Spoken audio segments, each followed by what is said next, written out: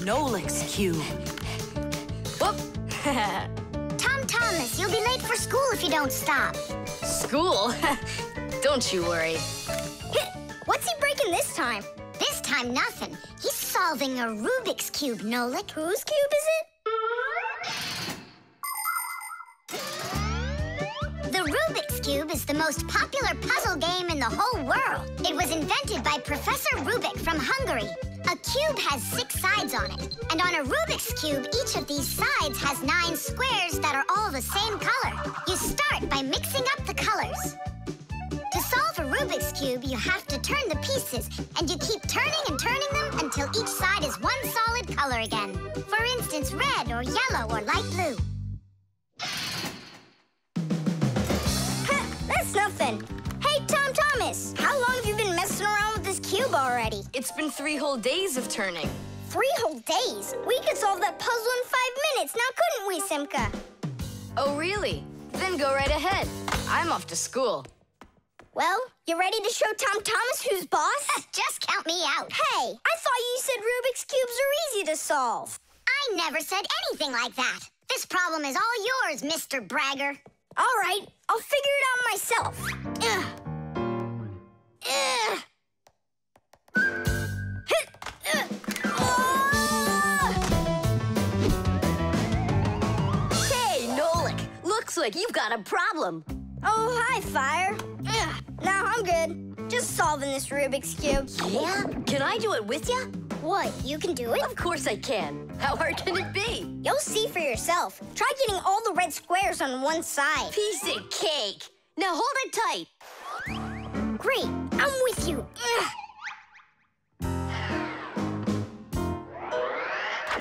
Whoa!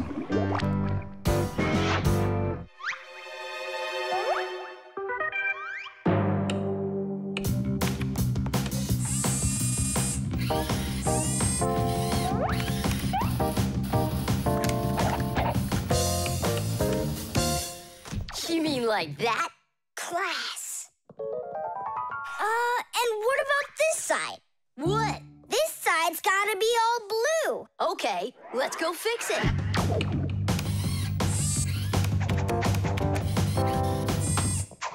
There, like you wanted. Now what happened to the red side? Huh? Simka was telling me that on each side there has to be one color. Oh, like Simka'd be able to do this? Simka can do it all. Well, if Simka can, then I can too.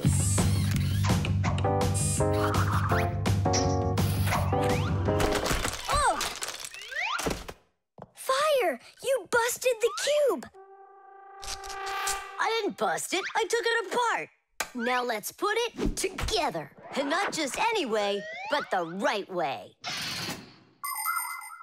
Puzzles are toys, games, or problems that force you to use your mind in a clever and creative way. Take a labyrinth, for example. In a labyrinth, the challenge is to find the one way to get through a series of tangled corridors. Another fun puzzle is a jigsaw puzzle. Here, you need to put together a picture out of many little pieces. For this, you need to not only pay attention, but be patient. And there are all sorts of puzzles for the computer.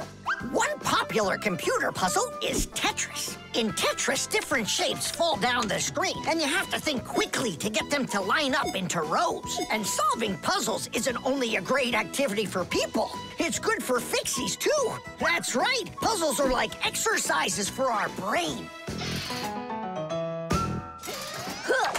There, all done. Nolik, you better hurry, because Tom Thomas is on his way home. Hi there, Simka. Just take a look at this. We did it. I can't believe it. How? Oh, it was a piece of cake. Simka, Nolik, I'm back. Well, I'm out of here. Ciao! Woohoo! Wow, you really solved it. It was Nolik. Nolik, you are cool. So how? You see, first you break it apart into all of the pieces, and then you put it all back together. No. That's cheating. You gotta turn the cube, not take it apart. Now I'll solve this cube, honestly. I don't think you can. Why, uh, so sure? I glued it together, Uh, how come? so you'll stop straining your brain with it. Now the cube will always be the right way. But if it doesn't turn, it's not a Rubik's Cube. Well, yeah. Now it's a Nolik's cube, right? The team. The first period is almost over. Tom Thomas's team is leading 2 nothing. There's no getting around the difference in class. Simka, pass to me!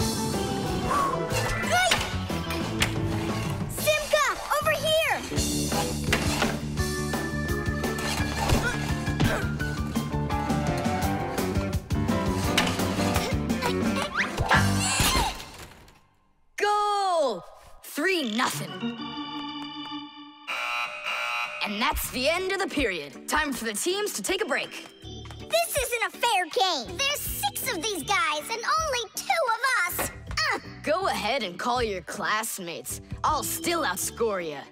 you sure about that? Uh-huh. Well, Tom Thomas, you asked for it. Young Fixies take classes and study just like human kids. But Fixie schools are quite a bit different than schools for people. To begin with, there are no more than 10 students in a room. In Simka's class, for instance, there are six, and the children don't study in one place. On one day, the lesson could be inside a refrigerator, the next day in a computer, and the day after that in a vacuum cleaner. This is the best way for Fixies to learn all about them and put their new knowledge to the test. But the most important thing is that they have to learn to work as a team and help each other. Stronger Fixies helping weaker ones, and older Fixies helping younger ones. This is a must for Fixies because appliances are so very big that if we didn't work as a team, we little Fixies could never get by. As the second period is about to begin, our full team comes to. Huh? Introducing the engine of our class, Fire! My motor's roaring. And now the brains of our class, Digit! Okay, what's the score? Now here is the spirit of our class, Tula! Could I be our goalie? and here she is, the face of our class, Verta! And oh, what a cute one. so you want to quit, Tom Thomas? I'm not afraid of you.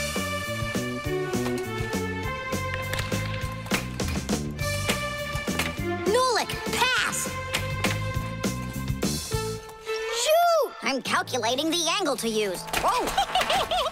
Oops! Pass it quick! Ugh. Quit sleeping! If you're gonna scream at me, I'm not going to play at all. Wow, that's some team you got there. Ah!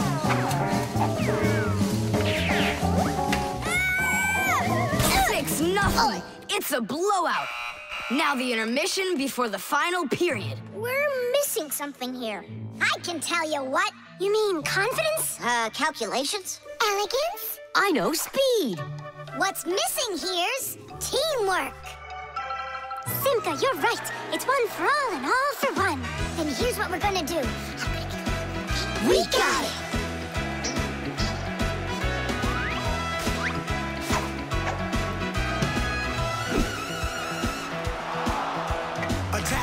Check, don't lose control. A line change on the fly. The puck is zooming towards the goal to score and break the tie.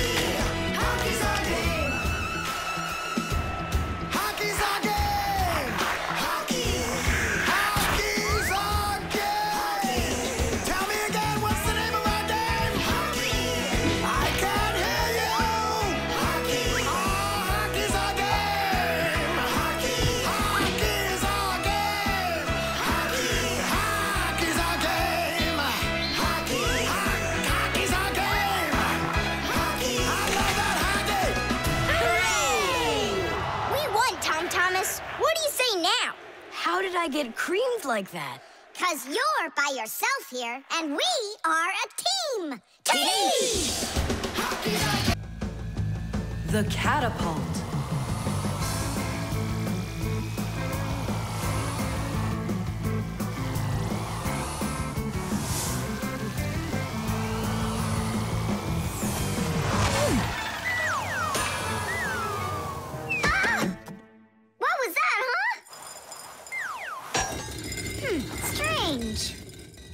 Tom Thomas isn't here. There's no way these toy soldiers could have shot it themselves. Now that was a good shot. It wasn't real long, and not high either. And off target. It was pretty awful. It was good, but awful. I got it. So what do we do? We need to raise it up a little higher. Hey, Fire, Nolik, why in the world would you shoot at a fixie? Fixies, they're supposed to be in school right now. Actually, I'm on my way to school. How about you, Fire? Why aren't you in class? Because there it's totally boring. But here, look at what a cool shooter we found. Ha! What did you call it? You've got no idea what this is. It's called a catapult, guys. A cat with gold eyes? it isn't a cat with gold eyes. It's a catapult, guys.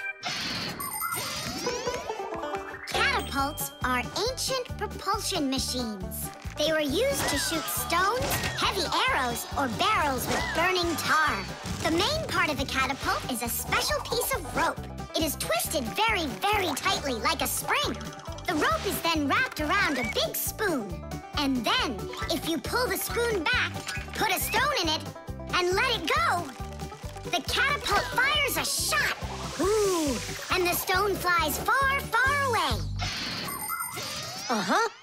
All right, so here we go. Ha! Eh, came up short. What do you mean short? What are you aiming at? You'll see. The spoon needs to go further back. Just a little. Guys, you're gonna break the glass. Nolik, now push. All right. Yes, right on target. Now let's fly out into space. Wait, what space? What kind of flying? Who's gonna fly? I'm gonna fly. Ha right out the window. Right up to the moon. First fixin' onto the world, Nolik. Are you ready for your flight into space? Yes, sir. Nolik, get out of the spoon now. I'll be the first fixie on the moon. Yeah. Nolik, enough of this. What kind of joke is this? It's not a joke at all. He's gonna fly into space. And how come it's not you? Because he's lighter. Hold on. Humans didn't go straight into space themselves. They sent dogs out there first. Nah, Chusaka's not gonna fit in here. Simka, why don't you go and let us finish? Fine, I will go. But only after Nolik finds himself a helmet. Hmm, you're right about that. I'll go find a helmet.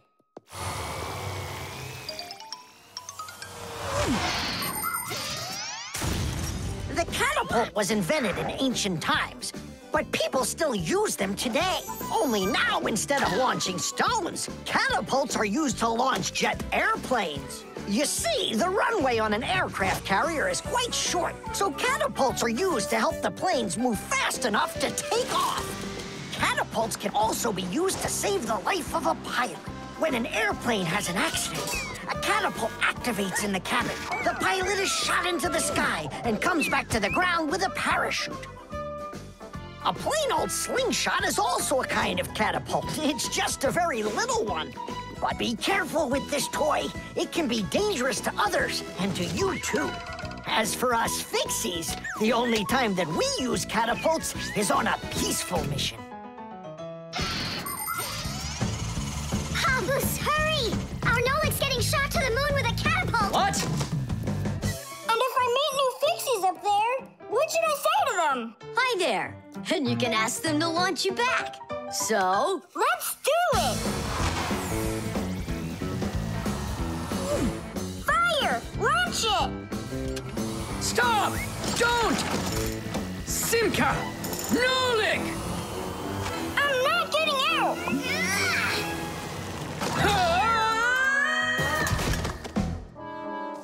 Whew! We're alive. hooray! He flew all the way. Who flew away? To the just a bit short. It's not our fault. You're just heavier than Nolik, and that's why you came up short. Papus, maybe we can try one more time. What?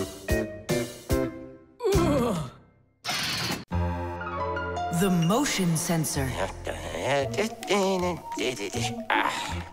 This part has to be replaced with one that's new. I've got an idea. How about we run to the warehouse and get it? Because you don't have time to go there. And that way you can keep on working. All right then. Only remember the code for the part. A 8375. I'll remember it for sure.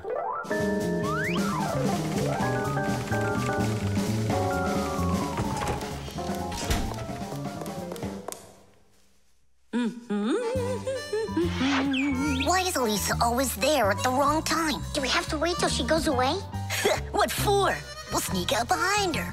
Digit, did you find the part? It's here. Are we ready? Yeah, we're ready. Let's do it.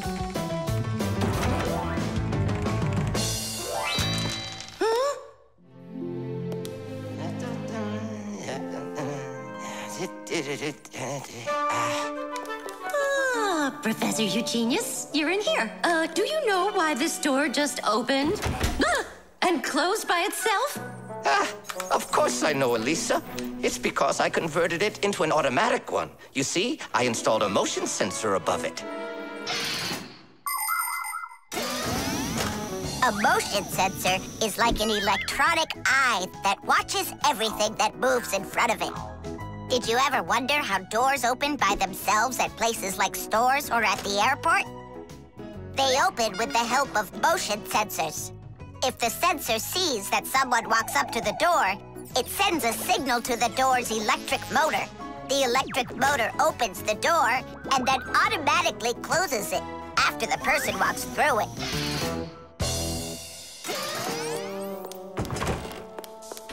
That man is just astounding. Only a bit untidy. The door is automatic now? Then why didn't it open for us on the way here? Because we're too little for that motion sensor. But the part's bigger than we are. Big enough for the sensor to see it. Then how do we get in there?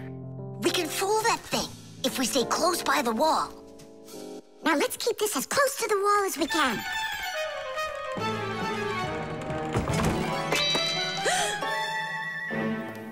This door is a little too automatic. And these parts are here again. Didn't I put them away?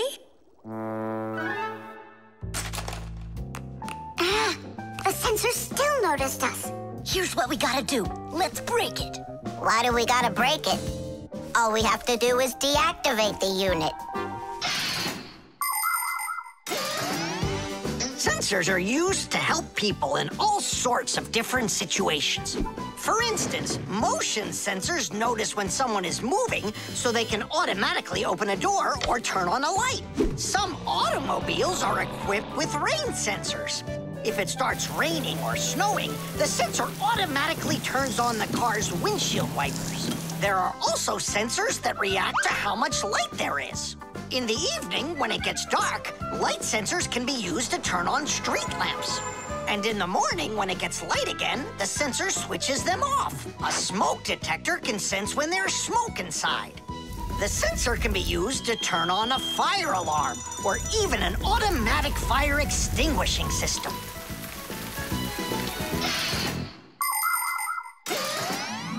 I turned it off. That should do the trick. Great job. Let's go.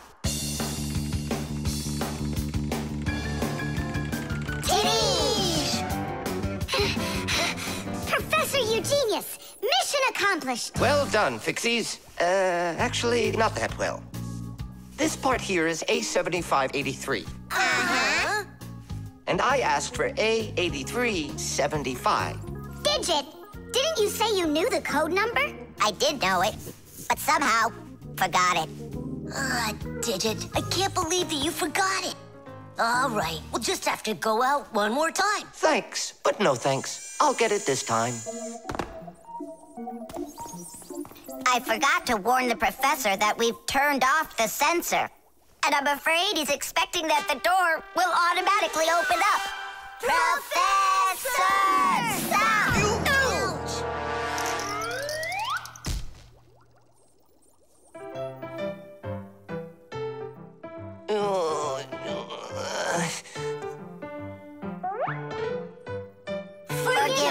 Didn't mean it. The suction cup.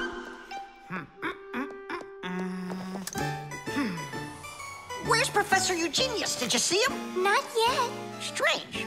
He told me he'd be here today to conduct some tests. Rampus, right here under the glass. There's a note. Hmm. Dear friends, That means the note's for us. That's because Professor Eugenius can always count on us. I'm off for a conference today. So what should we do? While I'm away, please keep an eye on each of my tests. There's the wristwatch. And where is it? It's right there.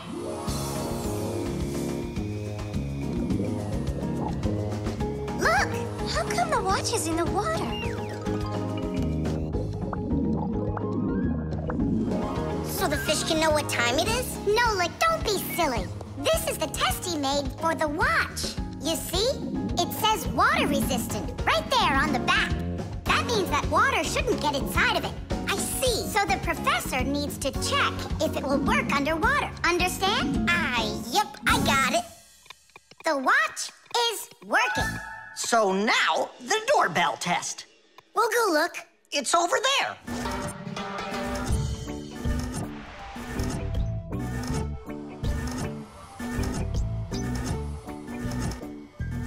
What's that thing doing? It tests the button to see how fast it wears out. To check the quality of appliances, toys, sporting goods, or just about anything, they need to undergo serious testing. Take, for instance, telephones. They need to be tested with both heat and cold because they have to work in places as hot as Africa and as cold as the Arctic. Computers are tested to make sure they can be shaken and rocked, too. That way you can be sure they'll work on a desk at home, or outside in the park, or while you're taking a ride. Different kinds of products need different kinds of durability tests. For example, athletic shoes and car tires are rubbed and squeezed over and over to see how long they are going to last. Yes, testing's very important. Without testing, a machine or appliance could let you down at the very worst moment. If guests come to visit once a week, and once every month a hooligan comes, pushes the doorbell, and runs, then I figure this doorbell will last right around 400 years. That's long. The doorbell is still working. That's very good. And also, uh, What? I don't know. We need to turn the note over to read the end. But how? Oh, raise the glass, that's all. Hup, hup, hup.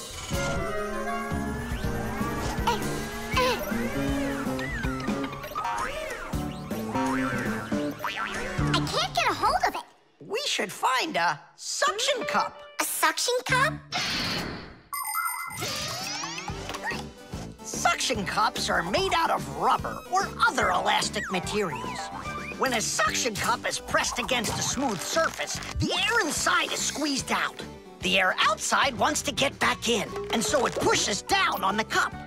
The rubber edge of the cup won't let the air leak in, so the outside air keeps pressing down, and the cup keeps on sticking. And that's how a suction cup sticks to a surface by using the power of air. Wait a minute. I know where there's a really big suction cup that we could use.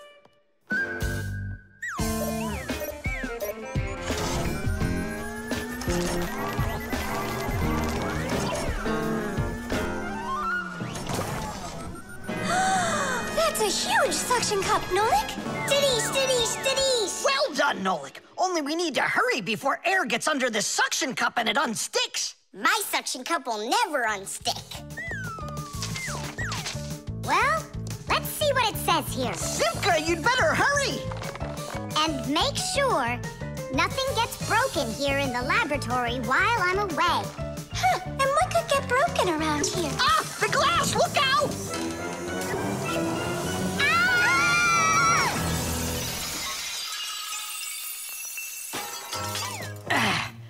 Yeah, so much for that.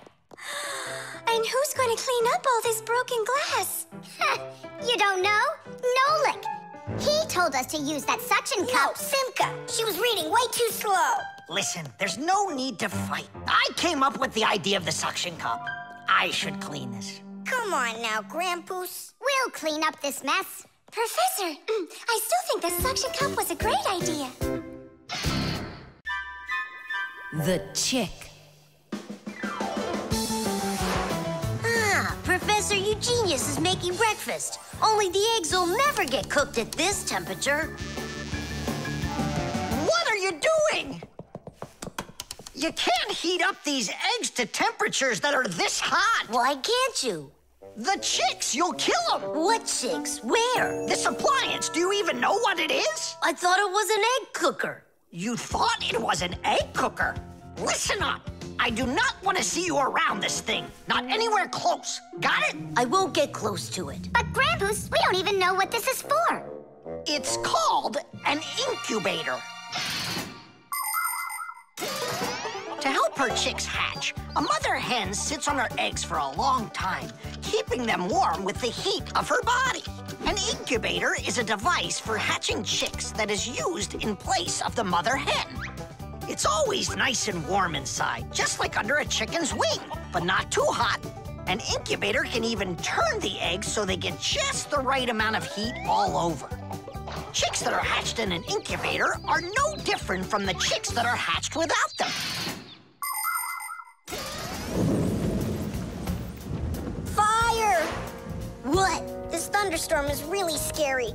Let's be scared together. I'm not scared at all. Me neither. I was joking. Just joking with you. What do you think? Are the chicks scared in there? Holy moly! Wow, that was a big one. Even the electricity got turned off. Ah, the incubator turned off too. And the temperature is dropping. And for little chicks, is that bad? I'm sure it is. It's cold in here. These chicks need help, and Grandpus isn't around. Then we're gonna have to save these chicks without him. Nolik, get the door open. Help me. I can't. Grandpus said I can't get near the incubator, so try opening it yourself. Can't do it. And I can't help you. But the chicks are going to die of cold. Ugh, let's just do it.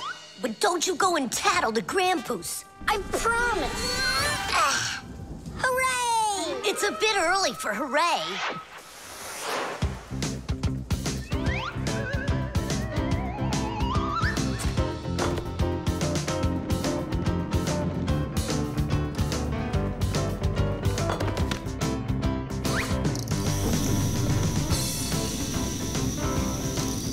Candle? Yeah, we'll warm up the chicks with the fire. Class.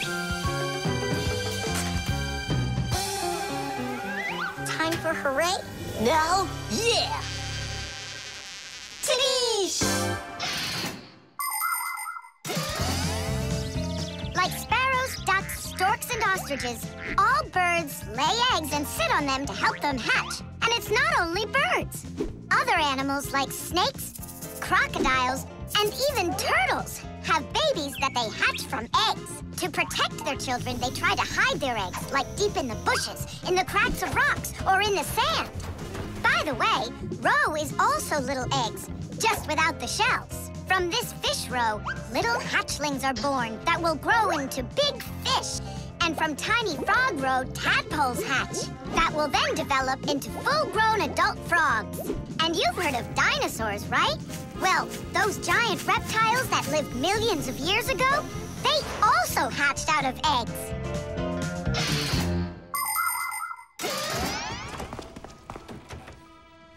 What happened to the electricity in here? It's a blackout from the thunderstorm, I guess. This is just awful. My incubator. Someone lit a candle, and the temperature is normal. So who put the candle in there? Tell us right now. Nolik, don't be a tattletale. It was me. By yourself. By myself? Of course yourself. I wasn't allowed near it. Well, yeah. He wasn't allowed near it. All by yourself. Then well done. You saved the chicks! Our hero! So, Fire, follow his example. And you, Nolik, accept our heartfelt thanks. Look inside. They're starting to hatch. All right, Fire. Come take a look. Now I'm allowing you.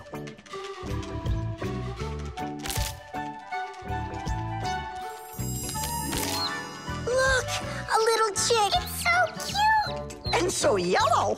Look at him. What a little sweetie. Fire. Wood. Well, I really know who saved him. Tish. The laboratory.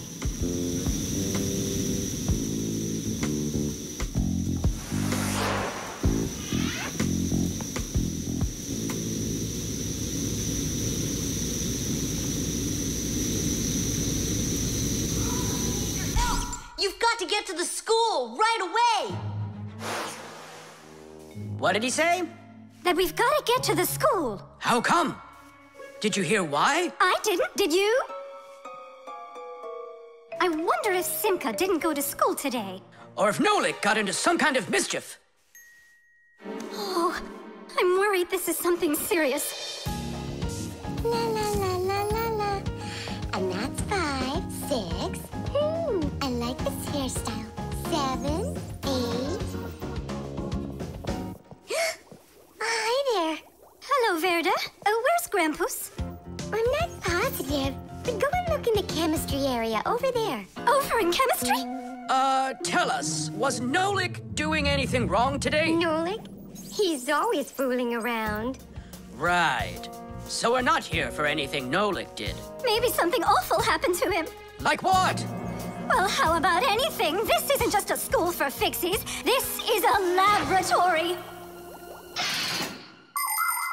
The laboratory where Professor Eugenius works is always humming.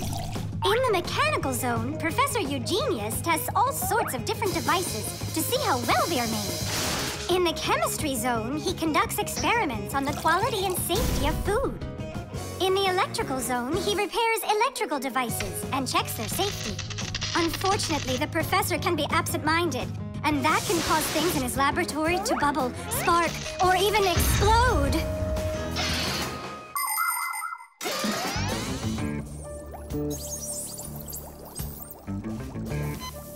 Marcia, there's nothing to worry about yet. But how can I not worry? Digit, have you seen Nolik anywhere? Do you know if anything's happened to him? This is a laboratory here. Who knows what could happen to anyone? Like what? What are you saying? Like that.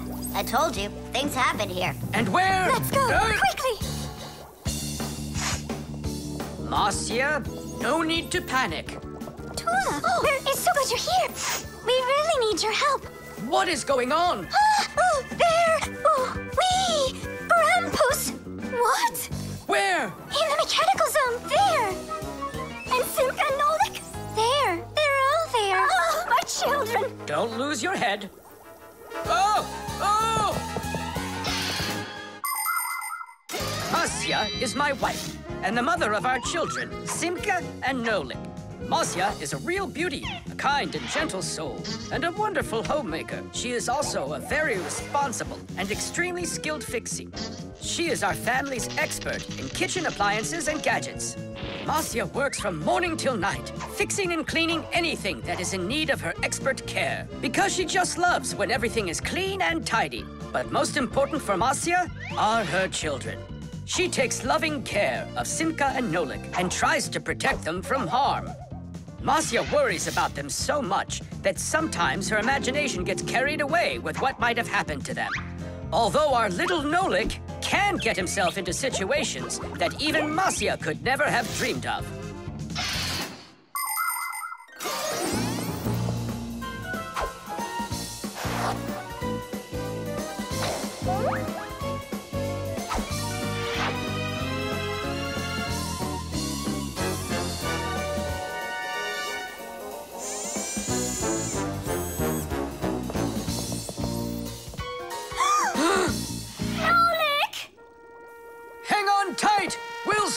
You! Hey! You're alive! What's going on? I don't need to be saved from anything. So it's Simka we need to save, not you? I don't need saving either. I'm fine. And what are you so worried about? Everyone's alive. Then why did you make us come here? I need you to help with a little accident we had. Nolik, was this your fault? Oh, no, it's not Nolik's fault. Quite the opposite. He was trying to help me fix it. Papus, we need you to help us with one of the pieces that we couldn't get back in place. This one? Huh? Tadish! Oh, a perfect repair. Huh, that was really the only reason we had to rush here? Why not? There was just no way we could let this wait, so I sent for you. But Fire said... Why fire? Why is it always fire? How come you had to scare us so badly? I'm not the one who scared you. You did that all by yourselves. The tools. Hang on. There are these really cool things that I want to show you.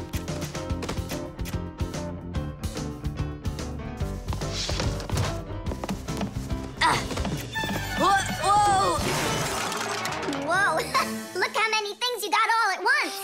Your dad's gonna be so angry when he sees what you did with all of his tools.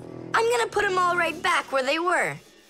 And where were they? Open the box and you'll see. It's neat. There's a special place in there for each one of the tools. Try hammering in a nail or drilling a hole with your bare hands. Uh-huh. There's no way. But with the help of the proper tools, it's a piece of cake. But of course, that's only if you know how to use them. Tools need proper care. If the head of a hammer is loose or a drill is dull, then you shouldn't work with them. It's dangerous. And when you're done working, put the tools back in their places, or you'll be tearing your house apart trying to find them the next time you need them. Huh. The pincers go here, and the wrench goes over there. This drill bit's too long for this spot. Let's see if it fits in this one. Huh. Any idea what this tool is for? For splitting wood or carving stone, that chisels what you want to own. wow, Simka, you're a real poet. now try to answer this little poem. When you have a thing to measure, this round tool is quite a treasure. This tool, right? I know what it's called. It's a measuring tape. Let me measure you, Nolik. Wow, you've grown. You've almost reached one centimeter. Class! I also have a rhyming riddle for you. What bangs a nail into the wall to make sure pictures never fall? A hammer! I was first. And the hammer goes right here. And now I have one for you to guess. If you need to screw in screws, here's the tool that you should use. A screwdriver! I was first, again. You got it right. All right, Tom Thomas, we'd better hurry. We still have a lot of tools here to get sorted out. Humans, just like Fixies, use hundreds of different tools to do their work. Picking the right one depends on the task at hand. For instance, if you need to hammer in a nail, use a hammer. But you don't use a hammer for a screw. For that, there's a special tool called a screwdriver. A wrench is the tool for tightening nuts and bolts.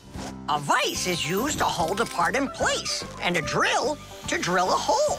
If you need to cut a piece of wood, you should choose a saw. You could use a handsaw, for example, or a hacksaw. Different kinds of pliers can be used for snipping, gripping, or bending. If you need to smooth something down, you use a file. If you learn how to work with tools properly, you can build just about anything. Looks like we did it, just in time. Oh, and how about this? Do you know what kind of tool that is? I don't know. There's no place for it in here. Just throw it out. Come on. And what if my parents use it? Looks like we did something wrong here. my dad came home. Tom Thomas! I'm in here. Hi there. Reading. Way to go, son. Huh? Oh, oh. I don't get it. Where is it? What? I put a piece of metal under the table leg so it wouldn't shake, but it disappeared. So that's where the tools place is. Did you take it? What? I didn't. It must be somewhere under the table. And you look under the sofa. Uh, all right.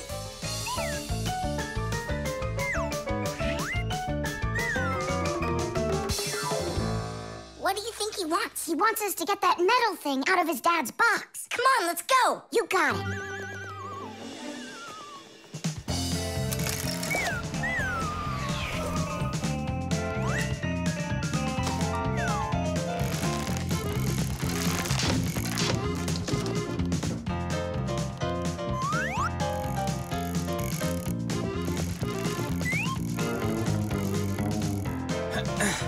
Any luck?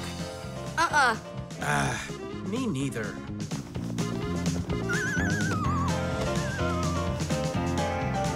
I found it, Dad.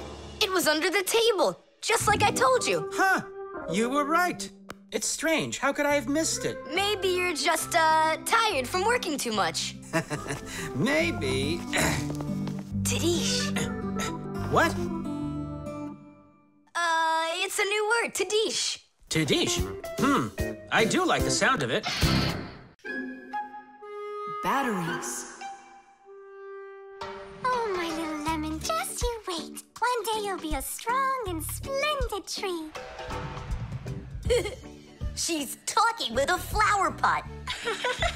oh, you scared me. Do you like it? Like what? My seedling, don't you see? It will grow into a huge tree. And there, amongst the green leaves, will be beautiful yellow lemons. Class. From that thing? Lemons? oh, yeah. It'll grow into a tree. All it needs for that is to gather energy. Get energy from where? From our sun. the sun? It'll be so slow. Oh, batteries would be faster than the sun. Batteries? I really don't think so. Tula, do you know how much energy they have? Let's just bury a bunch of those batteries in here, and you'll be watching your lemon plant shoot up into a tree. Are you positive? Absolutely. And where can we get the batteries? Over there. Professor Eugenius has a whole box full of them.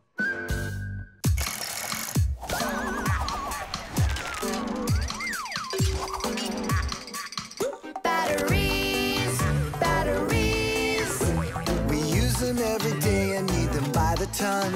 batteries, batteries, They give power to appliances so they can run. batteries, batteries, batteries, batteries, batteries, batteries. That does it. We'll be seeing the first lemons before the week's over. The first battery in the world was made in Italy more than 200 years ago. When two different kinds of metal were placed in salty water, electricity started flowing through a wire from one piece of metal to the other. Many years have passed since then, but batteries still work in pretty much the same way. Today, you can find batteries being used for electricity just about everywhere. Tiny batteries are used inside of wristwatches, while big batteries can power cars and even ships. With new batteries being produced by the millions, we have to think, how should we get rid of the old ones? You can't just throw away batteries because they'll poison our soil and water. The best way to dispose of batteries is to take them to a special collection station that sends them to factories for recycling. Yes, yes. It's a terrible idea to bury batteries. You can kill any plants that are growing there. and this is the very reason why Professor Eugenius puts all of his used batteries in that box over there, so he can dispose of them properly. Hey, where are they? Oh, my seedling! We harmed you! What? Where are the batteries? They're in the flower pot. How come? So the lemons would grow faster. From the batteries? Who came up with that idea? It will die! Hurry! We gotta go save it! Hmm, the soil's contaminated. We've got to find a new home for the seedling. But where? Over there. There's a pot with healthy soil. Let's do it. Batteries, batteries.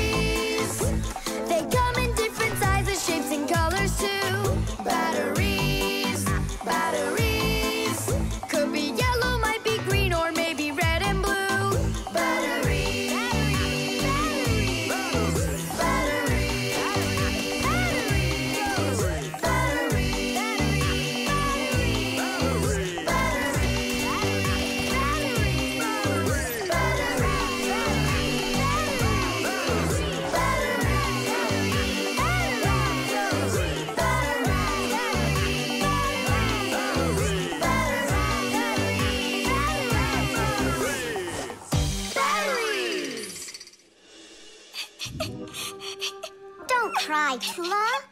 The seedling will be perfectly fine. It will grow big and strong with branches full of beautiful lemons and oranges.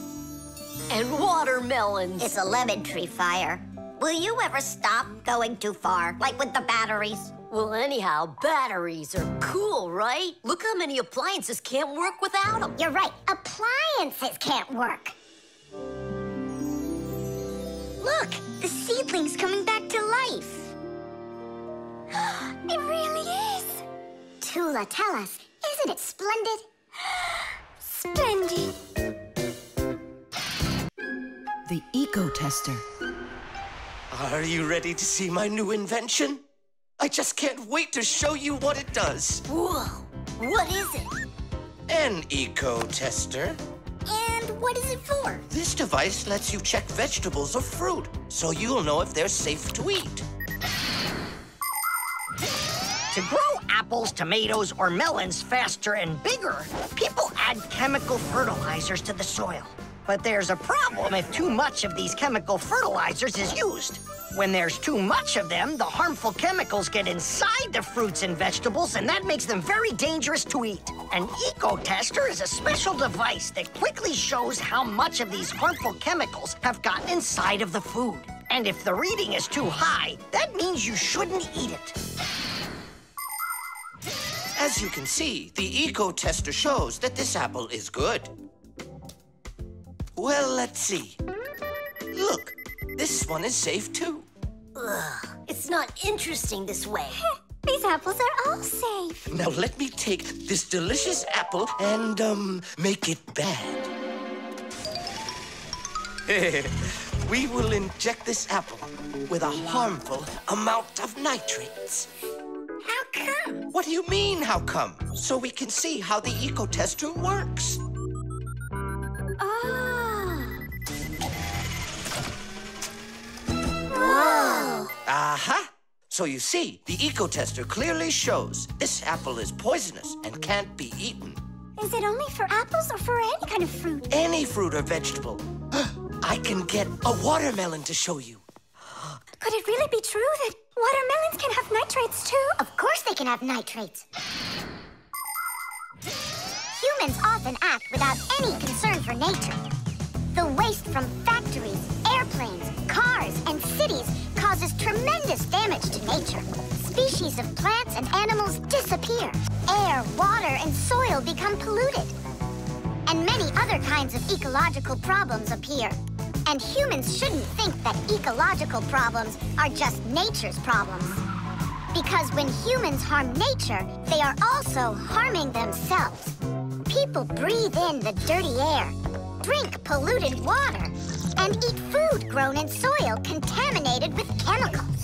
If humans don't want to drink milk filled with poisons, and they want to eat ecologically clean fruits and veggies, then they must learn to treat nature as their friend.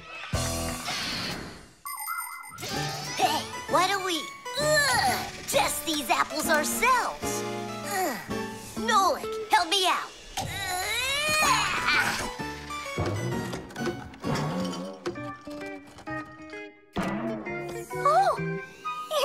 Away. I don't care. That apple's poisoned with nitrates. Oh, apples.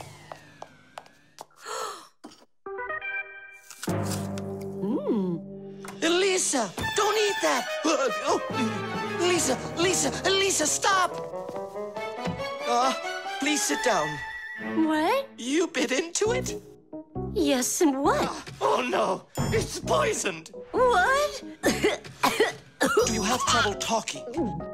Oh, yeah. You feel faint? Oh, I'm fainting. Oh. Elisa, hang in there. What?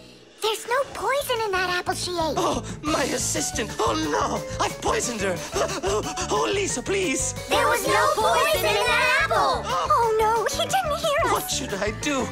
I know how to make him hear. Hello? It's an emergency. It's a case of, of poisoning. Not me. I poisoned someone. Yes, with an apple. Fire. I mean, poison. Oh. Professor, this apple has no poison in it. The bad one rolled away onto the floor. Did it really? This is just fantastic news. Can you see me, Elisa? I can't see anything. How's that? I see you. I can see you. I can see again. I have great news. There's no poison at all in this apple. Are you sure? It's perfectly fine. Here, take a look. The eco tester shows that there are no harmful chemicals inside. It's wonderful news. This is one excellent apple and nutritious. This appliance of yours is simply wonderful. Now she'll say he's a genius. Professor, you are a genius. Thank you for saving my life. Oh, it was nothing. Actually, it was Nolik. He saved her life. I did? Dropping the watermelon was your idea, wasn't it? Ah, you're right. I saved her life. Chess. Hmm. How about that? Then I'll play my pawn. And I'll play my pawn. Grandpus, we need our spool, and it's missing. Oh, congratulations. Professor, have you seen it anywhere? The spool? I haven't seen it. We're playing chess, can't you see? Do you like board games?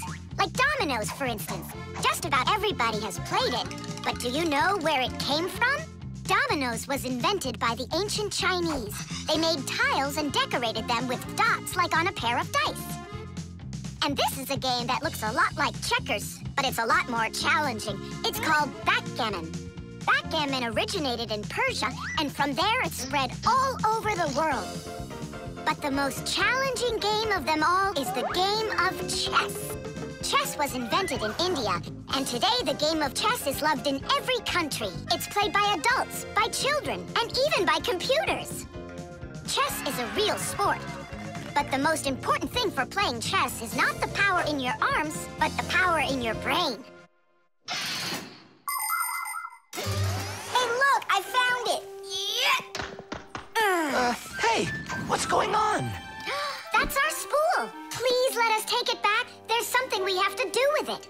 But we're using it. Can't you wait? It's a replacement for the missing pawn. Oh. Oh, Nola can work for a while as the pawn's replacement. Yeah. Ugh. I can do it. All right, you can take it. And you stand right over here. One, two, three, up we go! Class. So how do we play? You're going to play for the whites. And now I'm going to capture your knight. And we... We're gonna knock over yours. Take that. Whoa, whoa, whoa, young man. Slow down. It goes back here.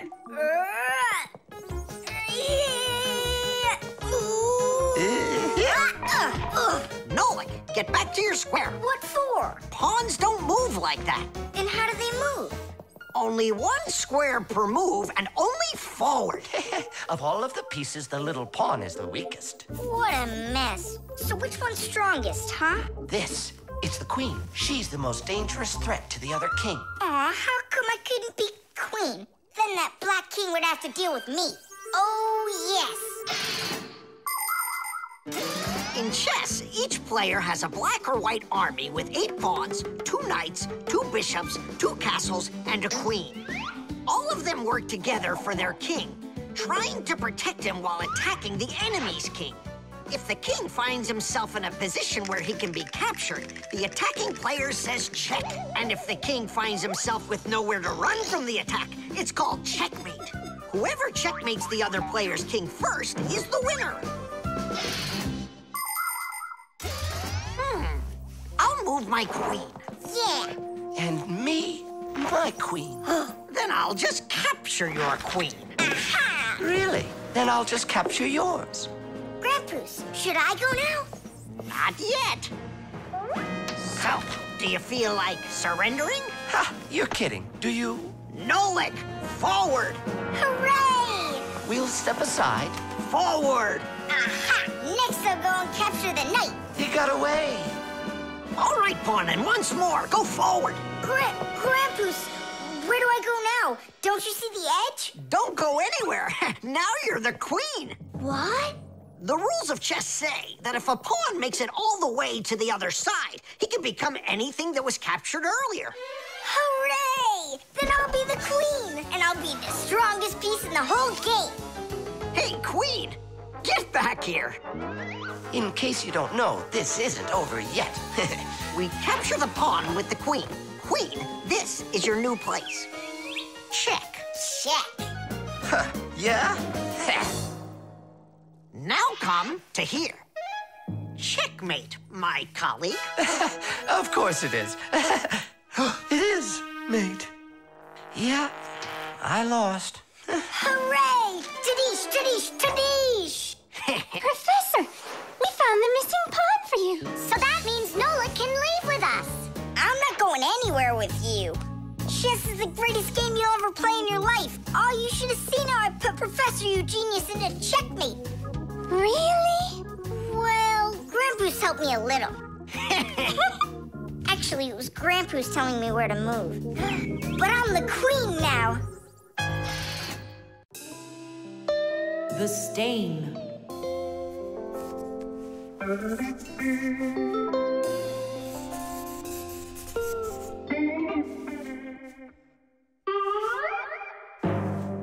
Thomas, what's going on? If you really want to watch TV, then you gotta turn it on first. I'm not watching it, I'm looking at my reflection.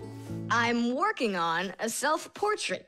And which shelf will you be painting in your shelf portrait? it's not a shelf portrait, it's called a self portrait. It's when an artist draws or paints a picture of himself. Of himself? Ha! You think you've got muscles like this superhero I see here on this paper? Uh, how can I see exactly what my muscles look like? And anyway, let the artist do his work.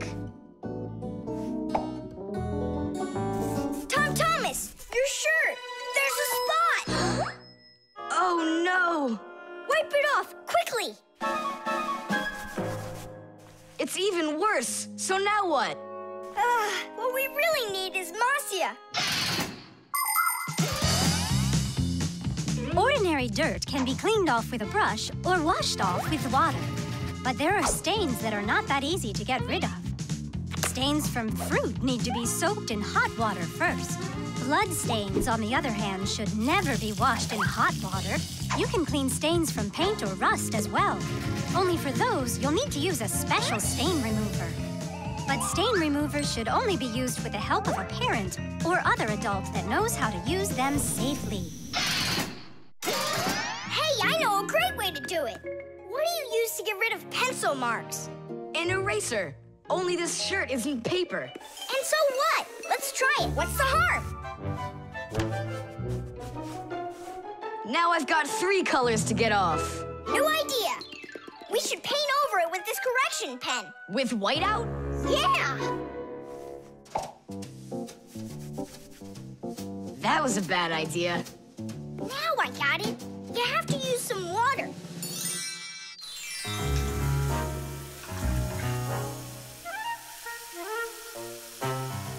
Should be better, don't you think? No, you can't wash whites with colors. And you've got a white shirt with colors all over it. Then how about if we try some more water? How much more can you use?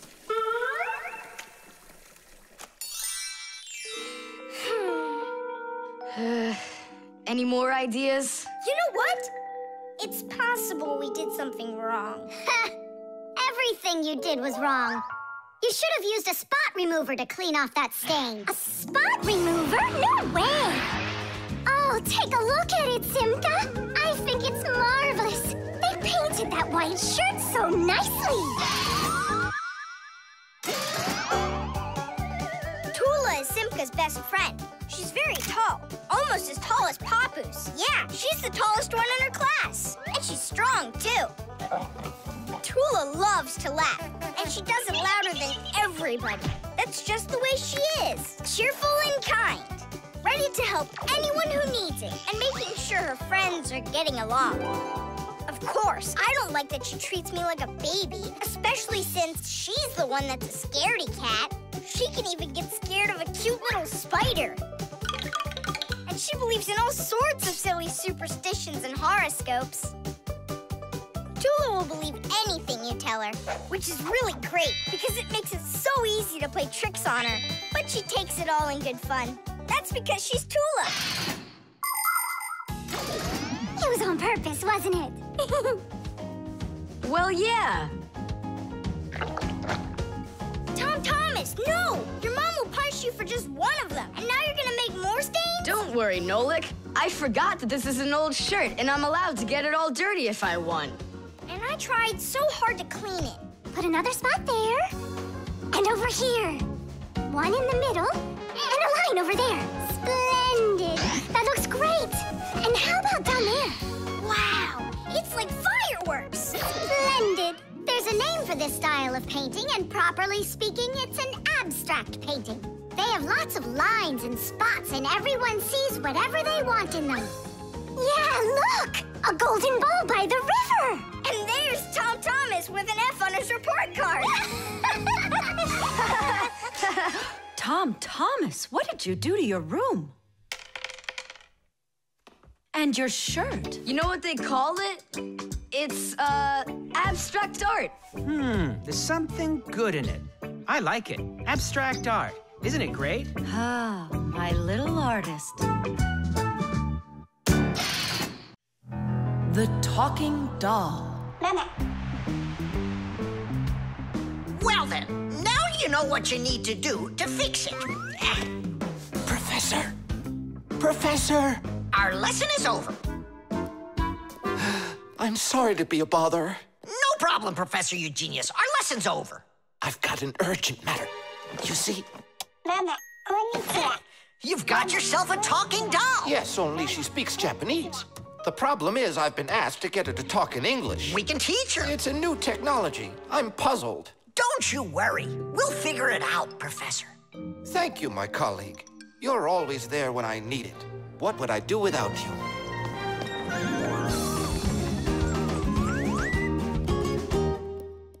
Professor, can you tell us how toys talk? Not now, children. We'll learn about the doll tomorrow. Now it's time to go home.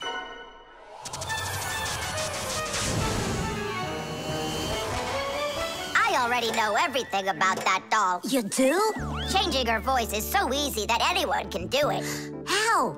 Here, come, I'll show you.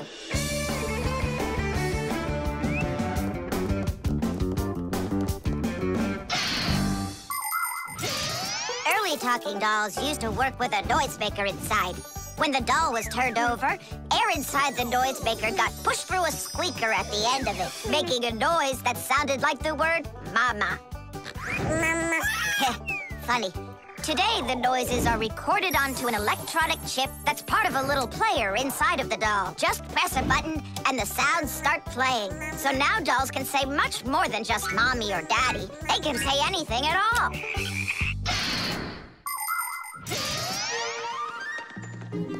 Well, here's the chip. This is where the recording of the doll's voice is. That's awesome. Can you re-record the voice on there? Well, yeah. Okay, I gotta go. Uh, uh. See ya. Wait, Nolik, I thought of a really funny joke to pull. What if we sort them and then we do and do something? Uh-huh. Well, now, as I promised yesterday, I'm going to tell you all about talking dolls. Some start talking when you rock them, while others react to noise. And for this little lady, you need to press a button to get her to talk. Who wants to? Tula. Me? Well, okay. I can do it. Go ahead. And you'll hear her say, Hi there, Mama. but in Japanese for now.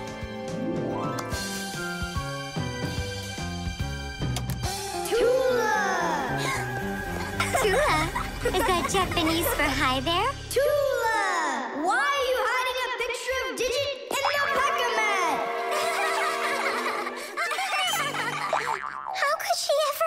that? Maybe you're love? That doll is alive! They call that joking. I just thought of a better joke that we can play. Yeah. What? Tula, don't cry. She's not alive. She is alive. I'll tell you who did this horrible thing. It was Fire and Nolik. It's true, but now the joke will be on them. How? It's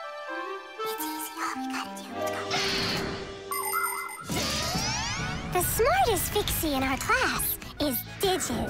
Sometimes I think that he knows everything about everything. Professor Grandpus has a lot of respect for him. Digit's always in thought whenever you see him, and he doesn't like when anyone distracts him. He just has no time for fooling around with the other boys. Digit prefers to solve problems using his brains and not his muscles. That's why he can have a tough time in gym class. But he's so sweet that it makes you want to help him. To tell you the truth, Digit isn't always great fixing things with his own hands. But no one understands technology better than he does. If something breaks, Digit can always figure out exactly what's wrong with it and the very best way to fix it.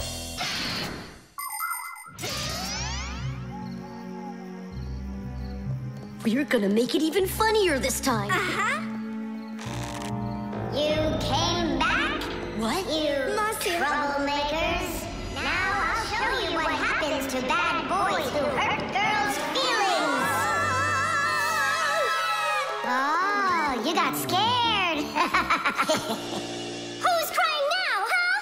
they probably thought that the doll came to life. You know what, Digit? I just started thinking that it, it might be better if she were alive. You know, Tula, you sure are hard to please.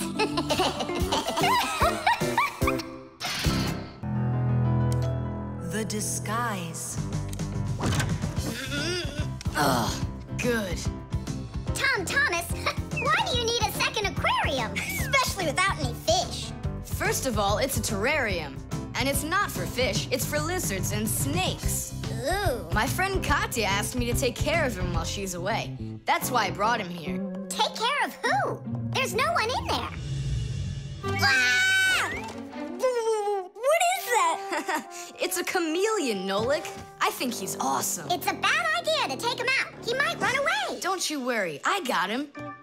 What a monster. But how come I couldn't see him before? It's because a chameleon knows how to disguise himself by changing the color of his whole body.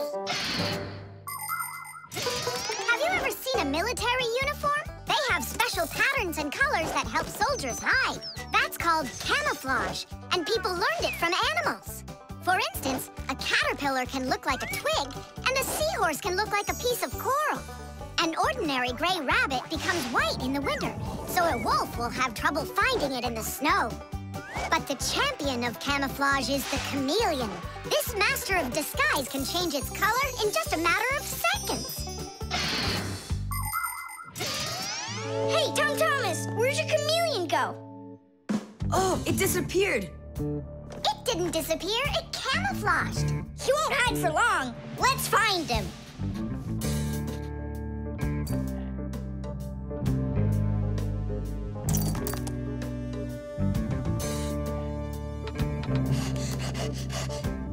Chusaka, have you seen the chameleon? Where is he?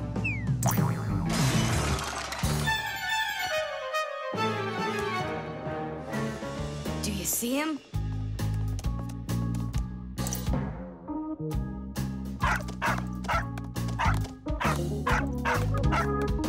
No, he's not gonna let us catch him. We're gonna have to, to trick him into coming to us. Uh-huh. We can set a trap with something that he likes. What do they like, I wonder? What else? They're food. And what do chameleons eat? Well, like flies or caterpillars, roaches. Where's the fly gonna come from? Well, what if... What? Oh, Simka, just you wait. I'm gonna get you. Hey, we've gotta help Katya. You don't see the caterpillar complaining. Quiet. Nolik, you start buzzing. Buzzing? Yeah, like a fly. Yeah, and flap your wings, too.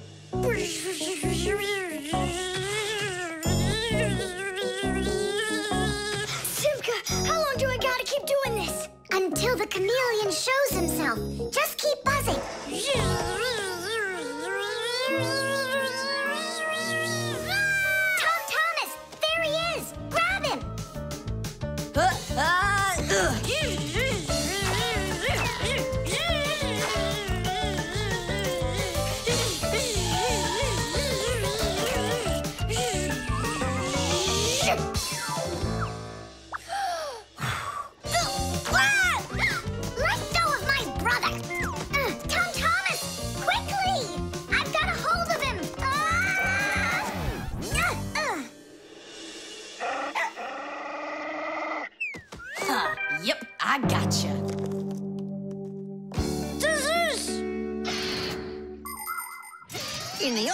They use camouflage all the time. They use nets that look like bushes, paint their tanks in colors that make them blend into their surroundings, and even fly in special planes that can't be seen by radar. They do everything they can to disguise their location. But it's not just the army that uses disguises. Photographers camouflage themselves to take pictures of wild animals. People use makeup to camouflage their blemishes. And artists, they disguise old walls with bright, happy pictures. And people just love to put on masquerade parties where they disguise themselves in costumes and masks. And of course, fixies have their own great disguise. Remember? Well, what is it? Now he won't run away. So, Mr. Master of Disguise, what are you gonna say now? If only I could disguise myself that well. Nolik, what are you talking about? You know how to disguise yourself a hundred times better than him. Ah, you're right. Hey, Chameleon, look and learn. Here's a real disguise.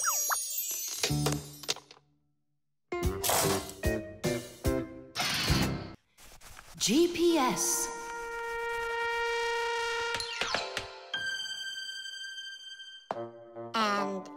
Three, four. Stop! Who goes next? I'm next. Five. One, two, three, three. And Wait, I gotta choose a route. Should I go here or there? choose already. Nolik, what are you doing over there? Nothing at all. Just waiting at my place. Good, and don't get off it. Wellfire? What was that? The alarm on my fixie tab. Oh, our lesson's about to start. Hurry! What about the game? Later!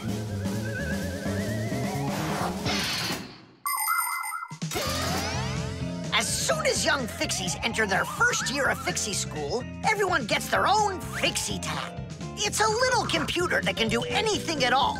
Well, almost anything at all. Studying with a fixie tab is fantastic. You can read it just like a book and write in it just like writing in a notebook. You can use a fixie tab to listen to music, watch movies, find your way around, and talk, text, and send letters to your friends. And if you want, you can use a Fixie tab to go on to the internet that humans use, or you can visit the secret Fixie internet, where you can find news about the world of the Fixies. And Fixie tabs have games on them too. Of course, these games can be a lot of fun, but you shouldn't play games until your homework is all done. Faster, or we'll be late! I know a shortcut we can use. This way.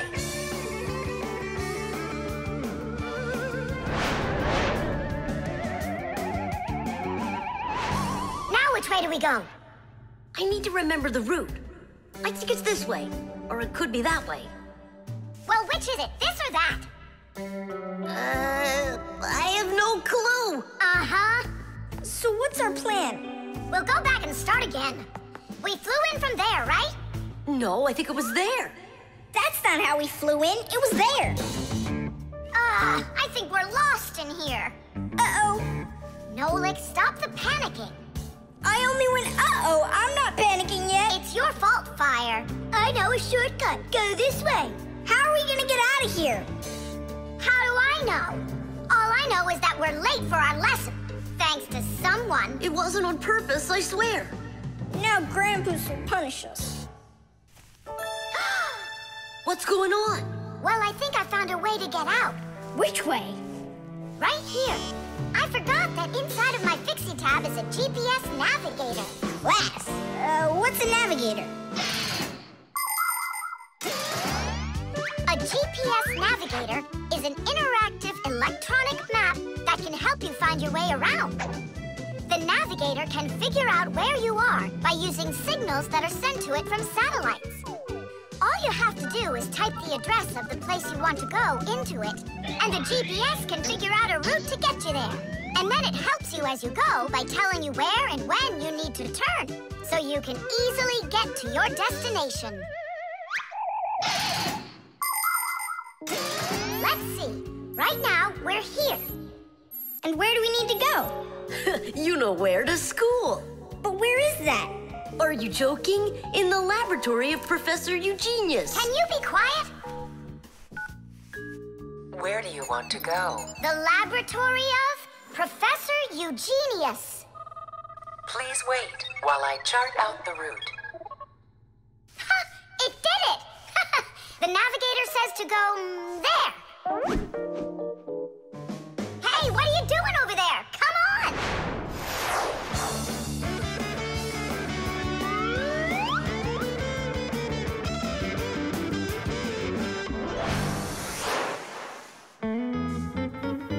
And if you happen to go off route, the navigator will give you a different way to. Well, you finally made it. Unfortunately, you missed an important lesson today. We got lost. Forgive us. In case you're wondering, we were studying navigators. And you know what? We just used a navigator to get here. Yeah, it showed us the way we had to go. Well, that's certainly quite lucky for you, because now you don't get an F. But from now on, kids, you have to get here on time. I promise you that. Because now we know where to get our shortcuts from. The vent. Tom Thomas. Tom Thomas. Okay.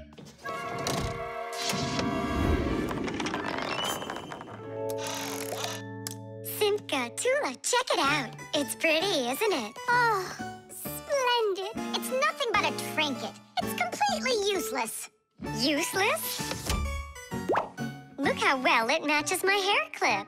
Useful things are the kinds of things you truly need. For instance, like this rope ladder I've got. It's splendid. And where do you plan on climbing with this thing? Now, this mirror here is both useful and pretty. Oh, how splendid. Tula, you say everything is splendid. Well, here's something super splendid that I bet you don't have. Oh, what is it? It's a mechanical super claw. It must be just perfect for scratching your back. now look what I have. A photograph of Vector. And he signed it for me, too. You sure that's Vector? You've got a photo of the bravest Fixie on the face of the entire planet? Yeah, and the most beautiful. Is it him for sure? No way. Let me take a look. Uh-uh. You'll smudge it. You've been fooled. No. Yes. Jealous? You are. Uh, uh, my photo! Oh, no!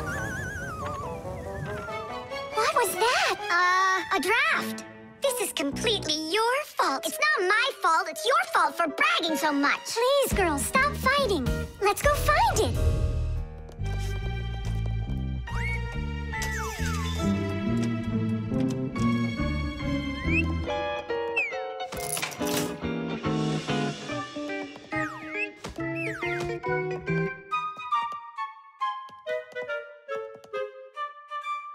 It's just horrible to lose a picture signed by the most famous Fixie ever. It will be horrible when that picture of a Fixie is found by humans. So where could it be?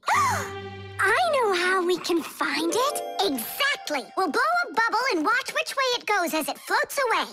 We'll follow it and find your picture. Do you know why you can blow bubbles out of soapy water?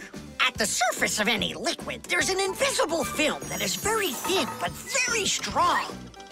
If you want to see it for yourself, fill up a glass with water all the way to the very top. Now you need to take a coin and carefully drop it into the water sideways. Then drop in another coin, and another, and another. You'll see that the water doesn't pour out, but rises up and forms a hump. That's because the water at the top sticks together. Why?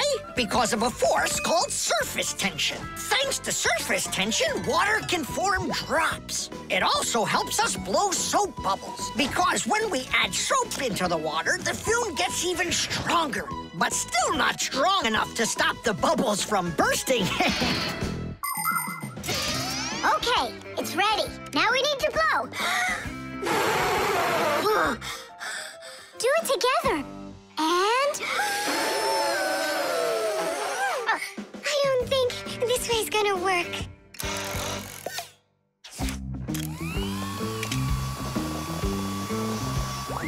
Did it! The vent! Of course! Why didn't I think of that before? Have you ever seen holes in the bathroom or kitchen that are covered with grids? Well, those are called vents. And behind the vent is a long pipe called an air duct. Unpleasant odors and musty air can be forced into the ducts and sent out of the house.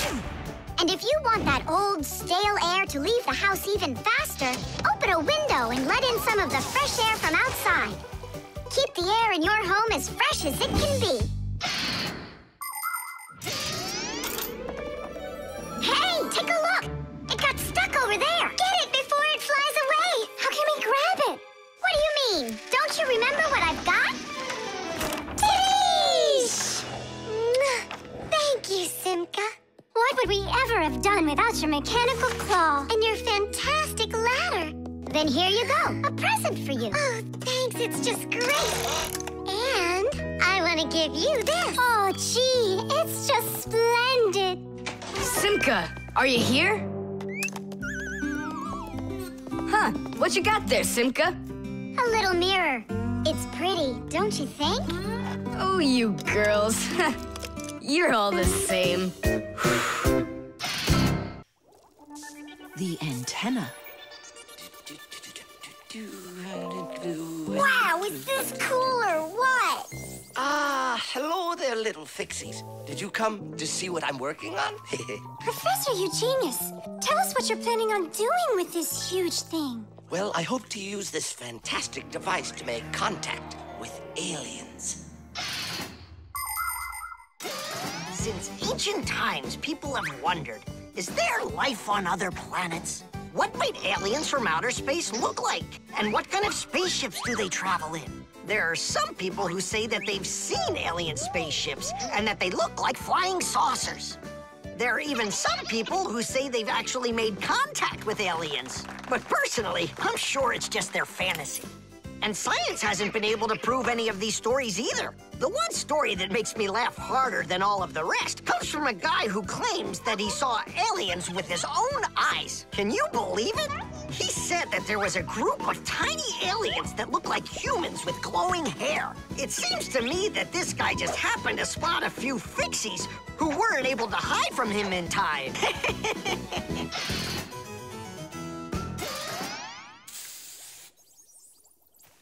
It's ready. If I could talk And now what? the If aliens. the aliens are out there flying by the earth, they'll see this plate, get hungry, and come for food? Aliens don't need a plate like this, silly. When they've got plates that fly, flying saucers. You're both silly. This thing isn't a plate at all. It's an antenna. Antenna? Antennas help people receive radio signals. They come in all sorts of shapes and sizes, like this, this, or this, to pick up a signal that's very weak. Powerful antennas that are shaped like large dishes work the best of all. When radio waves hit the dish, the waves all bounce off of it and gather together into one point. This makes the signal stronger and clearer. The most powerful dish antennas can even pick up signals from outer space.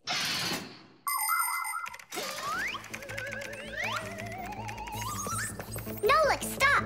You'll burn yourself. Don't treat me like a baby boy, okay? Ah, interesting. I wonder what's inside of there. Do you know? Why don't we go and take a look? I was only trying to help him out. No need, Nolik. The soldering iron is way too hot, and I'm practically all done here. Ta-ta. Then let's start looking for those aliens in outer space. Just one second, Nolik. And now, uh-huh.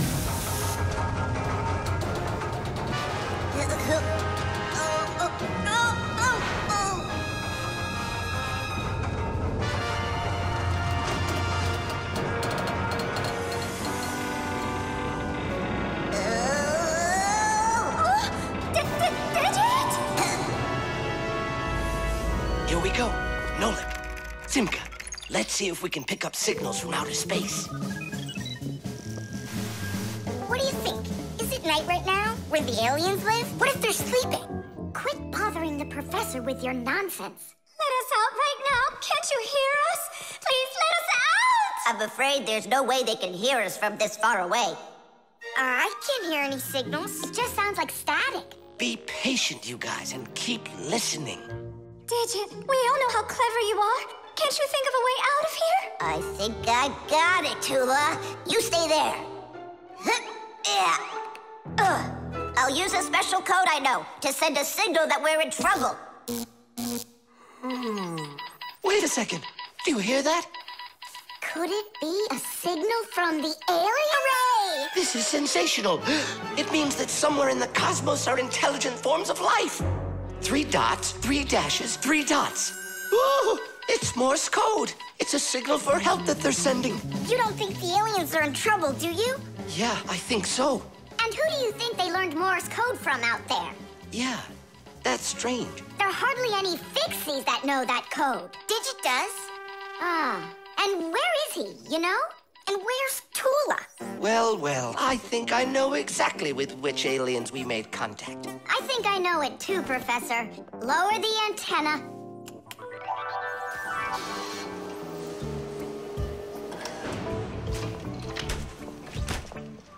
Greetings to you, oh extraterrestrial visitors. Hi there. it's good to be back. oh, Ah, what a shame. I was really hoping that we'd find intelligent life forms out there. It's all right. At least we found two unintelligent ones. The fire extinguisher. So, who can tell me, in the home, what is the greatest danger of them all? Chuzaka. Well, dogs are dangerous for us, but what is very scary for us and for humans? Fire! Huh? Where? I was just answering what you asked us. Although your joke was awful, Fire, your answer was actually correct. Nothing can be worse than getting caught inside a house on fire. Don't know much about chemistry, but I can handle circuitry. That's an interesting idea. I have to try it out. And that's why every Pack-o-mat has a fire extinguisher inside of it. And how do you turn them on? Well, I'll show you. At the end of the lesson. Nolik, listen, yell fire. How come? I just want to find out how the professor turns on a fire extinguisher. Forget it, Fire. I won't do it for you. Ugh. Fire! Huh? Huh? You again! I was joking. It's a stupid kind of joke, and I want you to leave right now. Actually, I should call your parents to discuss this terrible behavior. Fire is no joke at all. Remember, never fool with fire. Of course, you should never play with matches or with lighters. Everybody knows that. But those aren't the only things that can cause a fire inside of a house. So can a stove or a fireplace. And don't forget electrical appliances like electric burners, space heaters, and irons. If you act carelessly around any of these appliances, they can cause a fire. And we should never forget to take extra special care with sparklers, candles, and fireworks. Sparks can jump off of them and set fire to highly flammable things like paper, wood, or cloth. So, what do you do if a fire suddenly breaks out? That's right. You call the fire department by dialing the number for all emergencies 911.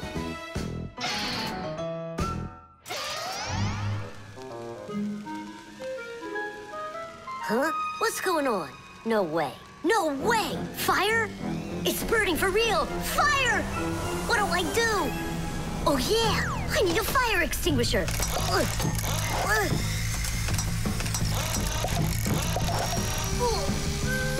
Ugh. Where are you? And that's how a Pack-o-mat can become a fire extinguisher. Do you understand? We understand.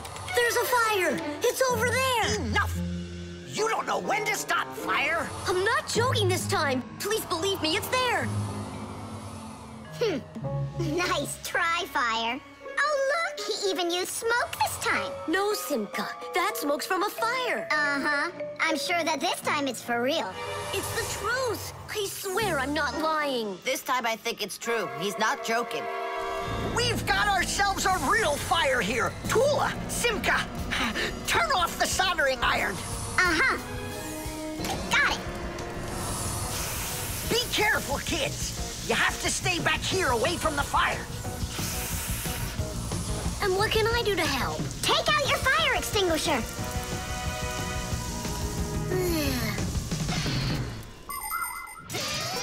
Long ago, people used to put out fires with just water or sand. Today, people also use fire extinguishers. Fire extinguishers are cylinders with hoses. They're usually painted red, so they're easy to see. The cylinder is filled up with a special powder, or foam. If someone needs to put out a fire, they point the hose at the fire, pull out the safety pin, and squeeze the handle. The foam or powder shoots out of the extinguisher and puts out the fire. Our fire extinguishers are just too small for this fire. We have to find Professor Eugenius to put it out. I already did. All right, where's the fire? Ah. Ooh, Hooray! We put out the fire! you fixies are just the greatest. Thank you, you saved the whole laboratory.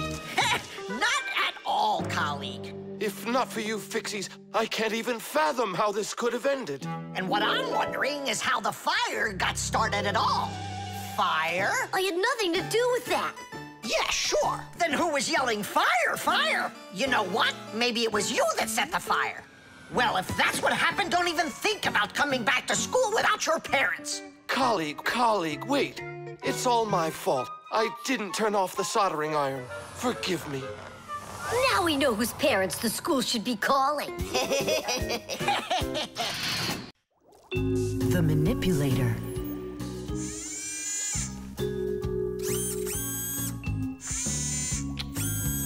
Well, what do you say, Professor?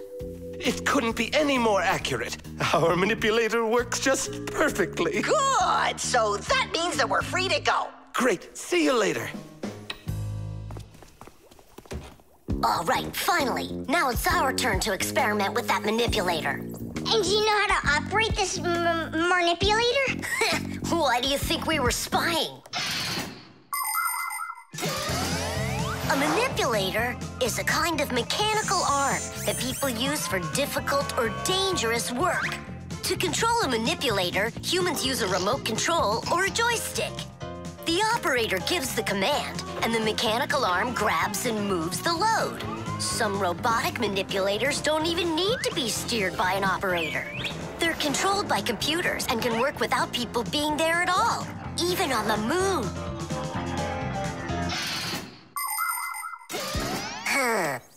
What is this button for? Uh-huh.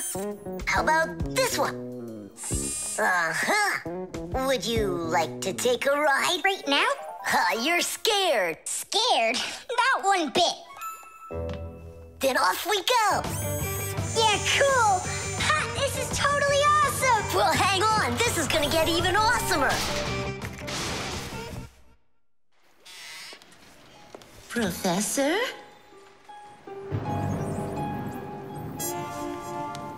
Hmm, strange. What made this ladder just fall over? Ah! Am I crazy? Or someone here? Oh, calm down. Calm down now. Poor Elisa. Yeah, you're completely overworked. Whoa! Ah! Who's here? Achoo! Hang in there, Nolik. I'll get you out of there.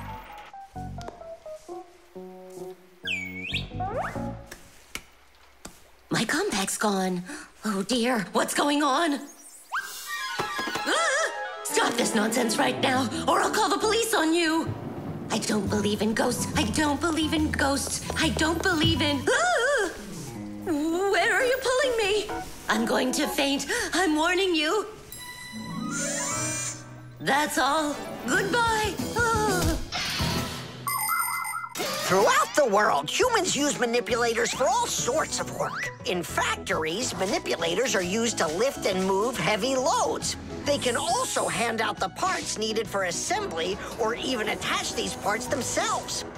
In hospitals, more precise manipulators are used by doctors to help perform operations. Manipulators are also used in places where the work is simply too dangerous for people. For instance, where there are deadly chemicals, or places where humans can't get to easily, like somewhere underground where there isn't enough space to move, or deep under the water or in outer space where there's absolutely no air to breathe.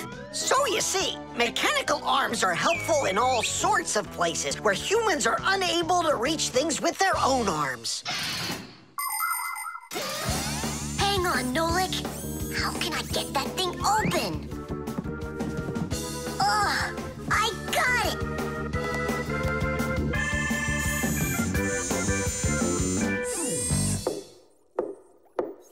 Yes? Who's there? Ah! What's going on? Achoo! Ah, ah, no, Nolik? What are you doing in there? Achoo! We just took a little test flight. Is this yours?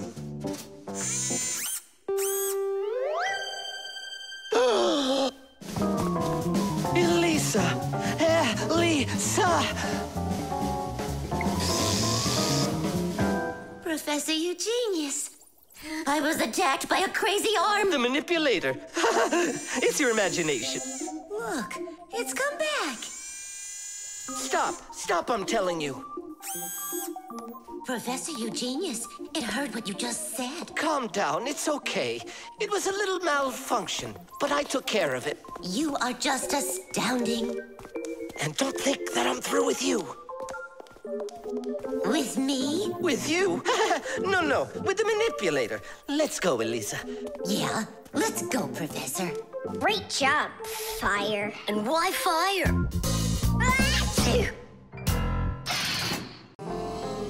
The level. Tom Thomas, I'm really sorry.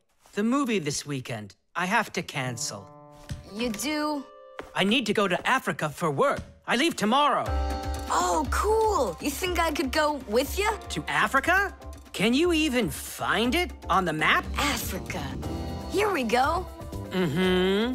No, you're still too little. When you grow as tall as the top of Africa, then I'll take you with me.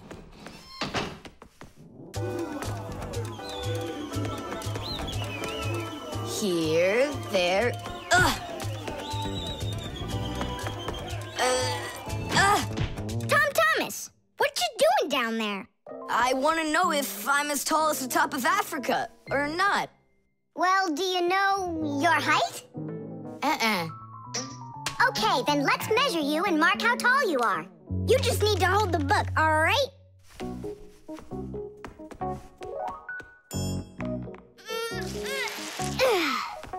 Simka, uh, how do we measure what's higher? The top of Africa or this line over here? Hmm. Hmm. It's a tough one. We need a piece of flexible, clear tubing. Oh, I can get it for you. I know where it is. And we'll build a simple tool to find out the answer. It's called a water level. Let's do an experiment. First, we'll pour water into two bottles. A little bit more into one and a little less into the other. Now we'll connect them with a tube so that the water can flow between them. You see? The water flows and flows, and then it stops. It stops when there's the same amount of water inside of both bottles. And if we do this with a simple tube, it becomes a useful tool called a water level, in which the water on both sides is always the same height.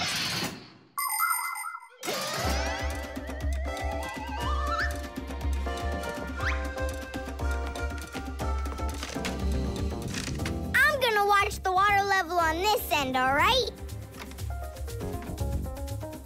Be careful how you lift it or the water can get out. Nolik, what's going on? The water inside the tube is even with the line. There you go, Tom Thomas.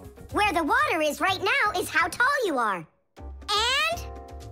Well, it looks like Tom Thomas isn't quite tall enough for Africa. What if we hold the tube a little higher? You can try if you want, but the water's gonna stay where it is. The water level on your side always stays the same as on the other side. Uh, I'm not getting that tall for a while yet. And what if we just lower the map a little? That wouldn't be honest. But it would be clever. There are a lot of great proverbs, but my favorite one is measure twice, cut once. And to measure things right, you need measuring tools. The simplest one is a ruler. With its help, we can find out the length of an object. A watch can tell us how much time has passed. A speedometer shows us how fast we are moving, like in a car or on a bike. An electric meter keeps track of how much electricity we are using. A decibel meter can tell us who is screaming or stomping louder. And a beam compass is used to accurately measure the size of a coin or a hole. We couldn't get by without wonderful tools like these. If we didn't measure the things we are building carefully, everything around us would just come loose and fall apart. Uh-oh. Dad!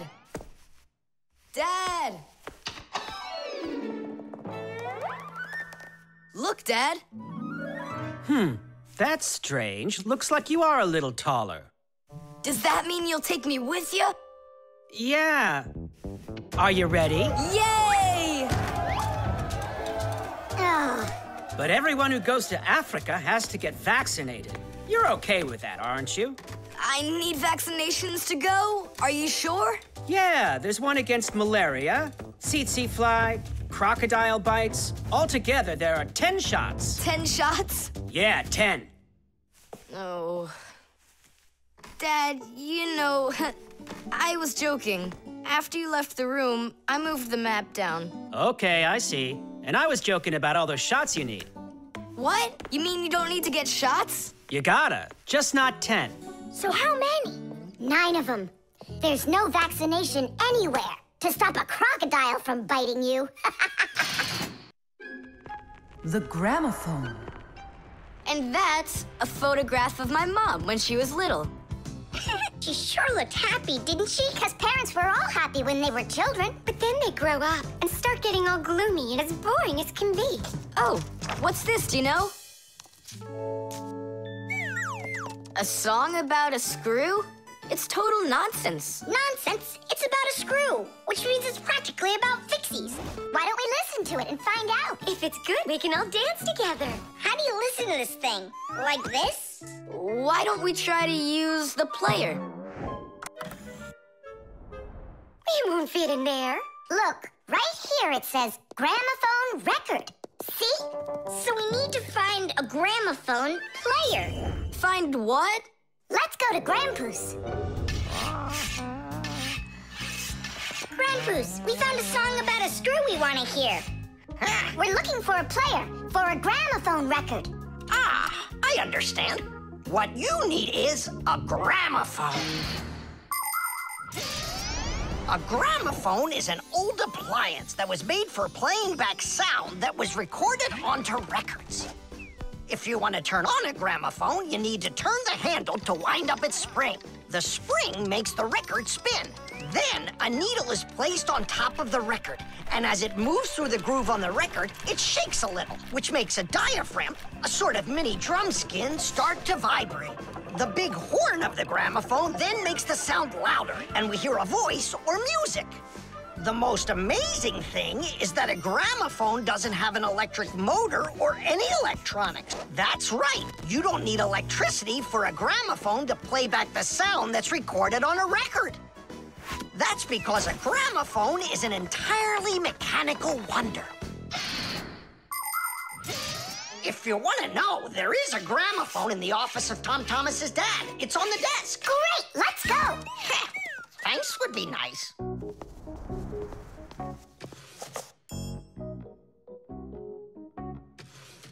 I can't find the on button. There is no on button. You need to grab that handle and turn it. Now take that thing and put it down onto the record. Hmm, it's not playing. Look, there's no needle in there. And where can we get one from? We can make it. Do you have any nails around here? Is this good? That'll be great. Verta, are you ready? Totally. Better cover your eyes.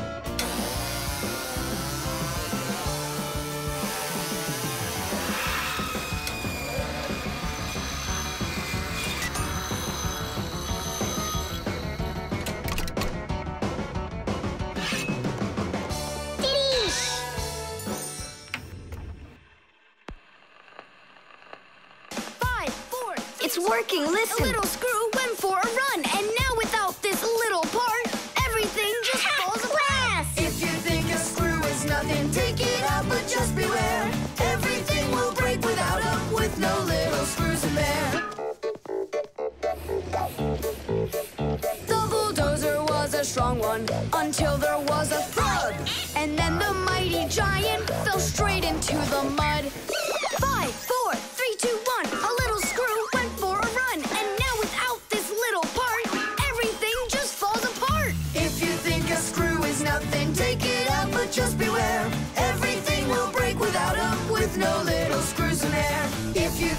Screw is nothing, take it out, but just beware.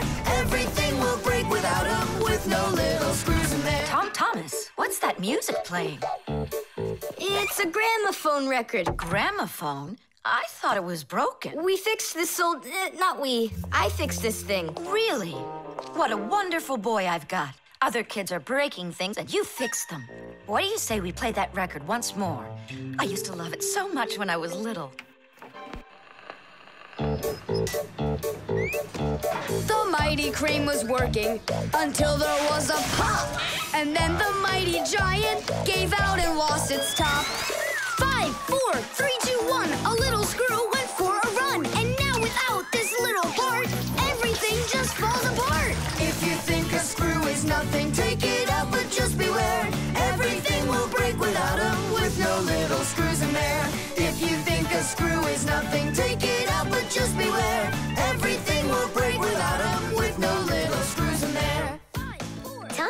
Tom Thomas's mom really dances super. Yeah, she knows how to have a good time, even though she's a grown-up. If you think a screw is Tubes. Today's lesson will be on pipes and tubing. Right here inside of this laboratory, you can see them all over. Look, over there, and there, some more over there, and there's another one. So, who can tell me some different uses for tubes? Digit. Uh, They're used in plumbing to carry the water. Nolik, in school we don't give an answer without being called on. Digit. You can. And for carrying waste.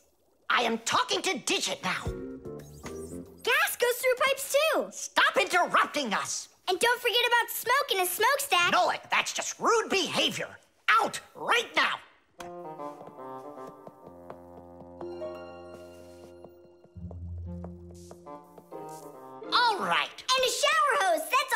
Tube, right? I told you to get out. Yikes! And a vacuum cleaner's got one too. Hmm. And those spyglasses that pirates use when they're sailing. Hey, what do you say we all go and sneak out of here? Great idea. Let him call out to himself. Shh. And a trumpet's a tube that you blow through.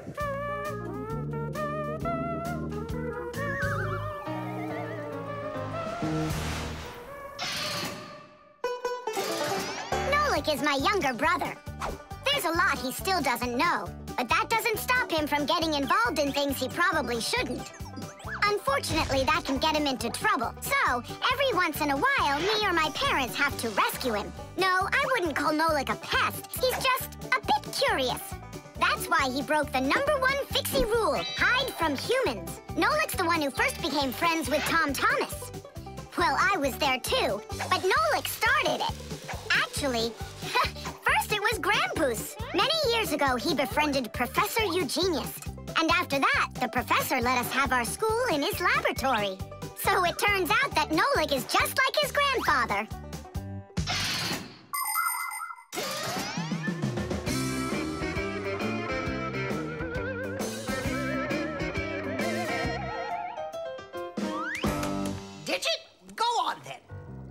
Tubes are, uh... Wow! Just look at all the tubes in here. There's rubber ones and glass ones that are curvy. Oh, yeah! Pens! Parts of them are tubes, too. Um... he stopped talking. He ran out of ideas. Those tube slides at the water park. the barrel of a rifle and the shell of a bullet. Those are tubes. Oh, there's a tube with a serious crack. And it's also dripping and hissing. It's dripping? Where? How can I show you when you kicked me out of class? What's going on? Take a look. That tube up there is leaking. That's acid dripping out. Is that dangerous? It's awful. Any second now, it'll explode. Where did Professor Eugenius go? He went to eat a sandwich. So what do we do? It's a disaster. Don't panic.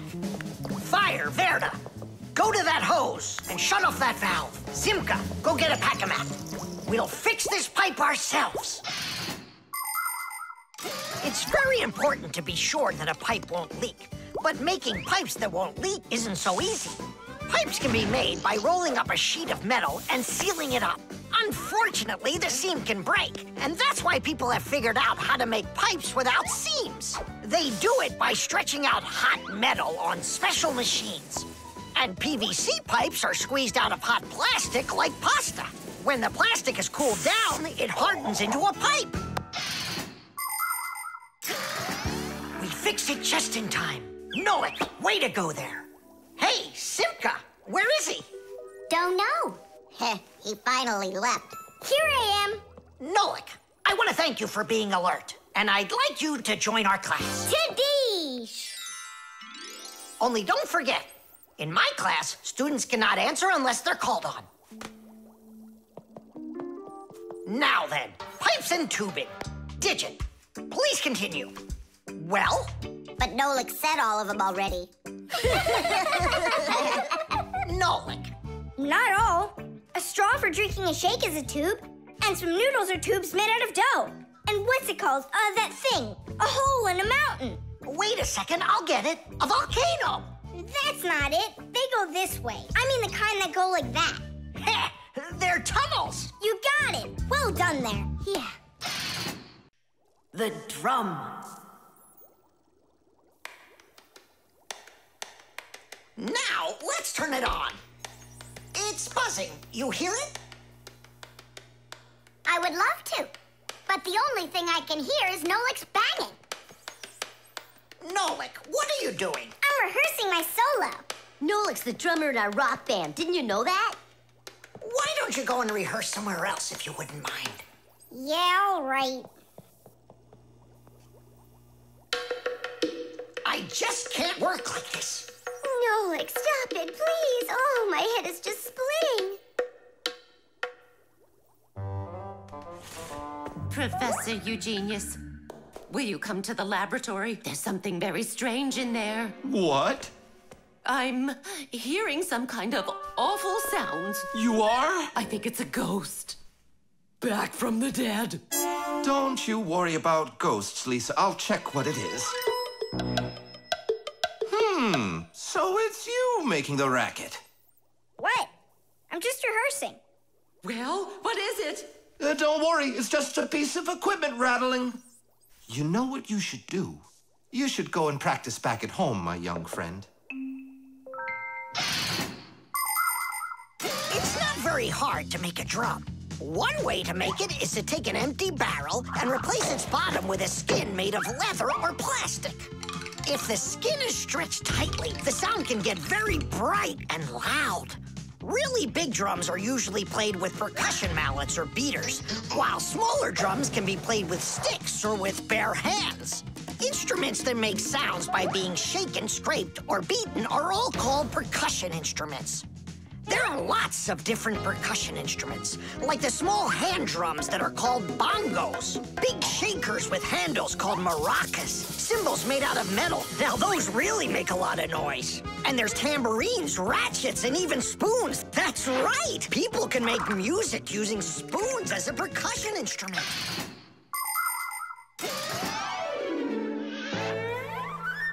Tom Thomas, do you think I could practice my drumming here? Yeah, go ahead. I've just got some homework to do. I can do that, and better than you can, too.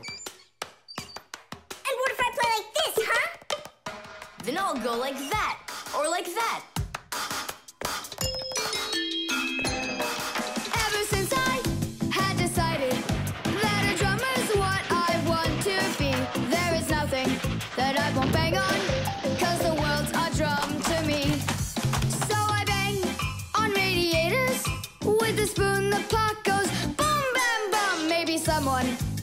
Take pity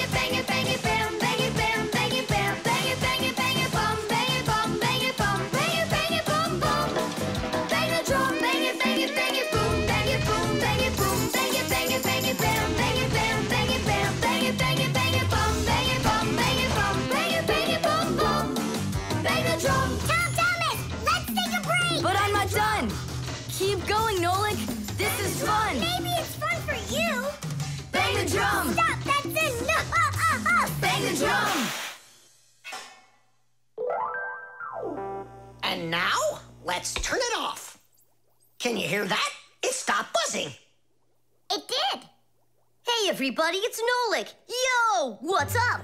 So, our noisy ghost is back. I thought you were practicing at home now. Tom Thomas is drumming there. I had to run away. Well, our excursion is over. And now I would just be so happy to listen to your rock group. Hooray!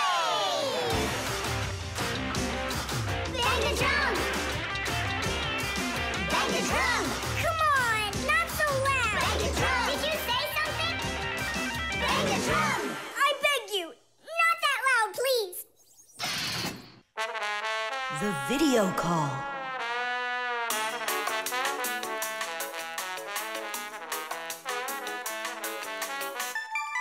Turn on the camera right away. It's me, Simka.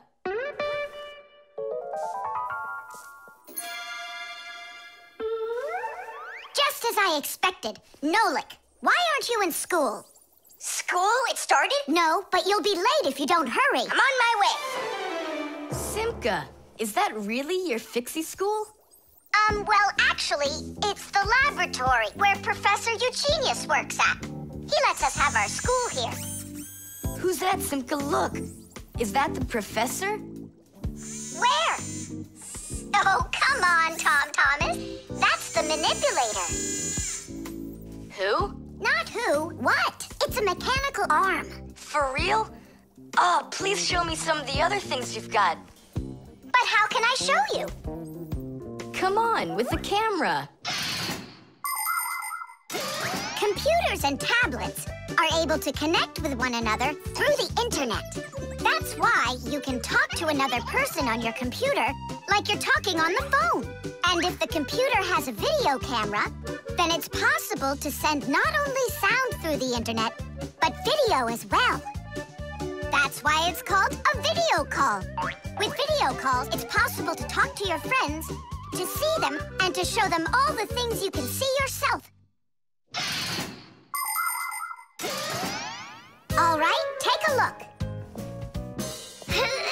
Over here we have uh, chemistry equipment. Uh, and over here... Hey, Tom Thomas. It's good to see you fast. Nola, get out of the way. You're blocking the view of the lab. I am not blocking the view. Stop it! Go away! You go away! You. Tom Thomas, what are you watching? Uh. Is it time to turn into screws? Too late. He already spotted us. It's just a cartoon about these funny little guys. Can I watch with you? Nah, it's boring, Dad, and I've already seen it. Next, that blue guy. He starts jumping. Watch. Now what? I say run. Start jumping. Make it cartoony. Now that redheaded character will sing. Watch. La la la la la la la la la la. Then she starts dancing. La la la la la la la la. These guys really are funny. And here are the super fast moves. that was funny. I gotta get going. That's all. You can rest. My dad went out. I'll get you, Tom Thomas. What are you doing over there, huh? Watching a movie. But why on my computer? Sorry, Professor. Yeah, will you forgive us? So how is it any good? Uh-huh. It's a super funny one. Really? Yeah. You see that boy there? He's gonna start waving his arms around like a maniac. he also crows like a chicken. Cock-a-doodle-doo! And now the boy's gonna go in and chew paper.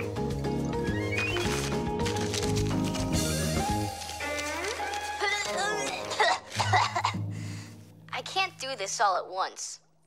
Hmm.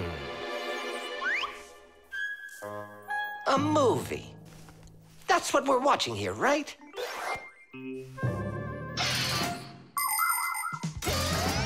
People have always been interested in seeing what's going on outside of where they are. And with the invention of video transmission, it's now possible to see what's going on almost anywhere. Now, without leaving your home, you can see what's happening on another street or even in some far corner of the world. With the help of video calls, doctors can help their colleagues perform complicated surgeries. Teachers can give lessons by video, and scientists can take part in video conferences. With video, you can watch a live theater performance in another country. And even in outer space, an astronaut can feel right at home just chatting away with friends and family. And it's not just for astronauts either. Now almost every tablet and phone here on Earth has video in it.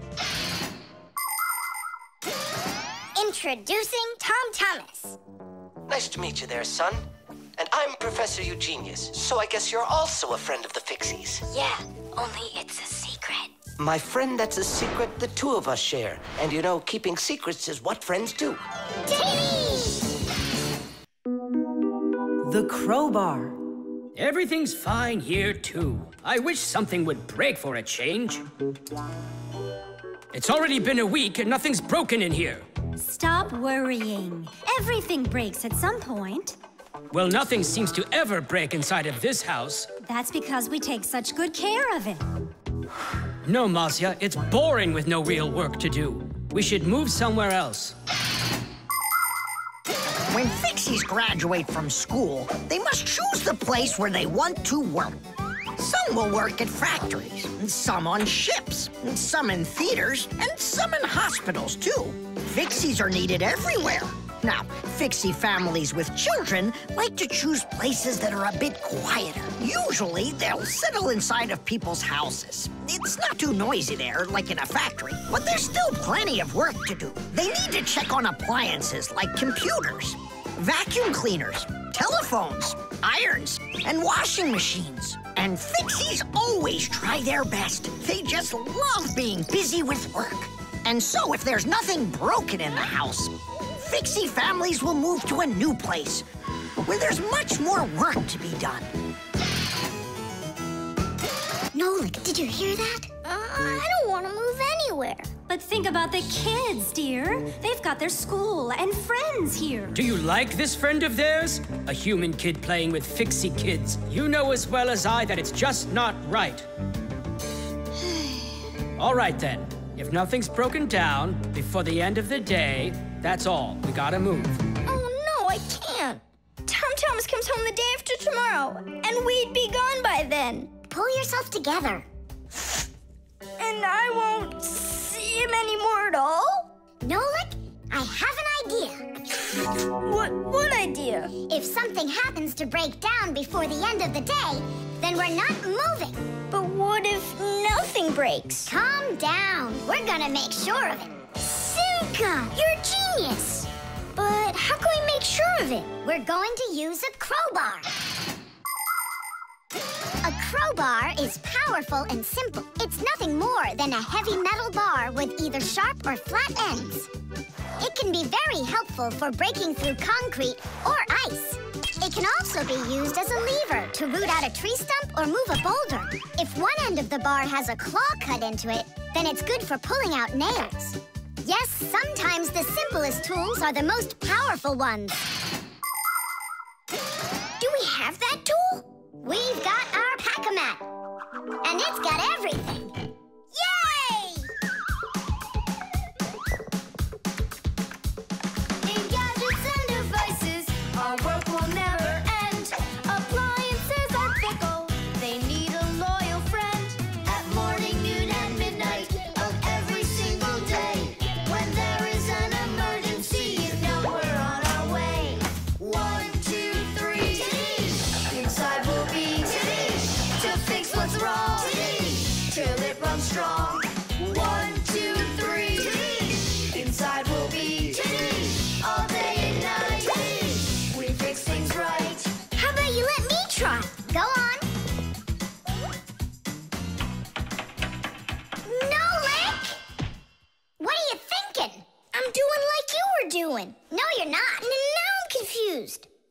Off, whatever you break's gotta look like it broke all by itself. Oh, I gotcha. And second, you gotta break it in some way that can be fixed later. Did someone say something needs fixing? or am I hearing things? Papus, we just found out that the, uh, television's broken down. Are you sure? Yeah. And one of the keys on the keyboard is stuck. For real? For real. And the clock's not running either. Oh ho! Marcia, our life is getting back on the right track. Should we fix them? Yeah, what else? We are the Fixies! We live to keep on working, and work for us is fun. So we'll just keep on working, cause our work's never done. And deep inside of gadgets, if you look when it's dark, you might just see us race around like multicolored sparks. One, two, three. Inside we'll be to fix what's wrong. Till it runs strong. One, two, three. Inside we'll be all day and night. We fix things right. Tidish! Oh, that was a lot to do. You'd almost think that somebody broke it on purpose. Well, we didn't do it. It broke by itself. Yeah, this apartment still needs a lot of work. We shouldn't move anywhere. I like it here. So do I. It's the best. See, we don't need to go anywhere. The elevator.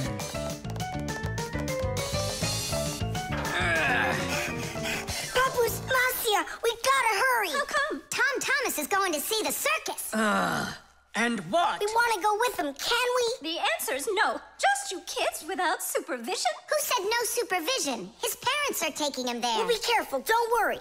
They won't even notice us. Hmm. Well, if Tom Thomas's parents will be there. Hooray! We can go. Wait a second. I didn't even say yes yet. Yeah. Simka Nolik, where are you? We gotta hurry up. Tom Thomas, it's time to go. I'll be right there. We're ready. Climb into my hood. Ha! I know who's going to the circus today. Whoa! Huh? What just happened? I think that the elevator broke down. Don't you worry. Mm-hmm. Emergency operator. um, uh, we got stuck in the elevator. Understood. Please wait. We'll have the elevator fixed within the hour. That long? That means we won't get to the circus on time. Tom Thomas, we'll go get Papus and Marcia. I'm sure they can fix it. People need elevators to help them get to the upper floors of tall buildings. When someone steps into an elevator and presses a button, the elevator's electrical engine starts up. It pulls the cable that is attached to the elevator cabin, and the elevator goes to the desired floor. The cable hangs over a wheel, and it usually has a heavy counterbalancing weight attached to the other end of it. This counterweight balances the elevator and helps the electric motor do its job.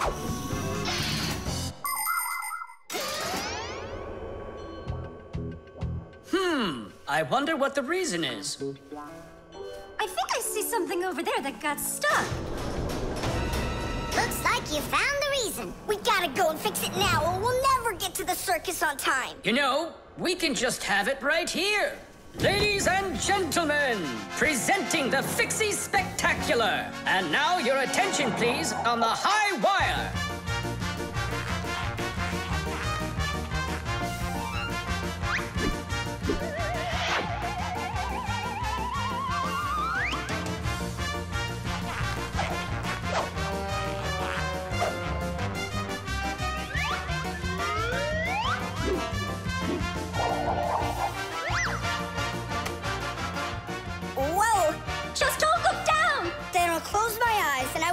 Anywhere at all. Ow! And now we bring you our very own aerial gymnasts.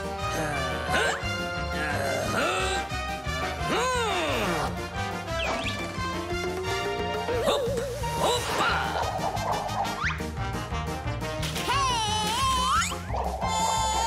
Yep.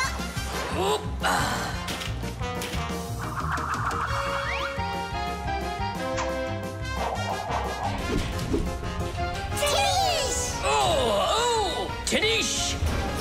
Our next act, feats of strength.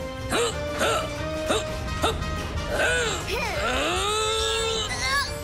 won't come out! I know how to fix it. With a death-defying circus act, point your eyes up. Marcia, where are you going? Up to the electric motor! Do you know the right way to behave yourself inside of an elevator? First of all, small children should never get into an elevator by themselves. They should only go in with their parents or other adults they know well. When getting onto an elevator, the adult should always enter first and then the child. When it's time to get out, it's the other way around. First the child leaves, and then the adult. If you are taking a dog onto an elevator, make sure its tail and leash are completely inside so they don't get stuck in the door. And there's one more thing. If the elevator suddenly stops for some unknown reason, don't try to break out of it yourself. Press the button that calls the emergency operator and wait for help from the elevator repairmen. Or the fixies. I reached the motor! Turn it on! They fixed it. That was quick. Now we'll make it on time. There was no need to worry. Stop! Ugh, it's way too high. Tom Thomas went to the circus without us. There's no need to get that upset, Nolik. Our circus is as good as theirs. Right, Papus? Of course it is. Thank you. Thank you, uh, to who? What do you mean, who? The elevator repairman. The draftsman.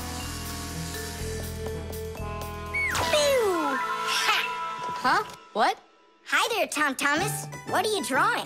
I'm not drawing. This is called drafting. What's the difference? Tell me, is that a circle? Sure is. And that? It's a circle, too. Only it's a rounder one. Of course. That's because I drafted it with a compass. And now I've got a real target. So now I'll load my dart gun.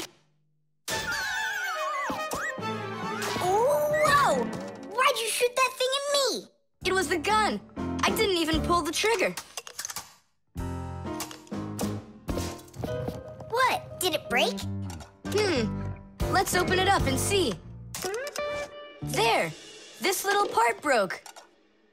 Let me go find Papus. He can help you. He can make another one. A brand new one. Wait, I can draft a technical drawing. Will Papus understand how to read one of those? Are you kidding? Papus is an expert at everything.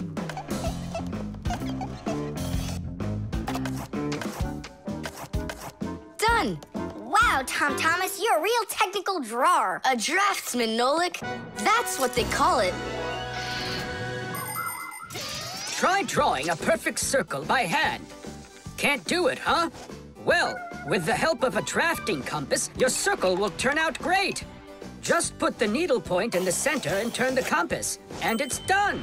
A compass is only one of the many different tools for drafting. For example, if you need to draw a straight line, use a ruler.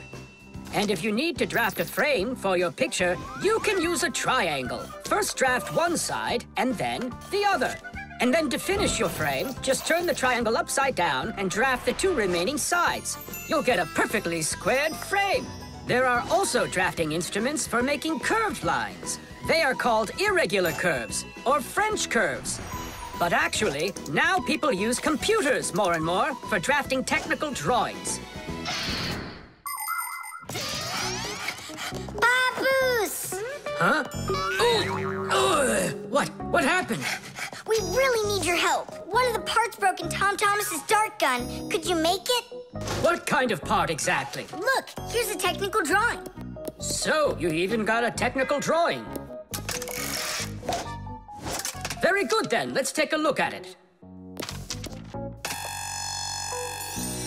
Mm-hmm. Ugh, here you go. Super. Let's see. Hmm, it's not gonna work. You see, it sticks out here on the side. I need to draft another technical drawing. Papus! Huh? Ah! Nolik, you scared me again. Forgive me, but the part has to stick out over on this side. And you're sure that's all? That's all, for real.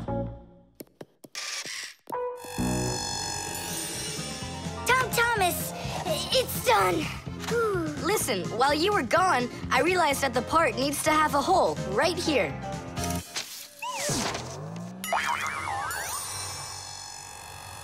Papus?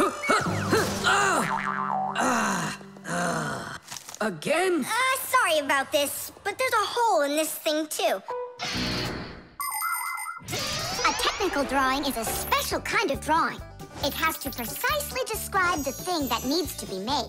To do that, the drawing must be very accurately drafted and include all of the measurements. And that's not all. If the object is complex, it must be drafted from at least three sides, including the front, the side, and the top. You see, the object looks different from every side. So if you don't want to work over and over again, learn to draft correctly.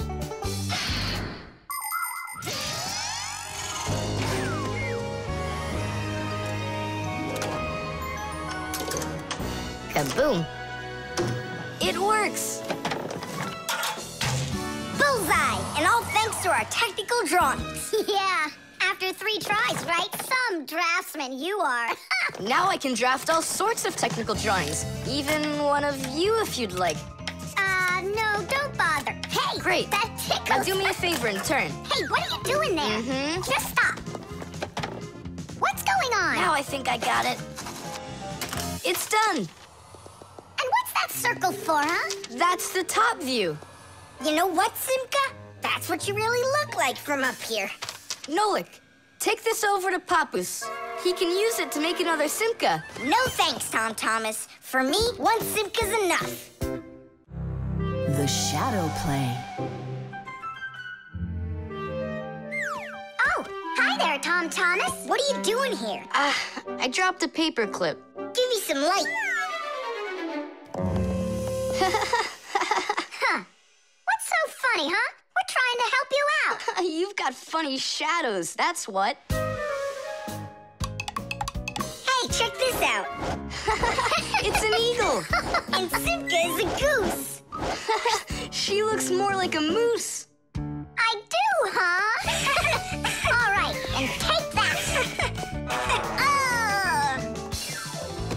You're like real actors performing in a show.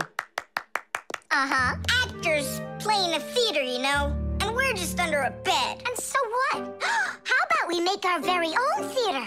A theater with shadows. Class! Tom Thomas, we need a, a piece of paper, a huge sheet. It's really quite easy to make your own shadow theater. You can make the screen out of a white sheet or a big piece of paper. Next, make sure the room is dark and shine a desk lamp at the screen. Now, to make the shadows, just put yourself or a cardboard cutout between the lamp and the screen. Your shadow or the shadow of your puppets will come to life. But make sure that the audience sits on the other side of the screen. The play will be much more magical for them from that side. Tom Thomas, light. Oh, wow! Simka, you look totally like the real Red Riding Hood. Hello, dear granddaughter. Hello, dear grandmother. Grandmother, what very big eyes you've got. The better to see you with, my dear. no, Nolik, come on, we're rehearsing. the wolf's voice is funny. Grandmother, I never noticed what very big teeth you've got. They're so much better to eat you with, my dear. Yum, yum, yum, yum. Let them out, wolf. Or I'll, or I'll get them out, whoa, myself. Ha ha! You'll stop me with that little stick? Hey, that's not in the fairy tale. But in the fairy tale, it's a normal hunter. And what do you think I am? Look for yourself. You're way too small to be the hunter. Fine, then go to your play without me. Well, I guess I'll have to make the hunter out of paper then. That's all. Take a break. I'm really thirsty. She was so salty, that grandma. Nolik. don't be upset. The wolf is huge and I'm so little. Then let's make you bigger. You see? Now you're bigger. Yeah, you're right. And if we go back here, then I'm even bigger. Now you know. If you go back here near the lamp, your shadow will get bigger on the screen. Class! There are just so many different kinds of theaters in the world. In the dramatic theater, the actors speak the lines of the playwright. At the opera, the actors don't speak their lines. They sing them, accompanied by an orchestra. And here at the ballet, the performers don't speak or sing their parts. Here, the story is told with dance. There are also theaters where the performers are animals. In an animal theater, you can watch performances by cats and dogs, or goats and pigeons, or even bears and seals. There are also theaters where the stories are told by puppets. To tell the truth, the puppets are brought to life with the help of people. Yes, there are so many different kinds of theater. My favorite is the Shadow Theater. I think it's the most beautiful and mysterious theater of them all. Hello, dear grandmother. Grandmother, what very big eyes you've got. The better to see you with, my dear. And grandmother, what great big sharp teeth you've got. Oh, the better to eat you up with, my dear. Um. Ooh, just wait. Aha, Wolf! I've got you. The hunter looks so strong. You're a hunter? Then where's your gun? Why do I need a gun? You're so tiny I could use a fly swatter. But I'd rather do it like this. Like what? With my bare hands. Way to go!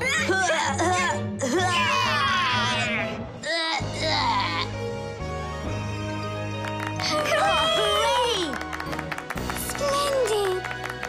Was your favorite? Mine was the grandmother. Well, I think Red Riding Hood was the best. For me, the hunter.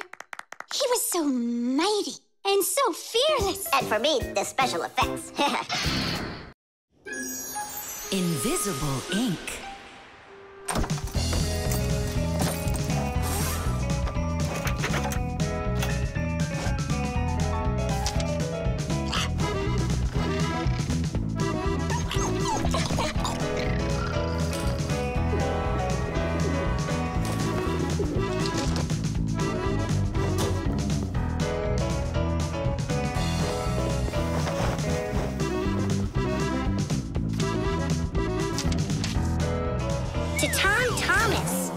Is it? A note? Who's it from? It's from no one. Ah, is this no one a girl? Hey, tell us, what did she write to you? I don't know. Well, then let's take a look at it. No way! It's a secret. Even from your friends. Mm-hmm. Come on, we're not just your friends. We're secret friends. And you won't tell anyone? Nobody. We promise. Uh, are you gonna open that thing or not? Huh, there's nothing there. Hmm. Is this a joke or something? Maybe she didn't feel like writing you anything. Then why would she put a note in there? Wait a second. And what if she wrote that letter with a special kind of invisible ink? Wow, I've never heard of it. If you want to keep what's written in a letter secret, you can write it with a special liquid called invisible ink or security ink.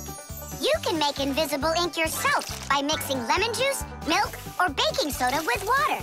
Then just dip a stick or a brush in it and write on a plain piece of paper, like this. You can't see anything, right? To make the invisible ink visible again, the paper needs to be warmed up with something like an iron. But that's a secret. Well, Simka, you might be right. Only what about the iron? I can't use it. But your mom can, and right now she's doing the ironing. Yeah? Well, that changes everything. Hold on! If that really is a secret letter, then no one should be allowed to see it. Even your mother. What can I do then? Ah, I know what.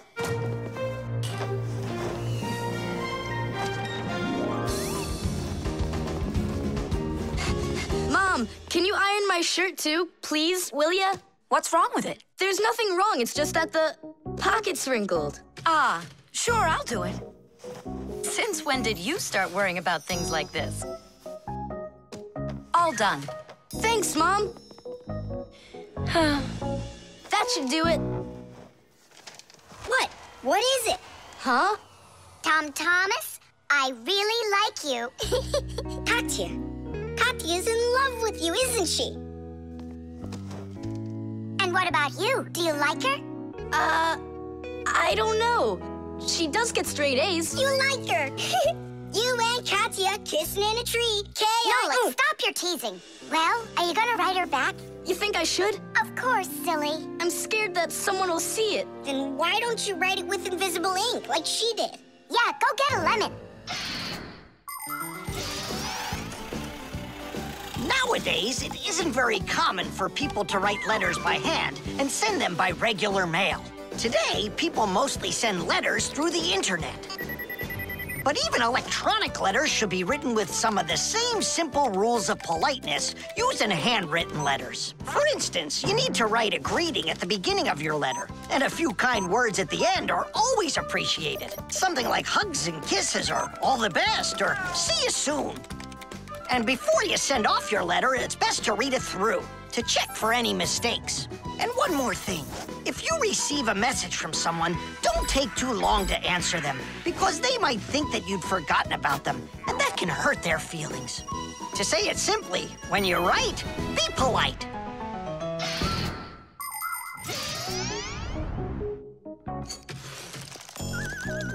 Go on, write.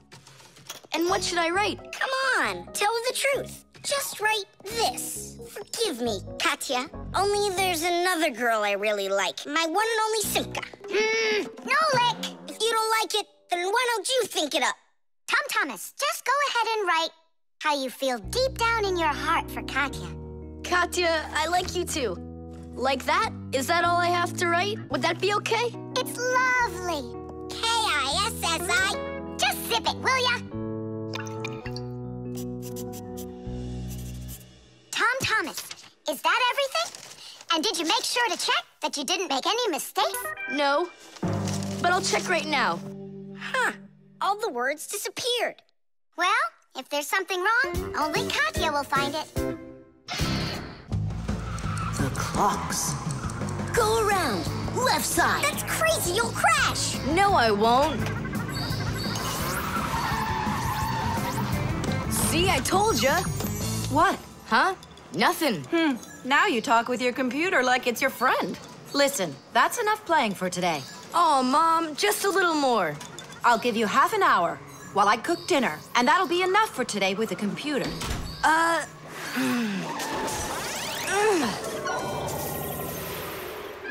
This stinks. I'll never get through all of these levels in half an hour. No way. Hey, but what if we could stretch out the half hour? How? We could take the hands on the clock and move them back a little. Mom will catch us. Fine, then let's slow down the speed of the clock. Yeah, But how? You gotta know things like that.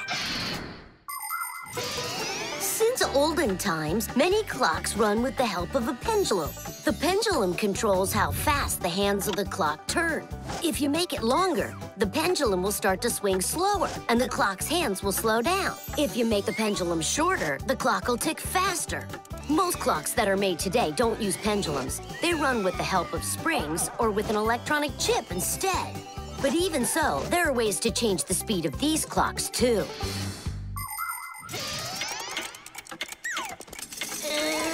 Push it! Wow, you did it!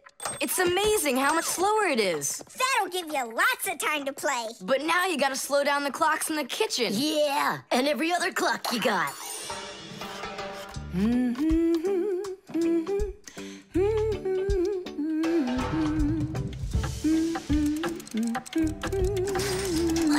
have to turn this to make the pendulum longer.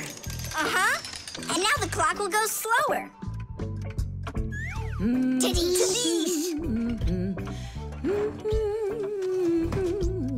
Fire! Now that clock over there. Let's go do it. That's it! We slowed down every clock, and your mom didn't see a thing. That's great. Yeah, yeah, yeah, yeah. Thomas, you're cool!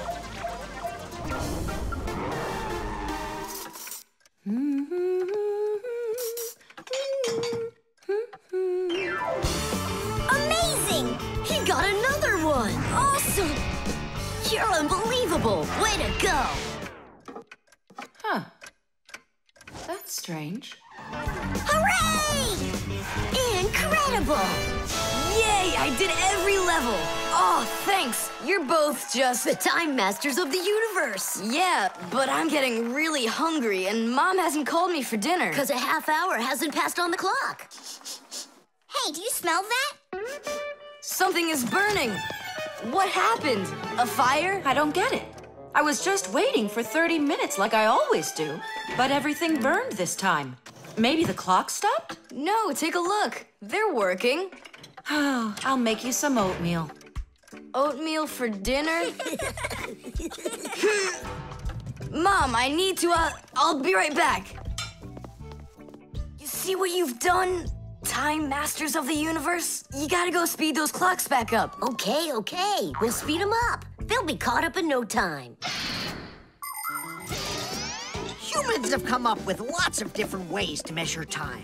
For example, if you stand a stick in the ground, you can measure the time of day by watching where its shadow falls. That's a very simple clock called a sundial.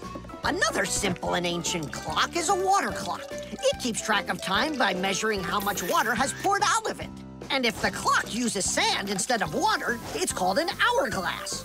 But humans weren't able to accurately keep track of the time until they invented mechanical clocks. They come in all sorts of sizes, from grandfather clocks to watches worn around the wrist. Today, we also have easy to read and accurate electronic watches and clocks. But the most accurate clock of them all is the atomic clock. It tells the entire world the exact time.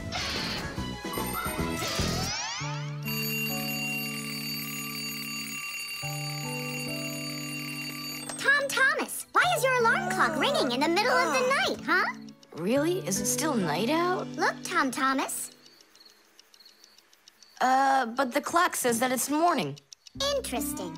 Yesterday, Fire and I sped up all the clocks, so that's the reason the alarm went off. Sped them up? Are you crazy? Tom Thomas asked us. Hmm, so what do we have to do now? Don't you know? Get to school, it's time. Uh, I'm joking. Go back to sleep. Don't worry, I'll get all the clocks working right again. Can I go and fix them with you? Ha! Fix them? You boys are the ones that always make the problems. Friction.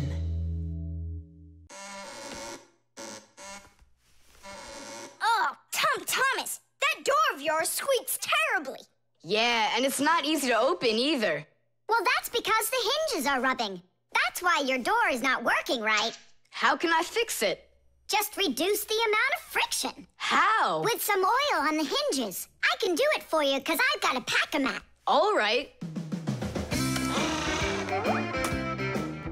Simka, can I help you?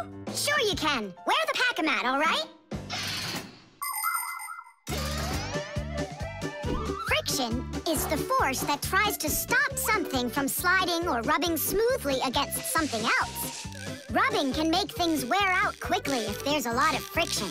If you want less friction, you need to put something on the parts that rub against each other, like oil. There are special kinds of grease used to keep clocks and wheels turning smoothly. And for skis, a special kind of wax can be used to make them go even faster. That's it. Now the top hinge. It's all done. Go ahead and check how it's working. It's not squeaking. I told ya. You guys are the best. I gotta go. Go where? I'm gonna go sledding. Maybe you'll take me with you? Uh, sorry, Nolik. You don't have a sled to ride on. I'll see you later. Simka, should I grease the saucer? What for? It'll slide down the hill just the way it is. Ah, okay then. Um, wait here for me, Nolik. I'll be back real soon with a surprise for you. Yeah, oil slippery. I know what I'll do. Hmm.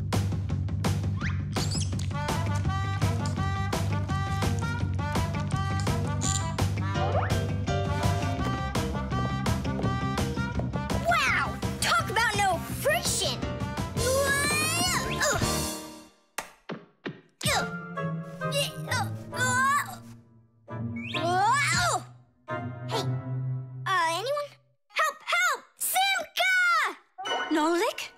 Are you all right? Just stay where you are. I'll be right there.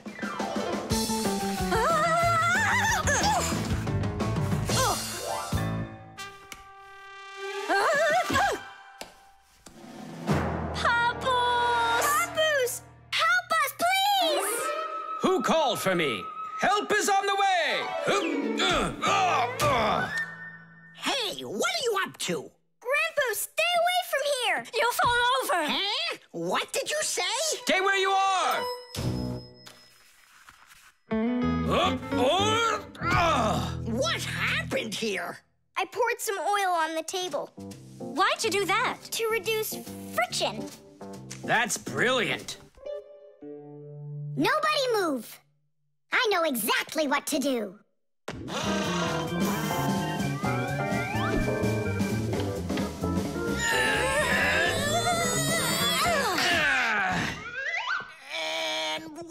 was the problem you had with the friction? I want to see all of this oil gone in five minutes. Engineers are in a constant battle with the force of friction. They want less friction so that cars will run faster and their parts will wear out less quickly. But just imagine what the world would be like if all of a sudden there was simply no friction at all. Everything would start slipping out of our hands and falling off the table. Knots would untie themselves, and that's not the half of it. Cars wouldn't be able to run without friction either. Wheels would spin around and around in one place, unable to grab onto the road. We wouldn't even be able to walk. Because when we walk, we move forward by pushing off the ground with our feet. And how can we do that without friction? We can't. So now I think you can see why it's not so bad to have a little bit of friction in our lives. Whew! We cleaned it. But it's still so stinky. Nolik, I completely forgot. I promised you a surprise. Look! What is it? I made you your very own saucer for sledding. Oh, that's great! Only, what good is this thing without snow? Nolik, hey! Look what I've got for you. Snow? Yeah. Is it real snow? Really? Yep. Now you've got your very own hill to sled on. This is great! What an awesome surprise! And you don't need oil to make it go quickly. Yeehaw!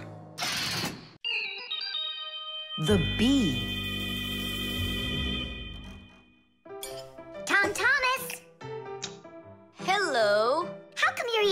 Straight from out of the jar? Because it tastes so good. Oh, a bee!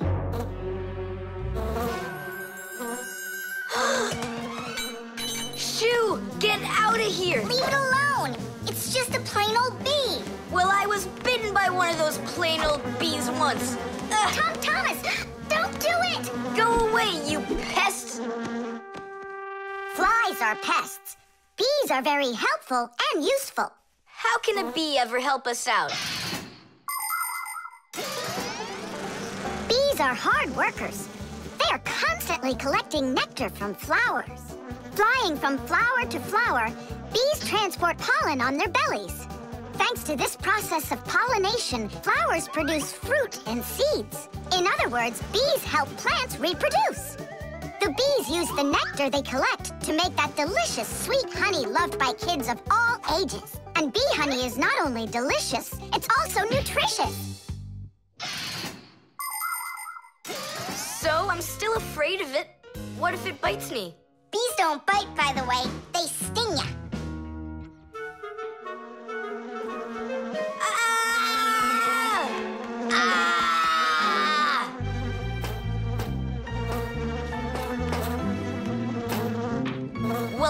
Gonna show ya. Don't!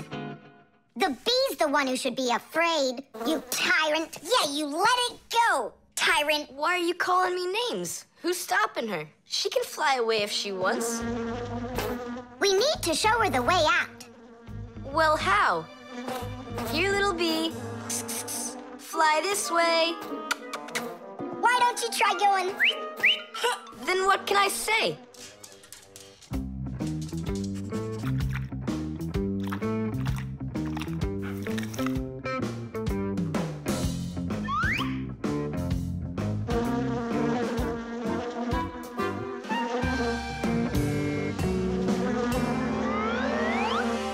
Chusaka, don't move. It'll sting you. It doesn't want to sting. Both of you like to eat sweets. You like eating jam, and so does the bee. Why don't you carry Chusaka to the window? Go on, fly. No, that's not gonna work. You need to go and get more jam. Here, little bee. Yum, yum. Go on and fly. You're free. Let her eat first. Don't be greedy. I'm not being greedy. If she eats, she can make honey out of your jam. Long ago, people could only collect honey by destroying the nests of wild bees. And that went on until someone came up with the idea of taming those insects. They started by leaving enough honey for the bees to survive through the winter. People took care of bees in these hollows until they learned to build small houses for them called beehives. And a town made of these bee houses is called an apiary.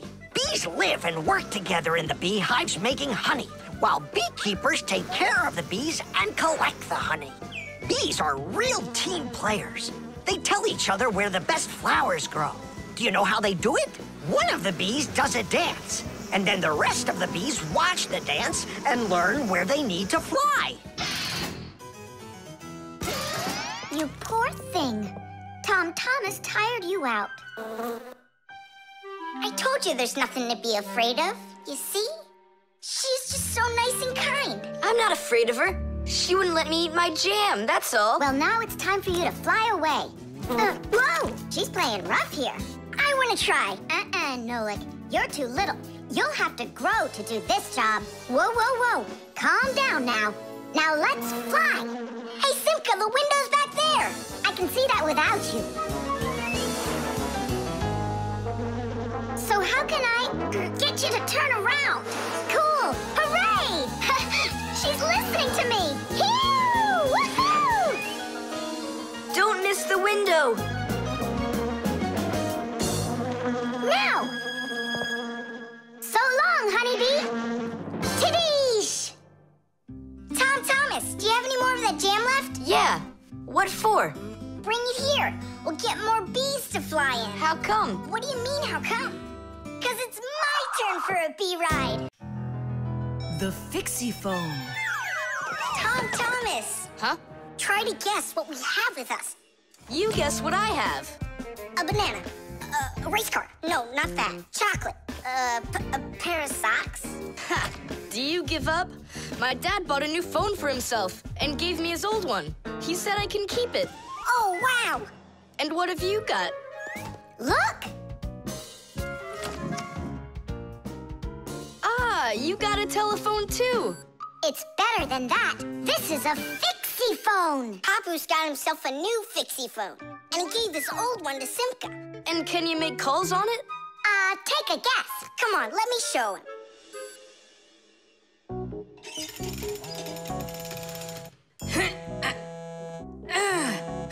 Hi there, Papus.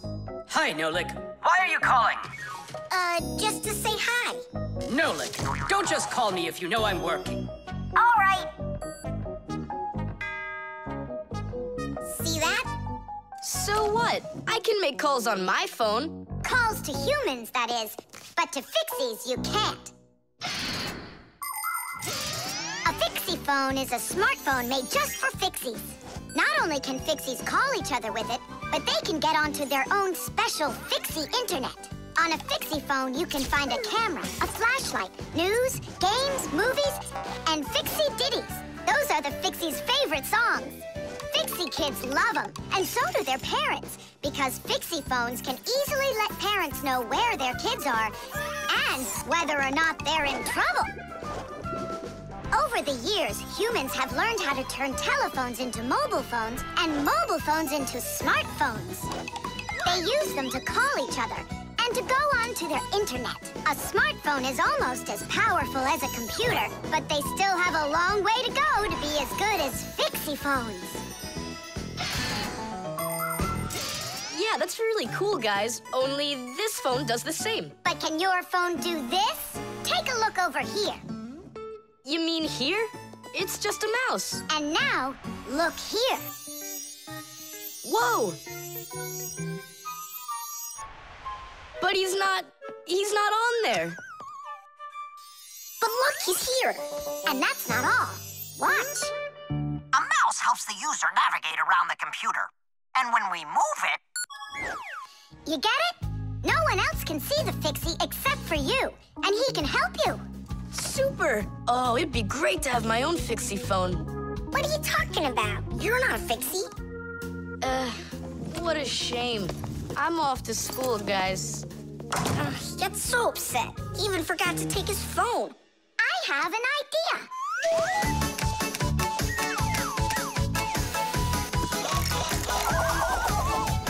Smartphone's my best friend. I love to hear it beeping, so I keep it by my side even when I'm sleeping. Bing bong all day long, bing bong all day long, bing bong all day long, even when I'm sleeping. With my phone, I play alone. I don't need my brother. Soon they'll make a brand new app to replace my mother. Bing bong all day long, bing bong all day long, bing bong all day long, to replace my mother. Check my mail, send a text a million times an hour. I forgot to plug it in. All day long, bing bong all day long. Now I'm out of power. Bing bong all day long, bing bong all day long, bing bong all day long. Now I'm out of power. We finished. Tidish! Look, it's a. Surprise! Wow, this is great! Now I've got my own Fixie phone. It's just like you've got. Well, pretty close. Tom Thomas. Tom Thomas, let me use your phone to call myself. I need to find my phone. Oh, wow. You've changed everything in here. Where am I? I guess I'm Papus. Huh, what a funny name you came up with for me.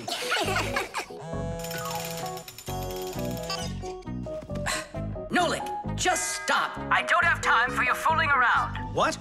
Who is that? That's, uh, not Nolik. Who is this? Do you know who I just called? Does anyone know who this phone belongs to out here? Oh, your mother found it. I'm coming. We'll fix those numbers later. Ugh, Papus is gonna really give it to us. Give me your phone, Tom Thomas, and I'll delete all the Fixie's numbers from it. But how can I call you up then? Why would you have to call us? We're always close by. The wires. Quiet down. Get ready for your lesson. Be quiet. Quiet down, please. Oh, it's so hot here. In today's class, we'll learn about. Uh, Whoa! What was that, huh? It must have been an earthquake. Yeah, it was an earthquake! Hooray! Eh, sorry there, Professor. Ooh, I have to find an outlet so I can plug in this fan. Ooh, it feels terribly hot. it sure does. Well, keep looking. You'll find one. now then, where was I? Oh, right. Today, oh, No, it's impossible. In this whole laboratory, there isn't one free outlet. Look at this. Ugh, Just pull out one of these wires and then you'll have a free outlet. I can't. I fear I could pull out a plug for something important. Ah, Volt himself would get all tangled up in these wires. Whew. Don't worry about it, Professor Eugenius. We'll find a free outlet for you. that's right, my colleague. A cup of tea will do you good, so just go relax. Thank you, my colleague. And as always, I'm eternally grateful. Fixies have opened schools for their children in all sorts of different places, like factories, stores, and warehouses. Anywhere where there's lots of machines and appliances and places to hide from humans. And this is where we hold our school, right here inside the laboratory of Professor Eugenius. It's a fantastic place for me to hold class. Every day, new devices, materials, toys, and even food are brought here for examination. And there are lots of scientific devices and tools to study here as well. But most importantly, we never need to hide from the head of the laboratory. Because my colleague, Professor Eugenius, is someone I'm proud to call a friend. He loves Fixies, helps us anytime we need, and will never let our secret out.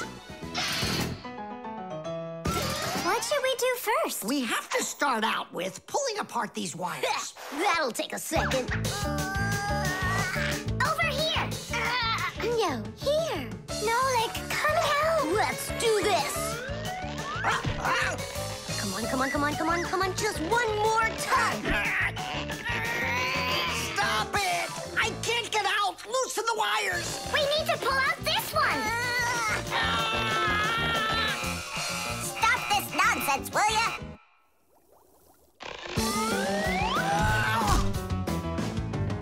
Thank you, Digit. Tidish. Well, the way I see it, in order to get the knot out that's over here, we need to expand the loop that's over there. And then push that wire through it. And then do it again from the other end. That's it. Very good, girls. Now pull it hard. Perfect.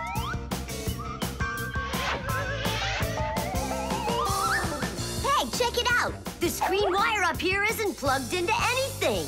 Then no one's using it. So that means we should go and pull it out from the outlet. Got it. Oh. Tidish. Verta, here's another wire that isn't plugged in. I found another wire no one's using. Oh, I mean, Simka and I found it together. Nolik, why are you so upset? Because you guys are doing all the work. How about this wire? Nobody's checked it yet. Really? Oh, wow! What? Did you find some treasure, Nolik? Uh-huh. There are six free outlets under here. Great! Now Professor Eugenius can plug in his fan, and his kettle, and even his soldering iron.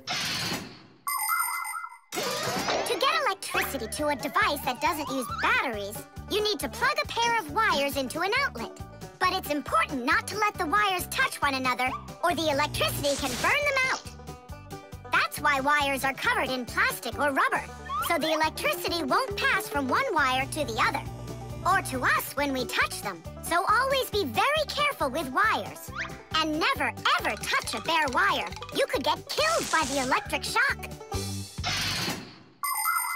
Oh, what would I do without my wonderful friends? Thank you. Ah, sorry. I just, I didn't, I wanted to. Eh, I should go. Go ahead. That's a great idea. And we'll start our class. Uh, what were we talking about? All about wires. Well, it looks like our class is over. Time to go play. The instructions.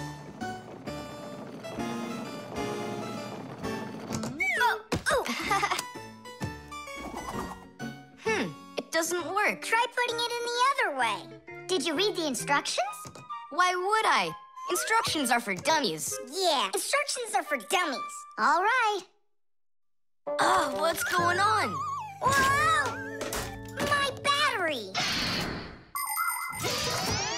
Instructions teach us how to do things right.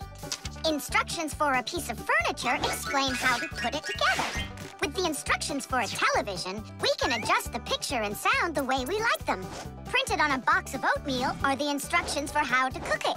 The instructions for medicines tell us what the medicine is for and how to safely use it. So always read the instructions if you want to do things right and avoid a lot of problems. I found it. Here it is. Here you go, Tom Thomas. Whoa. We got your new chair, but it has to be assembled, and I'm afraid it'll be a little bit difficult for you. No, it won't. Don't worry, Dad. I'll do it. Finish before dinner, and we'll get ice cream tonight. A creamsicle. Two, okay? First, assemble the chair. Hmm. Tom Thomas, can I help you put the chair together? Come on. Hey, first you two need to read the instructions. Ah, Simka, stop being such a bore. What, like I haven't seen a chair? Or like I haven't seen a chair?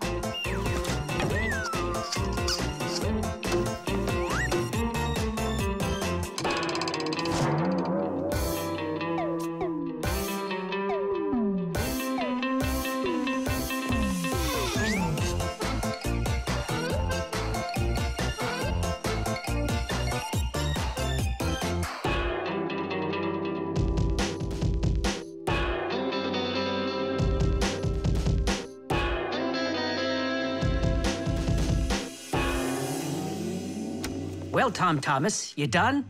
Dinner's ready. Let's go. Oh, Dad, no. I need another two minutes. Hmm. Simka, help me.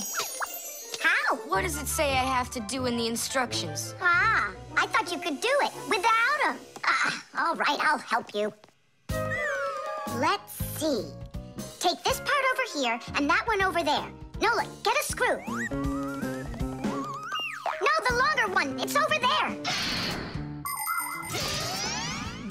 First stools and benches appear as far back as ancient Egypt.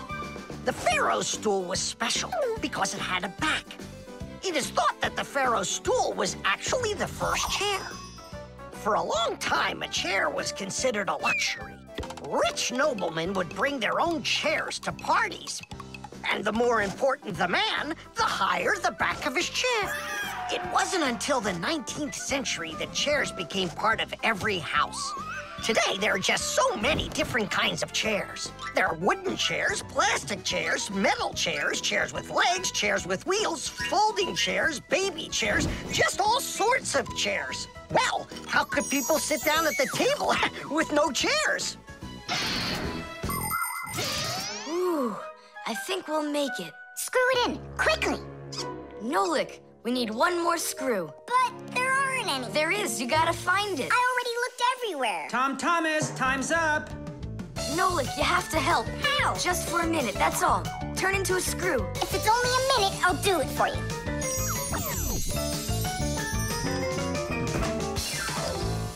I'm done. You built it. Huh. Great job, son.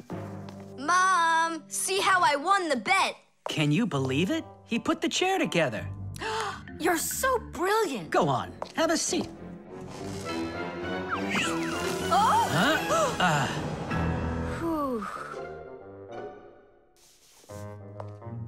ah, now I see. You missed a screw. But I screwed it in. It must have, uh, must have. What? Must have what? Look. Here it is. Ah, ah. Now this screw's not going anywhere. And that ice cream you won? Well, you just lost it. Well then, Mr. Chair Builder, time for dinner? Yeah, in a sec. Where is that Nolik? He ran away. What a traitor. No, he's not. He promised you he'd become a screw for just a minute. And the minute was up. Well, where is he then? Over there. He's studying the instructions for the clock. Hey, Tom Thomas, it says that we put the wrong kind of battery into the clock. We should have used that kind. You see, Tom Thomas? If you don't want to be a dummy, instructions are for you. The key card. Whoopa! Well, Professor Eugenius, your kennel's back in action. Tiddy! Ah, why, thank you. I've been longing for a cup of tea. Yes. There's no tea left in here. Uh, mm, then I'll go ask Lisa if she has some. Look! Professor Eugenius! You forgot the key! The key! Don't close the door! Simka, you must be joking. That's a key. This is nothing but a plastic card. But it is a key. A special kind. It's called a key card. To open up a combination lock, you need to enter a code in the correct order. That means if you can't remember the code, you can't open the lock. But if the lock uses a key card, there isn't any code to memorize because the code is held inside the card's memory and the lock can read the code from the card. Of course, key cards don't work with any lock. They have to be smart locks that are able to read electronic codes. When the smart lock reads the correct code, it opens right up.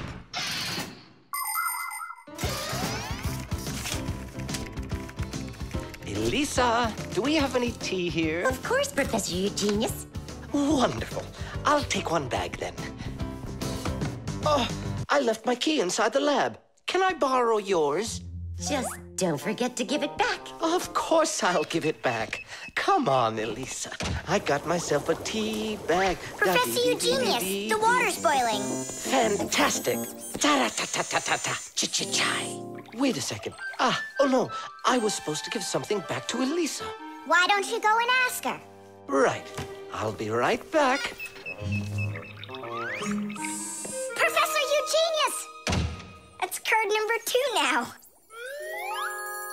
Elisa, I promised you something, didn't I? Yes, the key. You said you'd return it. Oh, yeah, sure. Let me get it. Just a sec. Oh, oh, I locked it in the lab. It's terrible. How will you ever get back into the laboratory now? You see, there is one way, but it's a secret. Would you mind leaving for a couple of minutes? Colleague, Professor, can you do me a little favor? The key. I think I left it on the table. Yeah, right. It's true. So how do we solve this? I need to think about it. What's there to think about? We just have to go and push it under the door. You think you can do it? Yeah! It's time to get to work. Hey, what's going on? Oh, were you just calling for me? Yeah, uh, no, Lisa, not for you. It's so heavy. Do you know where Digit ran off to? Uh, ow! Digit's off somewhere thinking. He's always doing that when it's time to work. Ugh. Hard to port. Hard to starboard. Way to go, Nolik. Uh, then who were you talking to? Actually. Oh, what's that? Where? What? Uh-uh. What was that? Come on, let's try again. Look, do you see that? Ah, that, it's uh, telekinesis. It's the power to transport things with your mind. You are just astounding. Was that done with your mind, too? The door? Yeah, sure. You are a genius. Professor Eugenius is a very talented scientist and a dear old friend of the Fixies. He always helps the Fixies, and the Fixies are happy to help him too. Professor Eugenius let the Fixie set up their school right here at his laboratory. It's hard to imagine a better place for a Fixie school. People from all over the city bring all sorts of things to the laboratory to be tested, from computers, phones, and furniture to food and toys. Professor Eugenius uses his expertise to check the quality of all these different things. To help him carry out his experiment, his laboratory is filled with a variety of tools and machines.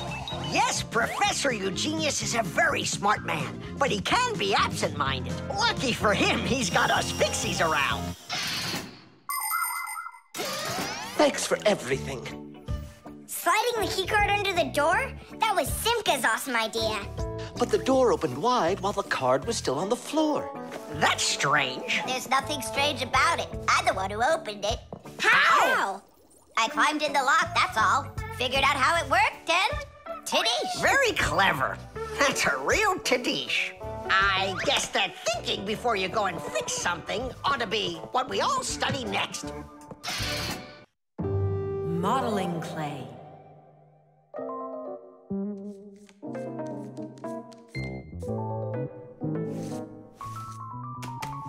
All done. Simka, take a look. I've got my own mm, pack-o-mat.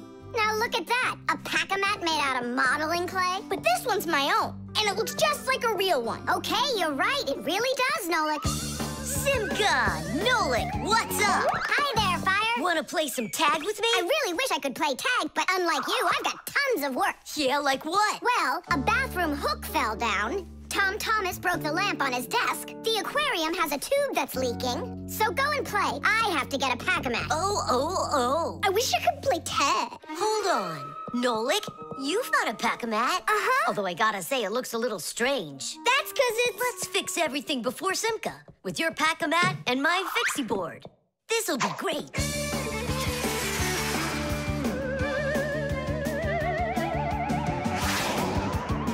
So where is that hook that fell down? All right. Nolik, get out some sticky stuff. From where? Obviously, from out of your pack-o-mat. Mm, but it isn't real. I made it out of modeling clay today. Out of clay? Well, it totally looks real. Long ago, back in the Stone Age, people learned how to use clay to make their dishes and sculptures. But the modeling clay that we use nowadays was only invented about a hundred years ago. Actually, modeling clay is just plain old clay with some ingredients added so it won't dry out. And dyes are mixed in to make all the different colors. There is just no end to all of the fun things you can make out of modeling clay. I got an idea. Go on, turn around. What are you doing? Grabbing glue out of your pack-o-mat. All right, get up here. Will it stick? Yeah, of course it will. Let's go and fix the lamp.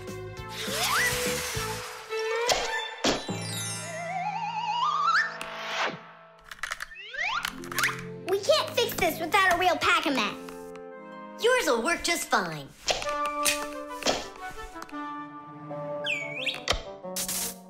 Tidish! So, what else did Simka have to fix? The aquarium. Hop on.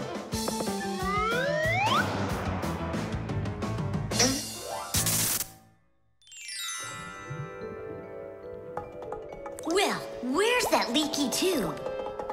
Here, it's leaking at the joint. Yeah, this tube is gonna need a lot of modeling clay. Give me the rest of your pack-o-mat. Sure. And here's a souvenir. They're all done. What's all done? we already fixed everything. And what did you fix it with? Modeling clay. Ha! Modeling clay isn't gonna hold anything. Well, I say it will. Wanna bet? All right.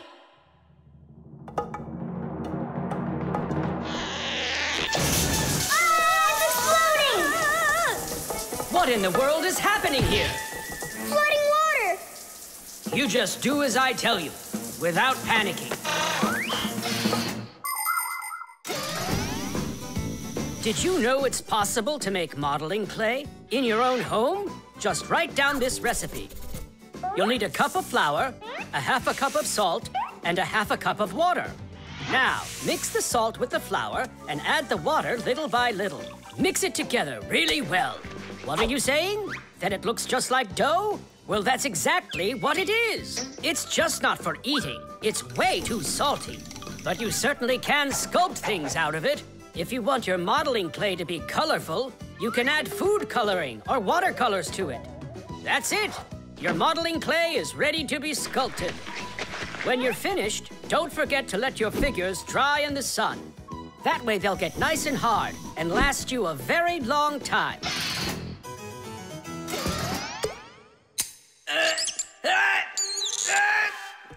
Phew. We almost didn't make it. And did you fix the lamp with that modeling clay? Uh-huh. And the hook, too. That was not a good idea. But it was really quick. Hey, that's true. That's why I want to give a medal to you. You're heroes. For real? Of course you are. And here it is. Your medal. But it's made out of modeling clay. Your reward fits your heroic deed. The armor. 23, 24, 25. Ready or not, here we come. I heard him. He ran into the hallway. You check the kitchen, Nolik, and I'll check the living room.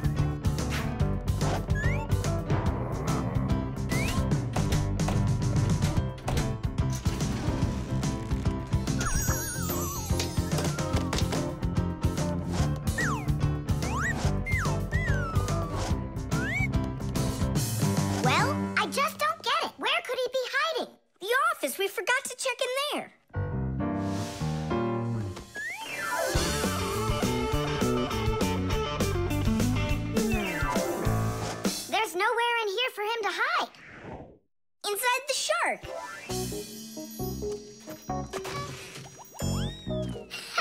Nolik, Tom Thomas couldn't even fit half of himself inside of that shark. Yeah? Then in that huge vase. Uh-huh.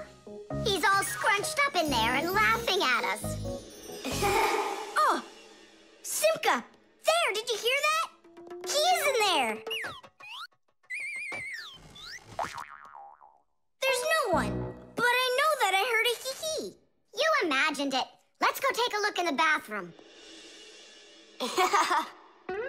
Hmm. I imagined it. It's so stuffy inside this armor.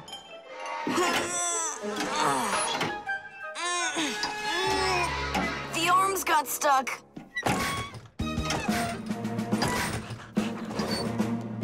Where else could he be? Oh, who is that? Ah! Simka the Knight! He came to life! Well, how much longer are you gonna look for me? Armor is very hard clothing worn by warriors to protect them against swords and arrows. People started making armor in ancient times, but the full body armor that knights wore didn't start until the Middle Ages. The armor worn by knights on horses was heavy. It could weigh a hundred pounds, and if a knight got knocked off of his horse, he'd need help to get back up again. By the way, the knights' horses, they wore their own heavy set of armor for protection. Hey, did you turn into statues? Tom Thomas? Is that you in there? Who else? Lift up this visor, I can barely breathe. and how come we should do it? Cause I can't. Don't you see? My arms got stuck. We see. you look funny. Funny to you, but now I'm stuck and I can't get out of here. Come on, help me out, please. Great! Chusaka's just what we need right now. Chusaka, what's wrong with you? It's me. Hey, stop it. Uh,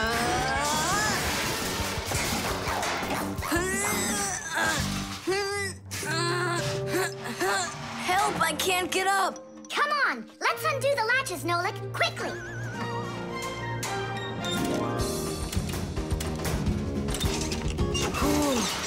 Thanks for helping me. It was nothing. I couldn't have done it without you. Let's put the knight back together. Uh-huh. Before Dad gets back. Protective clothing isn't just for people who are fighting in battles. Travelers put on special nets to protect themselves against mosquitoes and gnats. And beekeepers wear protective clothes too. If they had nothing to protect them from bee stings, their job would be quite painful. Without their protective clothing, it would be impossible for firefighters to go into burning buildings and save people. And how could astronauts go into outer space without special clothing? It's freezing up there and there's no air to breathe at all. And that's why they wear a special costume called a spacesuit when they travel. The spacesuit not only protects astronauts from the cold, but supplies them with air so they can breathe. By the way, the Fixies also wear protective clothing so they can stay safe while they work. Well, there. Did we get it right? It looks like we got it right. Only, where's the helmet? Nolik went to get it. Tom Thomas!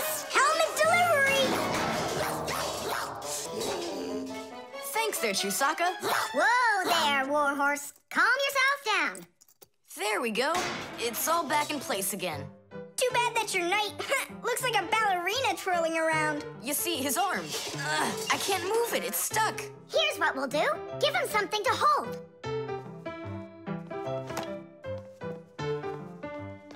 Well, how's that look? Perfect. Now we can paddle into battle. The barcode. And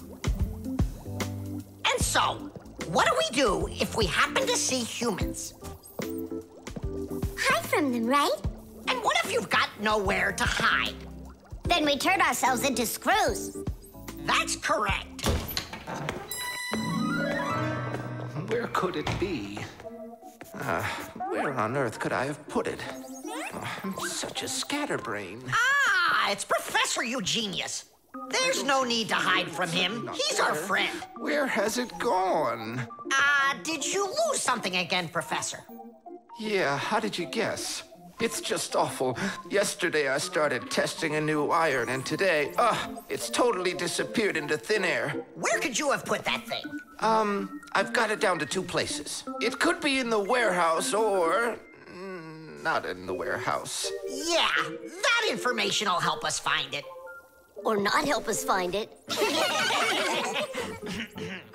Class, follow me to the warehouse.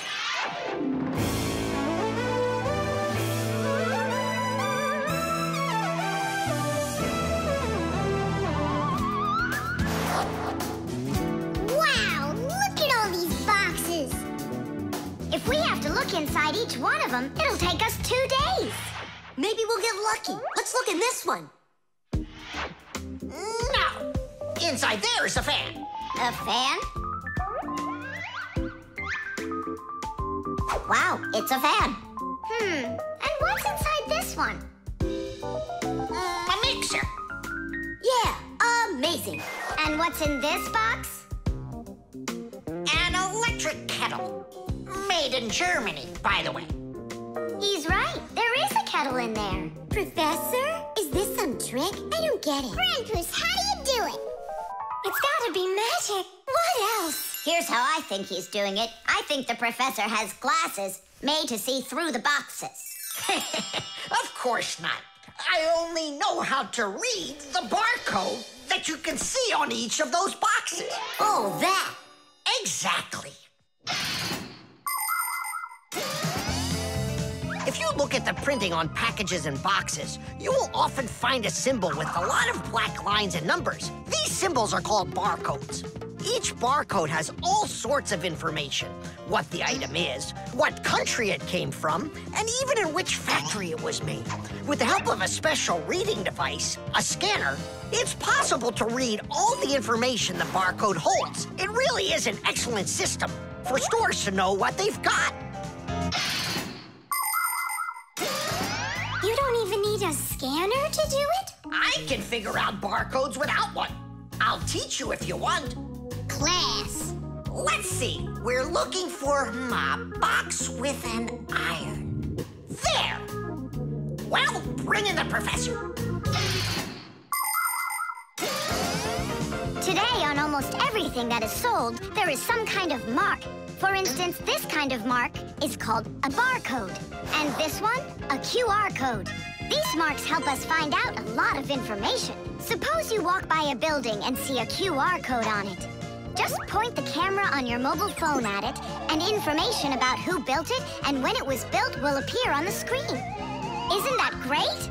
It's a shame not every phone can do this yet. And that's not all.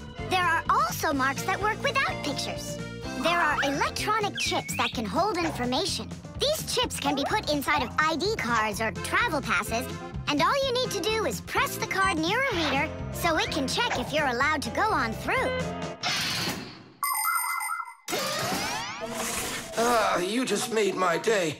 You found it so quickly. What would I do without you? Huh? Is something wrong? This is not an iron. Whose sandwich is that? Mine. Yesterday I wanted to put it into the fridge, only I guess I put it into my. Oh, I just get distracted so easily. Look, we need to think this through logically. If you went and placed your sandwich into the box where the iron should have gone, then you must have put your iron in the refrigerator. Oh, here you are. Here you are, my new iron. Oh, I looked everywhere for you.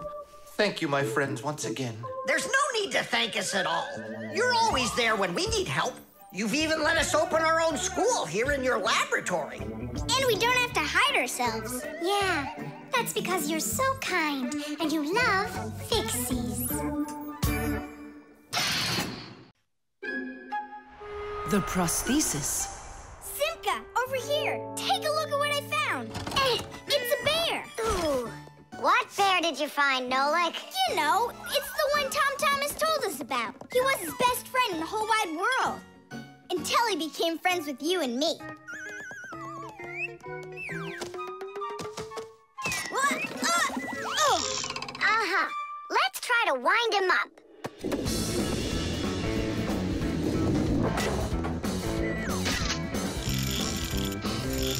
Come on, come on, come on.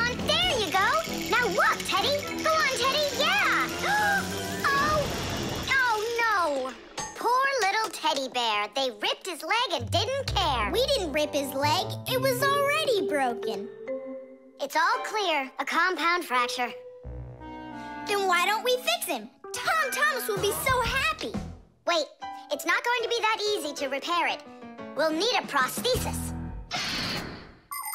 The human body is built around a frame of bones and joints. And if you break one of the bones, it'll usually heal by itself. The broken bone will grow back together, and you'll be back to normal. But sometimes bones or joints can break so badly that it's impossible for them to heal. When this happens, they have to be replaced with an artificial part called a prosthesis. A prosthesis can replace more than a bone or a joint. It can be made to replace a whole arm or a leg. And where are we gonna get a prosthesis? I'm positive we can get it from Professor Eugenius. You're right. Help is on the way.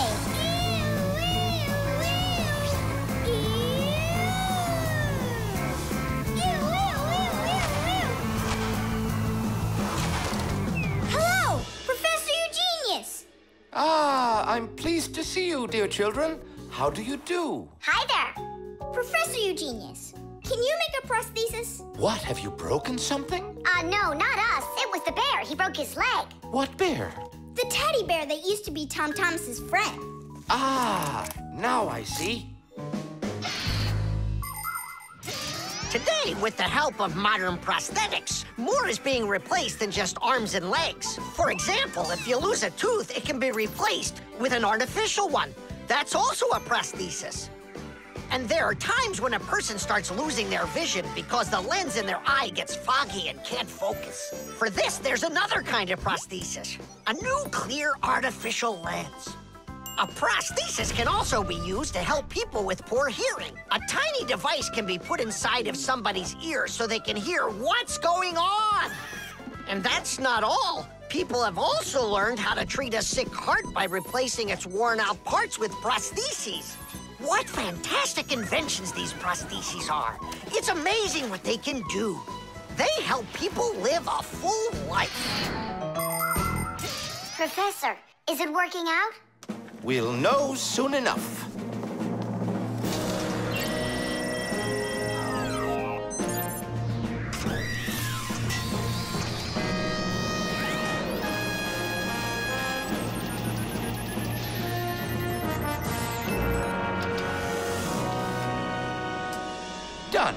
Here you go. Thanks so much for your help, Professor Eugenius. Not at all. Take care, kids. In gadgets and devices, our work will never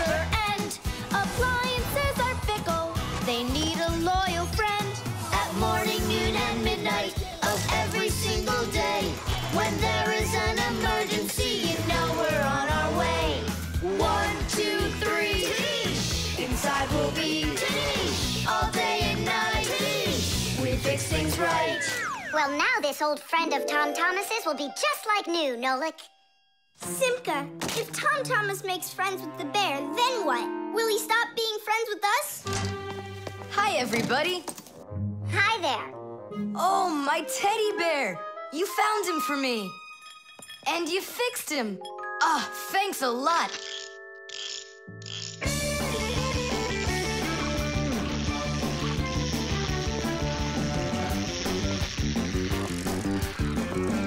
Yeah, it's just like Grandpus said. A friend that's old is better than two that are new. Who's new and who's old? Well, the bear is old. And we're new. Nolik, it's not true. You're the Fixies, guys. You're my very, very best friends in the whole wide world. Tish! The oven. Now here he is, our death-defying acrobat. Nolik, don't! I'm not Nolik, I'm an acrobat. You're going to fall. I'm not going to. Mm-hmm, I see. Every single time with him, it's the same old story. He gets himself into trouble, and I've got to get him out of it. No, no, no! I'm falling. Whoa! Hold on! I'm just joking. Nolik, you're a knucklehead.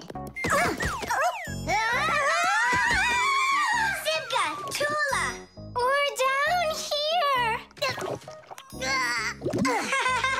Look who's in trouble this time, huh? This isn't funny at all. Need some help? We can manage this ourselves. Right, Tula? Well, all right then. See you later.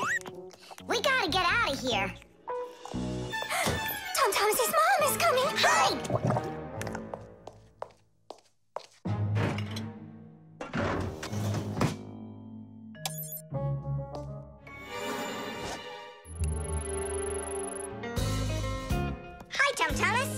Nolik. Are you up for a ride? Because this train's leaving the station.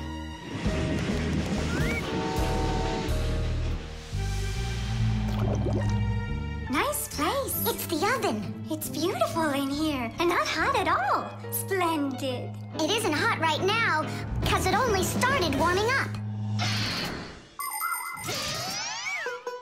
An oven is a cabinet with a heater. It can get so hot inside that it'll roast whatever's in there. As a matter of fact, that's what ovens are for. People roast meat inside of them and bake things too.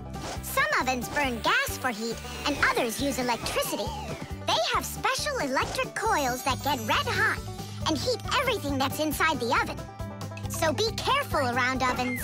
A hot oven can burn you very badly.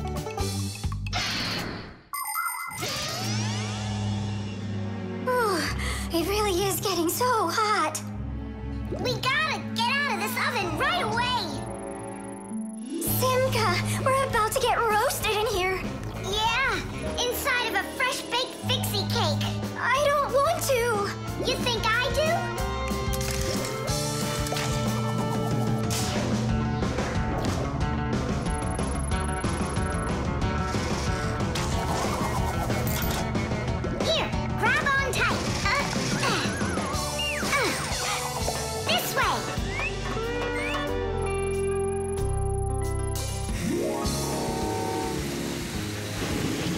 Careful, you'll fall off. Ah, You're just like Simka. She told me the same thing, and then she was the one who fell right into the batter, together with Tula. What? They both fell in the dough? oh, yeah, and they're probably still stuck in there, too. Tom Thomas, the cake's fresh out of the oven. Do you want to try some? Where could they be, huh? I don't know. Maybe they're inside the cake. They could have turned into screws. We gotta find them. Hey, what are you doing? Eat. Stop playing. Hey, watch out. You could break your teeth. The first ovens in ancient homes were nothing more than simple fire pits where people cooked on hot coals. Later on, the stove was invented. Every house had a stove made out of stone, clay, or cast iron. People would burn wood or coal in them. These stoves produced enough heat to make soup or bake a cake. And then in the 19th century, the gas stove was invented. Gas stoves are much more practical than wood-burning stoves. One second and the gas is burning. A few more minutes and the water's boiling. They're very convenient, but they can also be dangerous because if the pipes aren't in good condition, there can be an explosion. Today, there are also stoves and ovens that run with electricity. They use electric heating elements for frying, boiling, or baking foods without fire at all.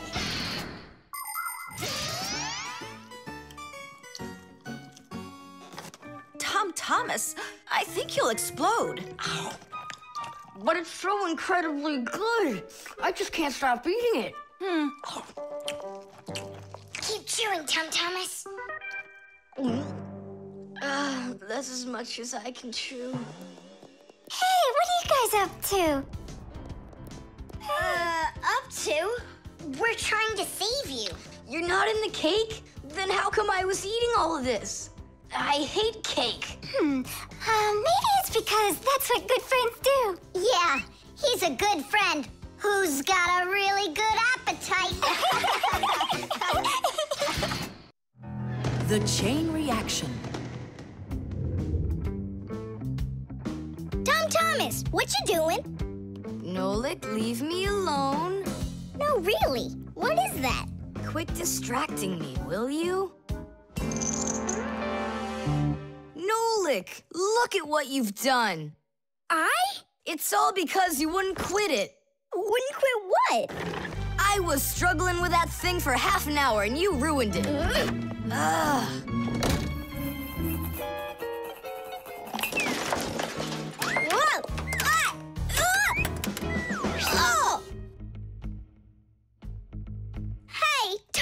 Thomas, can you hear me?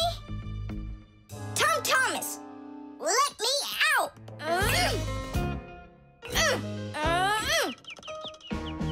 Nolik, is that you banging? Yeah.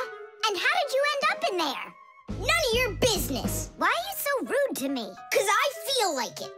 Oh, yeah? Enjoy sitting there. Well, who needs you? Goodbye.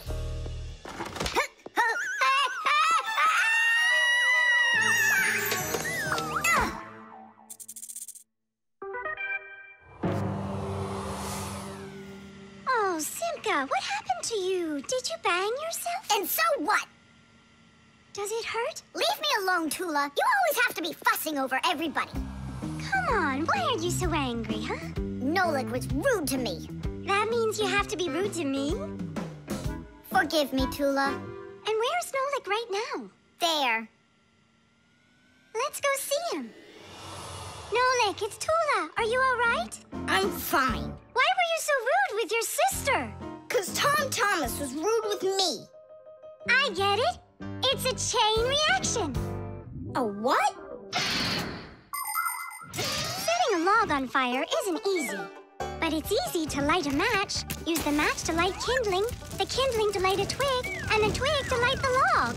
Have you ever seen a fire grow? It's an example of a typical chain reaction.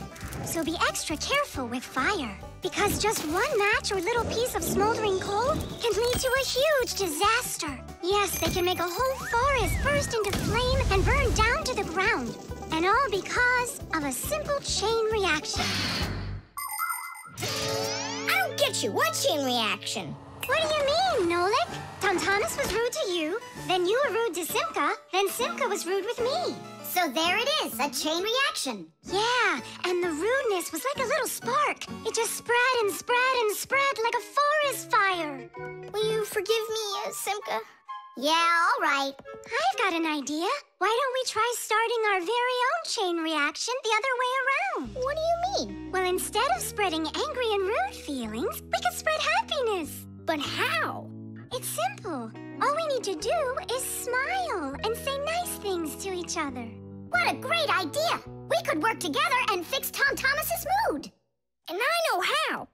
Come help me pick up this domino, will you?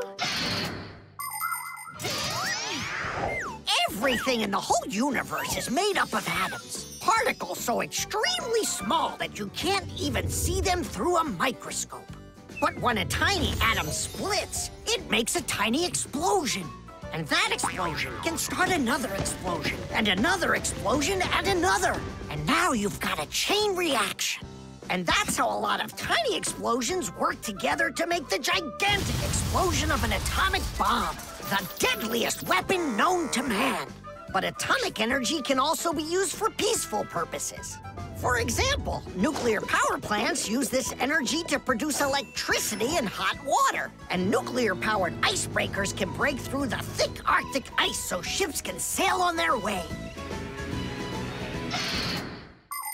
There, all done. Nolik, bring him in.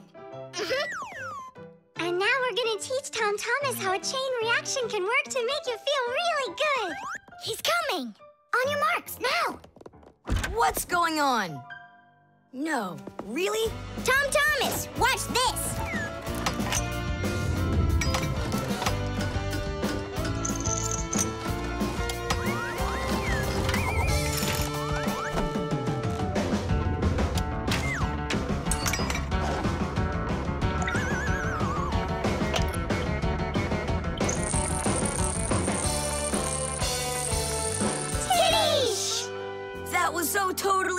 Awesome! I can't believe what I saw! How did you do that? It was just a real... A chain reaction. What? A chain reaction. The airbag. We're gonna be late. We'll make it.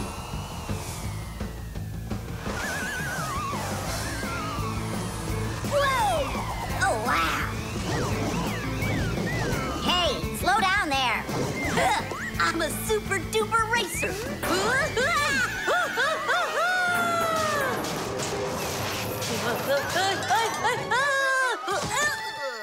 Well, well, Fire.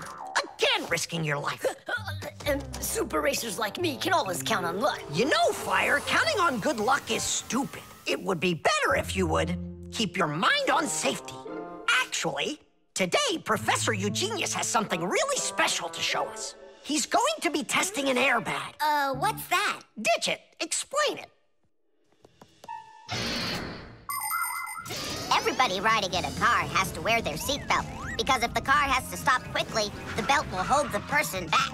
But there are times when even seatbelts don't give enough protection, like when a fast-moving car crashes into something. When that happens, the driver and passengers can be protected by an airbag. You can't see them when they're folded up because they're hidden, but if the car is in a crash, the airbags blow up very quickly, and the person bumps into the bag instead of banging into the steering wheel or flying through the windshield.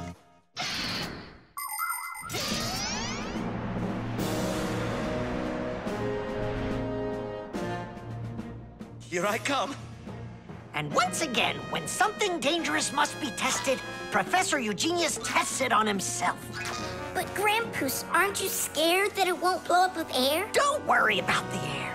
A three, and a two, and a one.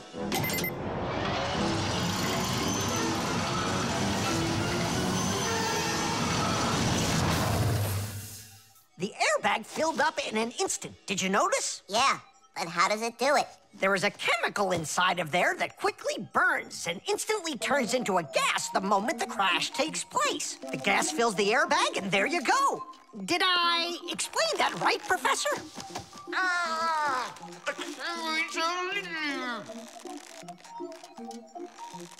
We've got to get him out. Stop!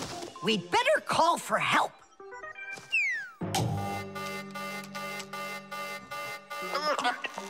Professor, do you need some help?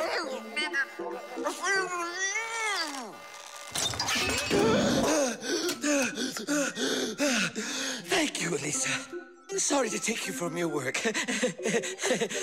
You're free to go. Professor, how did you manage to press the button from way over there? Uh, I managed to hit it on the fly. You are just astounding. To keep small children safe while they're riding in a car, they must be buckled up with a seatbelt inside of a special booster chair. But kids also need to be careful when they're riding a bicycle, skateboarding, roller skating, riding a scooter. First of all, it's best to keep off of roads where there's too much traffic.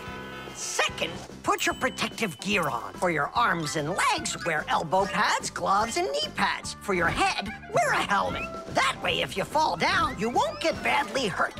And third, make sure that people can see you.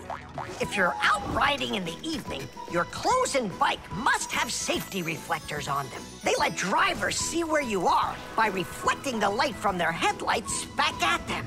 Remember, better safe than sorry. Here we go.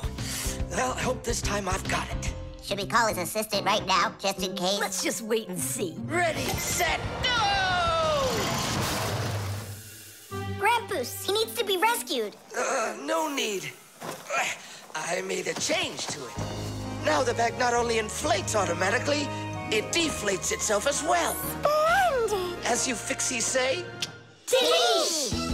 Today's lesson is done. Hooray! Come on!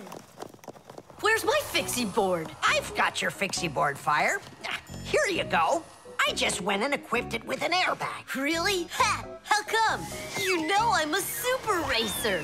See? Woohoo! And that's why I installed it. Super racers don't need airbags. We never, never, ever, ever. Oh, wow! Is that airbag cool or what? It's a very original design you used there.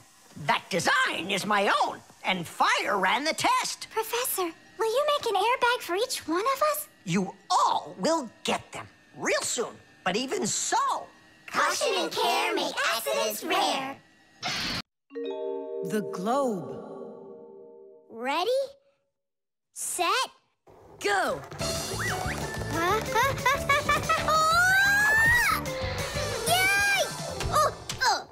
Again, I couldn't do it. I told you. There's just no way to hold on when the globe is turning that fast. But I know I can do it. Hmm. Give me that piece of rope there, would you? now you can't throw me off. Spin it. Go on. Whoa!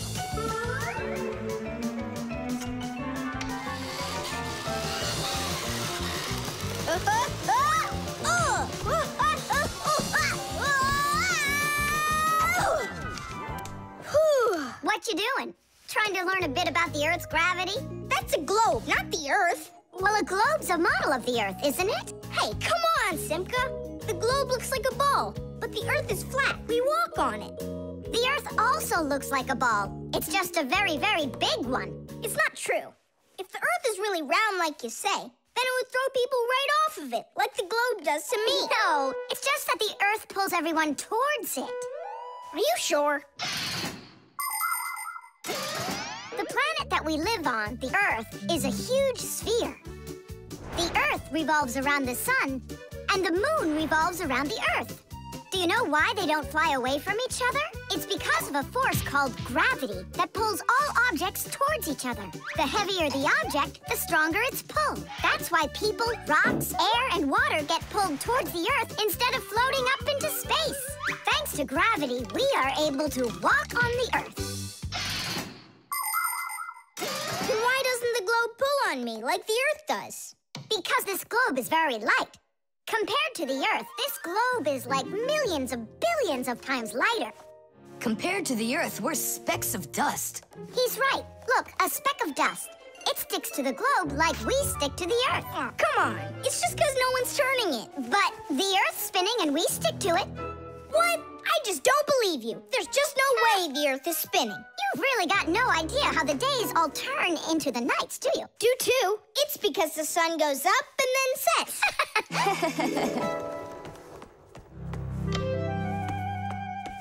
Watch this. Our sun's here, and you're over there.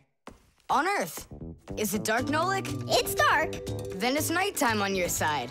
And here, it's day. All right, now we'll turn the Earth. Hooray! Now it's daytime for me, and night for me over here. Ah, my side got dark again. And for me, it's a new day. All right, fine. You guys were right. I believe you. The Earth is spinning. The Earth goes round and round like a tilted spinning top. And as it spins, the sun shines its light on whichever half of the Earth is facing it. And as the Earth makes one full turn, we watch how the night becomes day and the day becomes night again. It takes 24 hours for the Earth to make one full turn. But that's not all. The Earth is also traveling in space around the sun. It takes the Earth one year to make a full circle. As it goes along its way, the top and bottom of the Earth take turns being closer to the sun. That's because the Earth is tilted. When the top half is closer to the sun, it's summer there, while at the very same time on the bottom half, it is winter. And when it is winter on the top half, it is summer on the bottom.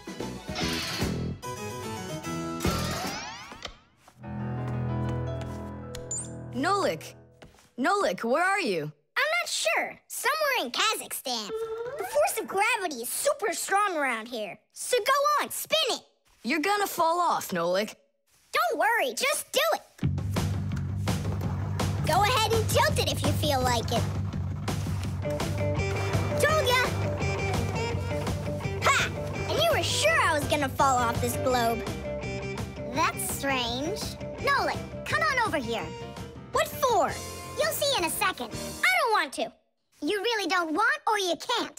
Tom Thomas, take a look. I get it. He stuck himself to the globe, didn't he? Yeah, with the chewing gum. Isn't it time to go? Uh-huh.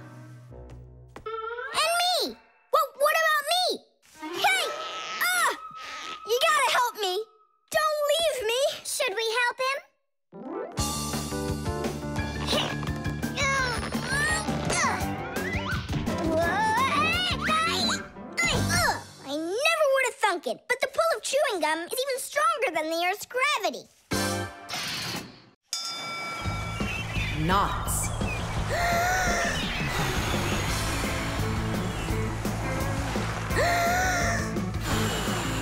Nolan, there are pirates off the starboard side. Battery, fire! Hey, I'm not a pirate. Why'd you hit me? That's it. I'm tired of playing the wind. Where are my pirates? This looks great. Can I board your ship? And what are your skills? Tons, like protecting the ship and yelling hooray when we win. And how about good sea knots? Can you tie them? of course I can tie them. Then tie up our treasure. And make sure it's good and tight. Pirates, prepare to attack! I got it.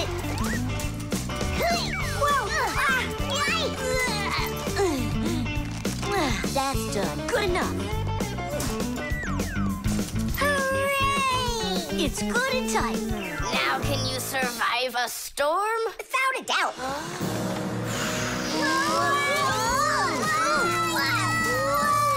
Our treasure! It's sunk into the sea.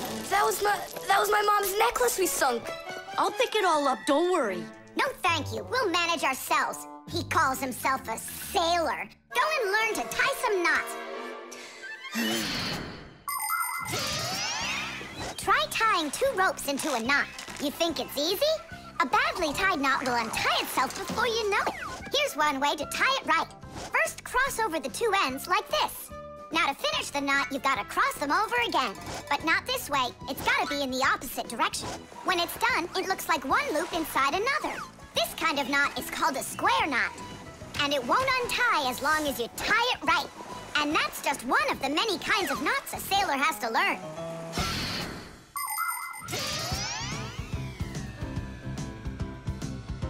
Oh. Okay. I knew I could tie it. Now, what else is there to practice on around here? I found some more of our treasure. Here's another one. That's 19, but we're supposed to have 20. I know it because I counted our treasure. So what happened to the last one? Well done there. So what else could I tie? Perfect. I even remember what it looks like. It's a different color. It's a bright red one. Oh, Mom's gonna notice right away that the red one's gone. I gotta go find it. Yeah, I think it's on the floor. Who tied my laces together? I was just practicing, sorry. And what else did you tie up to practice your knots? Um, not sure you want to know. You're funny. Let's go untie them.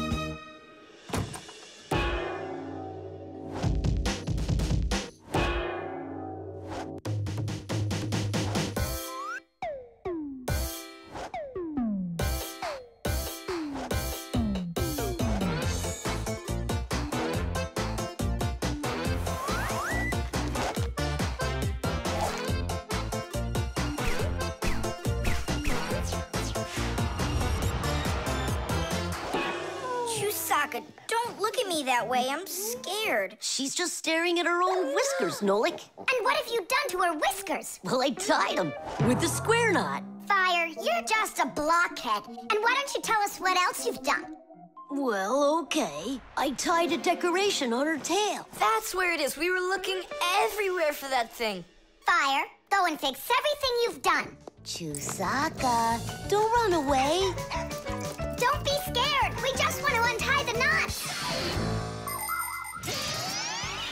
Have developed all sorts of different knots. Without them, they couldn't control their sails. But we couldn't get by without knots on land either. Mountain climbers use tightly knotted ropes to help them climb and keep them safe. Fishermen tie hooks to their fishing line using special knots. You can't even pitch a camping tent properly without making a knot. When people sew, they tie knots in the thread to hold it in place. And doctors use knots when they stitch and bandage a wound. And a tie wouldn't be a tie if you didn't tie a knot in it. Sneakers won't fall off your feet. And the laces won't drag on the ground if they're tied with a proper knot. But sometimes things can get knotted up by accident. And that's one time when you don't need to know how to tie knots, but how to untie them. All aboard! Like that. Now the only thing left to do is tie a knot. Should I tie it? Are you sure it won't untie? You're joking. Why don't you go ask Chusaka if I can tie a knot like a sailor? The doorbell. Nolik! Nolik! What are you doing here? Just whistling a tune. Are you gonna whistle that tune the whole time Tom Thomas is away? He just left with his parents for a week. And we've got guests coming, remember? What guests? I invited everybody. The class? Yes, class.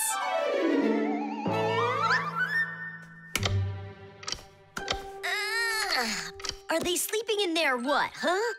First they invite us, and now they don't want to let us in? I'll share the present with you then. uh, Fire. Maybe you'll get it to work now. When they get here, they'll ring the bell. How come? Why don't they just do what they always do and climb through the keyhole? No way. It's not that simple, Nolik. Today they're our guests. Ah. The guests ring the bell, and the hosts let them in the house. Ah, it doesn't ring. You think the doorbell's broken? I say we go fix it. Before we fix anything, we need to know what went wrong with it. First we'll fix it, and then we'll know what it was.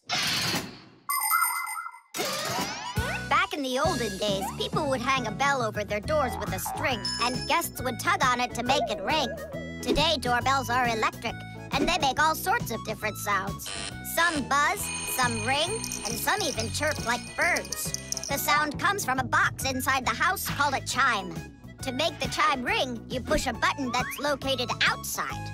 The button works just like a light switch, but instead of turning on light, it turns on sound. Verta, will you join me? Whoop! I gotta think about this. Yeah. Simka! You think your guests are gonna come at all? Hmm? Simka! Tula? Hey! The doorbell doesn't work! It must be broken! That's odd. We heard it ring this morning. Nolik, let's go. First, we'll examine. Yep, good and tight. Okay, let's check the speaker. huh, the speaker's fine. Maybe the electronics are the problem. And what if we disconnect these wires and switch them? What'll that do? We'll know soon enough.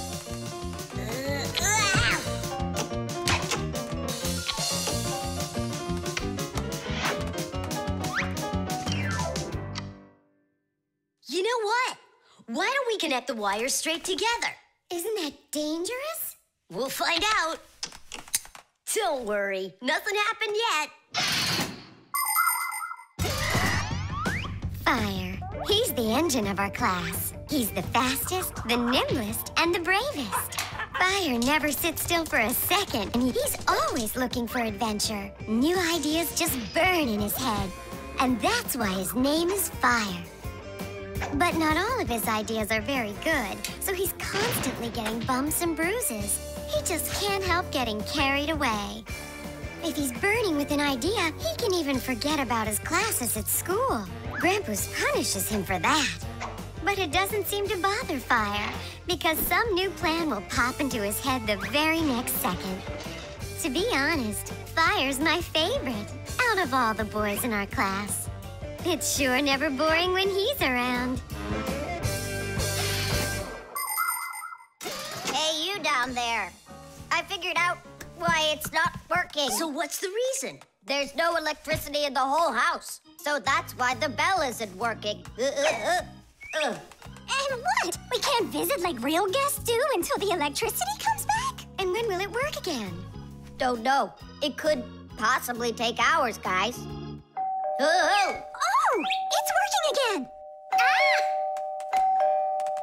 Enough ringing! Hey, Fire, quit fooling around! He's not fooling around. It's not me, see? Then who's ringing it? I don't know. Well, I know. The doorbell's ringing because Fire connected the wires together. True, but I'll fix that right now. Ha! Your guests sure are noisy. Yeah, thank goodness the humans aren't home right now. Hello? Hello there, dear guests. Let yourself into our home through the keyhole. So, should we go in? Go where? Go inside. Nah, that's not how guests act. So what do we do? Real guests always ring the bell. Okay, hold me tight. The Pack-o-mat. Uh, Simka, can I have the pack-o-mat? I'd like to practice with it a little before the exam. Take it!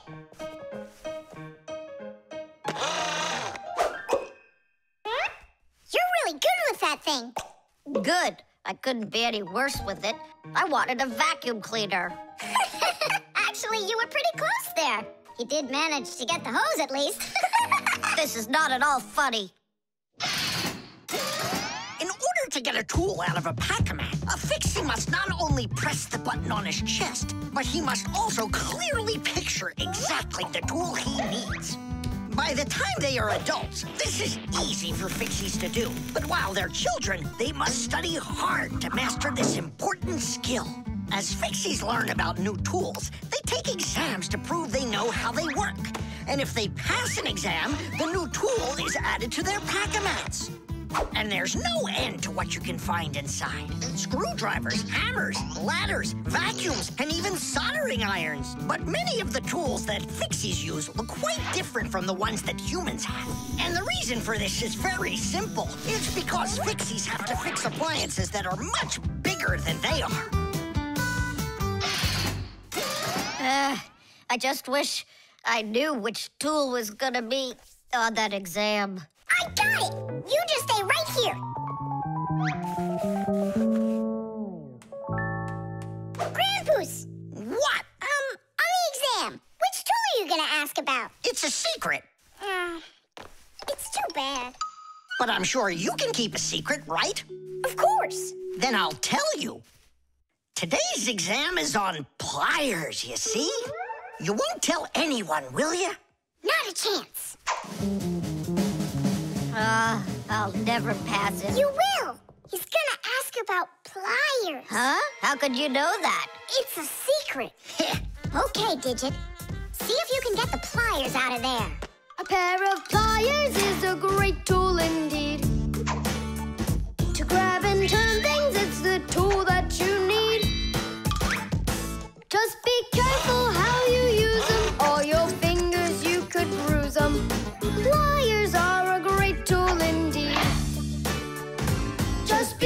careful how you use them, or your fingers you could bruise them. Pliers are a great tool indeed. Good going. You got it. Thanks a lot, Nolik. It's not really me you should be thanking. Grandpus, thanks a lot. For what? The secret What secret? about the pliers. Oh, that! You know, I picked a new topic. Um, I decided that a hammer will be the tool. A hammer? Only it's a secret. I remember. the topic got changed. It's a hammer. You sure about that? Totally. All right. I'll try to do it. A hammer is a great tool indeed.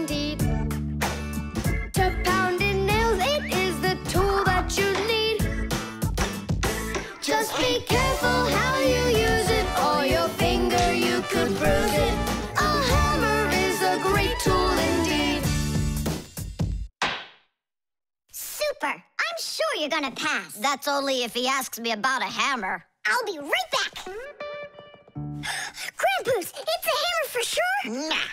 A hammer would be way too easy for those kids. So now it is a drill. A drill? But only. It's a secret. now I know. There's no doubt about it at all. It's a drill. A drill is such a great tool indeed. To drill a hole, it is the tool that you need. Just be careful how you use it, or your finger you could lose it. A drill is such a great tool indeed. And if it's not a drill, right. Hammers, wrenches, drills, screwdrivers, vices, mallets, saws, and pliers. All of these are super duper great tools, yes indeed. That's all. That's enough of this. I'll just go and take the exam. Yeah.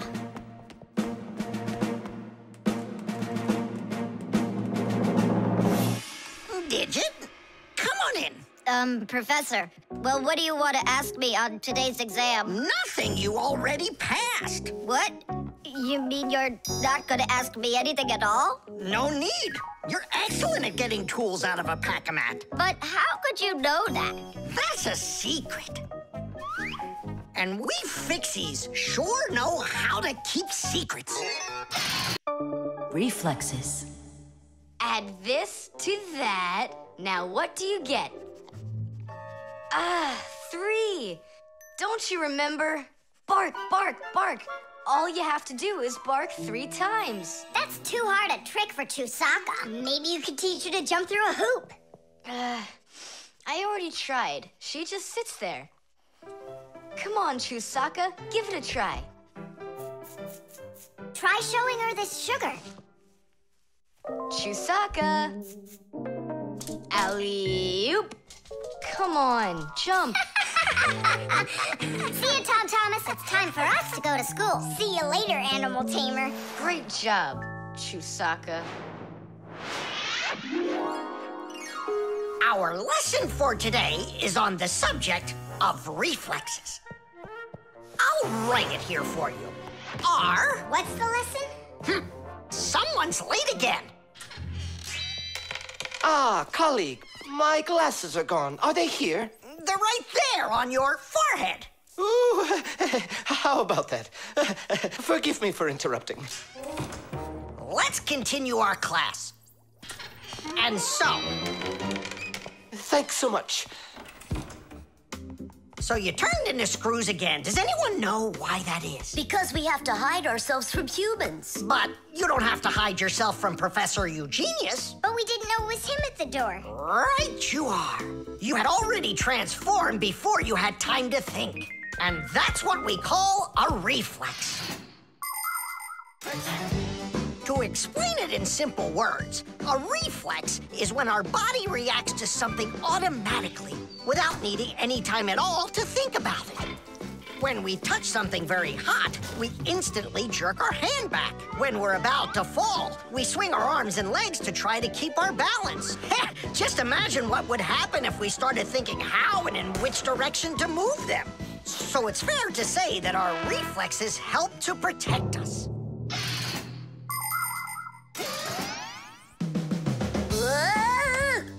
Kidding. They protect us. Ugh, my nose itches. Achoo! Excuse me, I didn't mean it. Professor, uh, sneeze. Is that also a reflex? It most certainly is one. Fire didn't want to, but then his nose tickled and achoo! Mm, bless you, too. Thank you. Uh, and uh, do dogs also have uh, reflexes? Of course dogs have reflexes. All animals do. Yeah. It's something all good animal trainers know. They use the animals' reflexes to teach them tricks.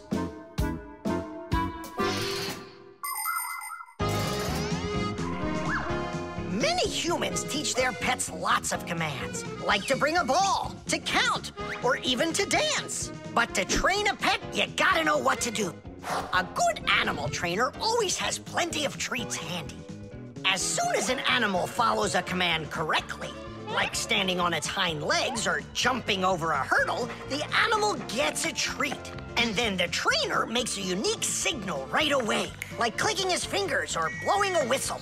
After repeating this training over and over, the animal develops a reflex. Once it gets the signal, it carries out the command and then gets a treat.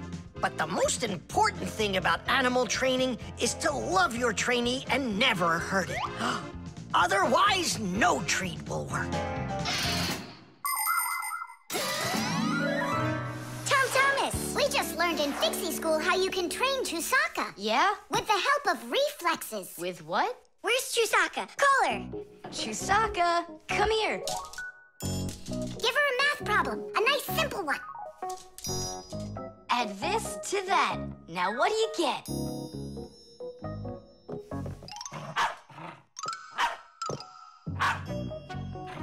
It's a miracle! Three! You got it! No, it's not a miracle. Science is what it is. You know how Chusaka barks whenever she sees a fixie around. That's what we call a reflex, you know. I understand. And do you know how I can teach her jumping? Well, we didn't figure that out yet. Wait a sec. I know how. Chasing fixies. Isn't that one of Chusaka's reflexes? Probably, That's although... great. So let's go and train the dog. Nothing's ever too much for a good friend. Chusaka.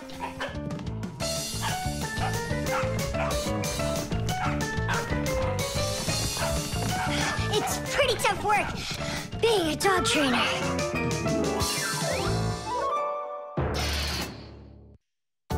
The baby monitor.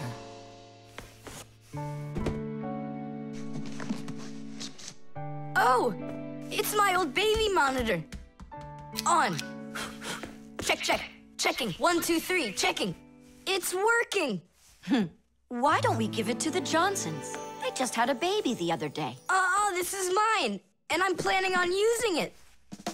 Aren't you a little too big for it? No, I'm not big at all. Well, I didn't realize that you're still a little boy. And a greedy one at that. They're never gonna notice this. Hey, Fixies, are you here? We're here now. Why did you call us? I gotta show you how I turned into a mind reader. I find that just a little hard to believe. Okay, then I'll show you. I'll leave you alone, and then you'll hide this button wherever you want. Then I'll come back and find it. you got it. So where's a good hiding place? Well, we gotta think of one. Uh, right here, under the keyboard. Great! Go on, Nolik. Come on in. We're ready for you. And now, I'm going to read your thoughts. Here I go. Hmm. You hit the button here. Look! Ta-da! He really does read minds. Oh, that was a lucky guess. Bet you can't do it again. Well, I bet you I can. We're gonna have to be sneakier. Verta, she's the most beautiful girl in our class. She knows it too, and doesn't hesitate to use it. She can even be a bit sneaky, like when she needs help with her homework. Then Digit suddenly becomes her best friend. But if she doesn't want to carry her pack-o-mat, she'll say, Fire, please help me. You're just such a strong fixie. But all us boys like her just the same. Digit does, and Nolik does, and I guess I do too. Although, I really like Simka more. Or maybe Verta. Or both of them. I haven't decided yet. Verta can be difficult and even bossy sometimes. But one thing I know for sure, Verta's a good friend. A friend that'll always come help. Well, that is if she's able to pry herself away from the mirror. I think that we should throw it down into this pencil cup. But then we concentrate on another place. Hmm, that is good, but it won't work, Fixies. Come on in.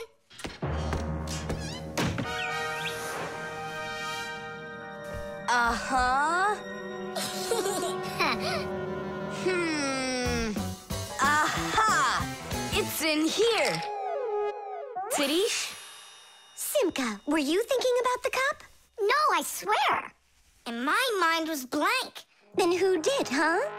Hmm. Uh-huh.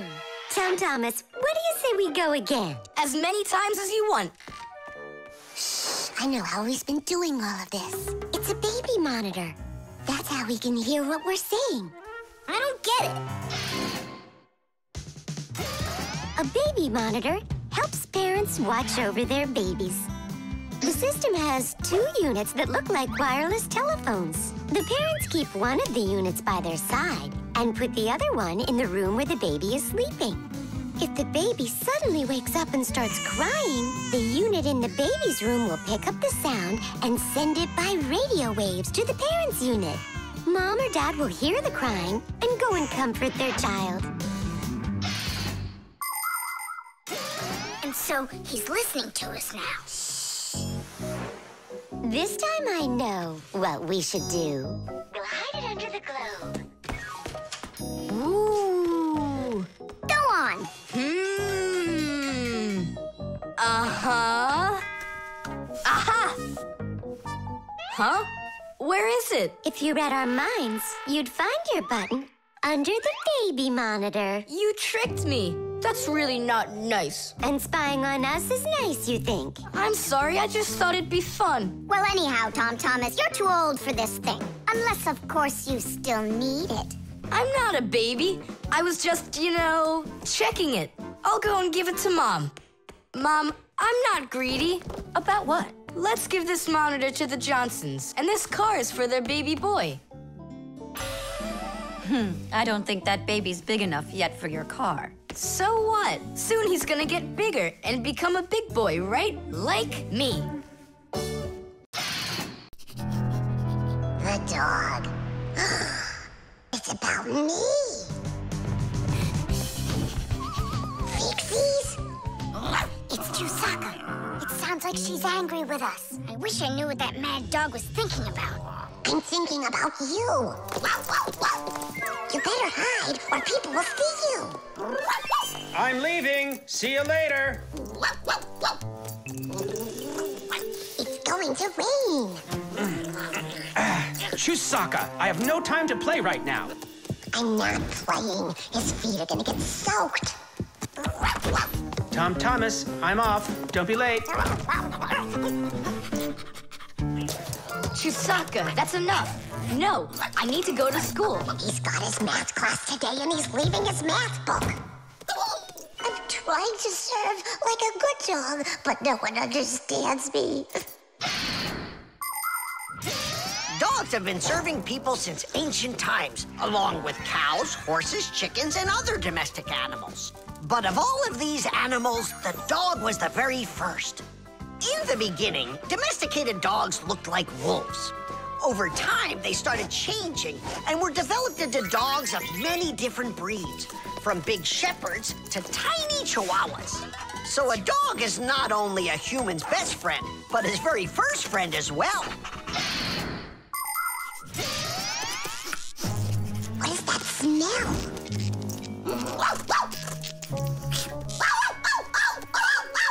Simka, come on out. I see you.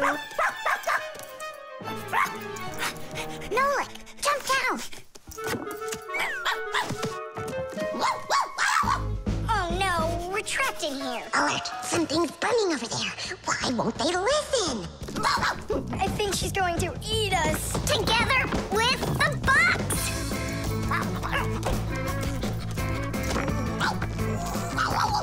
We're done for. Oh. Come on, look. The outlet is sparking. Oh no, something must have broken in there. Are we going to fix it?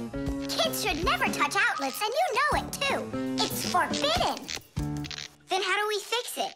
Go find Papus, and I'll stay here and wait for you. Uh, but where's Papus? I know where he is. I don't know what she's barking about, but I think Chusaka wants to help us. Then come on, Chusaka, help us.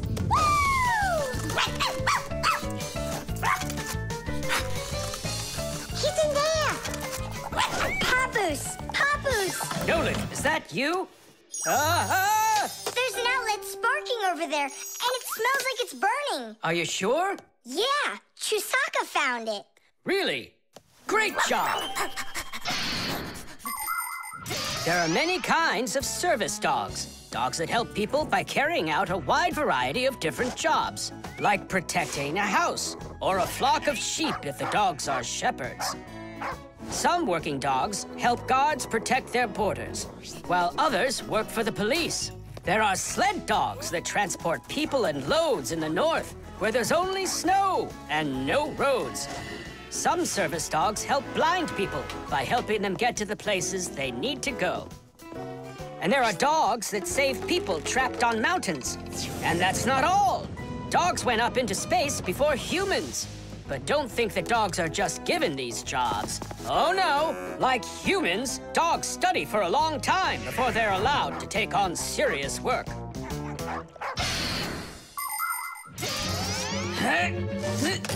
Ah, that's all. There won't be a fire. Not today. Hooray! Well done, Chusaka. You're a real service dog, no doubt about it. Yeah, I'm working. I'm a real service dog. Uh, Chusaka, go away. I've had enough of you already today. Don't say that, because this working dog just saved your house from burning down. What do you mean? She smelled smoke coming from the outlet. It could be that Chusaka means well and wants to do the right thing, but nobody understands her. That's a bit hard to believe. Then what's this book? Oh, my math book. That's where I left it. Remember how Chusaka wanted to make you take it to school this morning? You're right. Atta girl, Chusaka. Well done. Achoo. What a rain. My feet got wet to the bone. But this morning, Chusaka tried to get you to wear a different pair of shoes. Hmm, that's something. I should listen more closely to this smart little dog of ours. Finally, they understand me. The camera.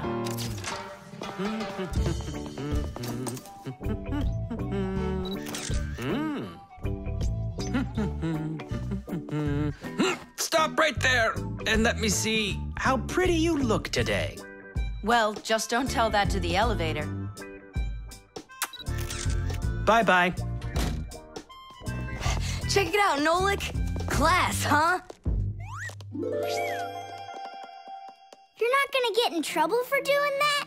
Uh, no. My dad gave me permission to take a few pictures with this camera. No, I mean the picture. You're sure that your mom and dad will like that you took it without asking for permission? But look, what a good picture. You know what, Tom Thomas? You're like a regular paparazzi or something. Paparazzi? They're the ones that take one photo and get millions, aren't they? You're right. and don't care about anyone except their photo operazzis. Did you ever wonder how a photo camera works? Let's say you want to take a picture of nature. The light that's outside goes into the camera's lens. That's the glass eye on the front of the camera. The lens takes the light from the scene outside the camera and turns it into a tiny picture that's inside the camera. Then the picture is recorded onto a special electronic sensor called a matrix that's sensitive to light. Click, and there's your photo. What a great idea! Now I know. I'm going to be a paparazzi. Hey, what about your promise? What promise? To never take a picture of us. We're a secret. Stop! Hey, relax. I'll delete them all later. Tom Thomas, stop this right now. I won't until I get a photo of you. Nolik, let's run! You can't run from me.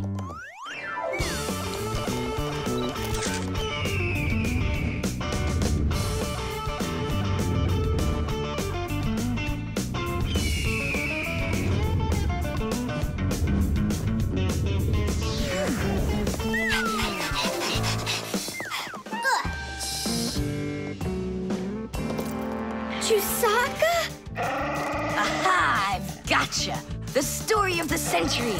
The monster and its prey!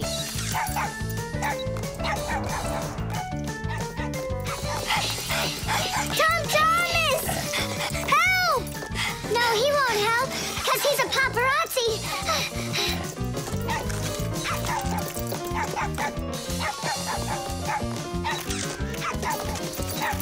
Yes! I got it! That's my best photo yet! What's all this noise about? Awesome shot! The first cameras were invented almost 200 years ago, but they worked very slowly. If you wanted to have your portrait taken, you'd have to sit still for a whole hour. After film was invented, cameras got much faster, and it became possible to take about 10 pictures a minute. On a piece of film, everything appears to be backwards. Black parts of the picture are white, and the white is black. It doesn't look normal until the picture is transferred from the film to a piece of photographic paper. Now people shoot pictures with digital cameras that work without any film at all. You can look at what you shot instantly on a screen to see if you like it. And if you don't like it, you can try shooting another one. And today, you don't even need a separate camera to take pictures. Almost every mobile phone has one.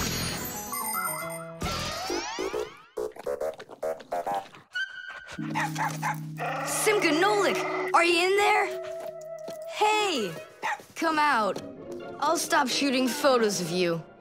Aren't we friends? I'm sorry, guys. Well, your friends were almost eaten alive by a dog. Please forgive me. Want to look at the photos I took?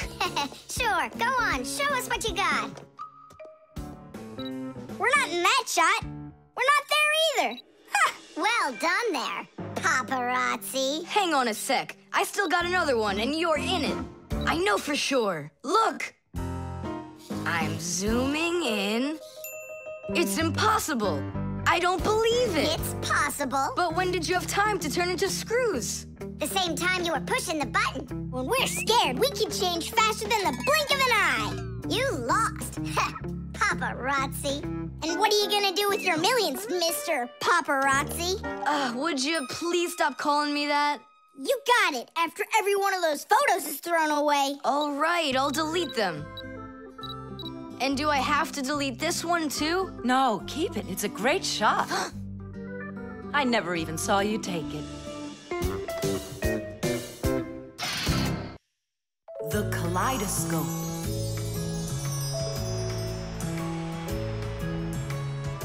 Tom Thomas, when are you gonna give me a peek at your new ball? I just can't wait. I told you, you can see it as soon as I hang it up. You're not peeking, are you? No, I'm not.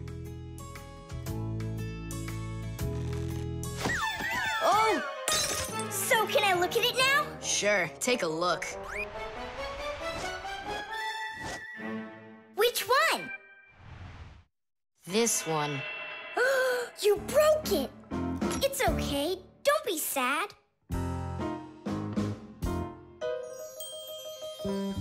I know what to do.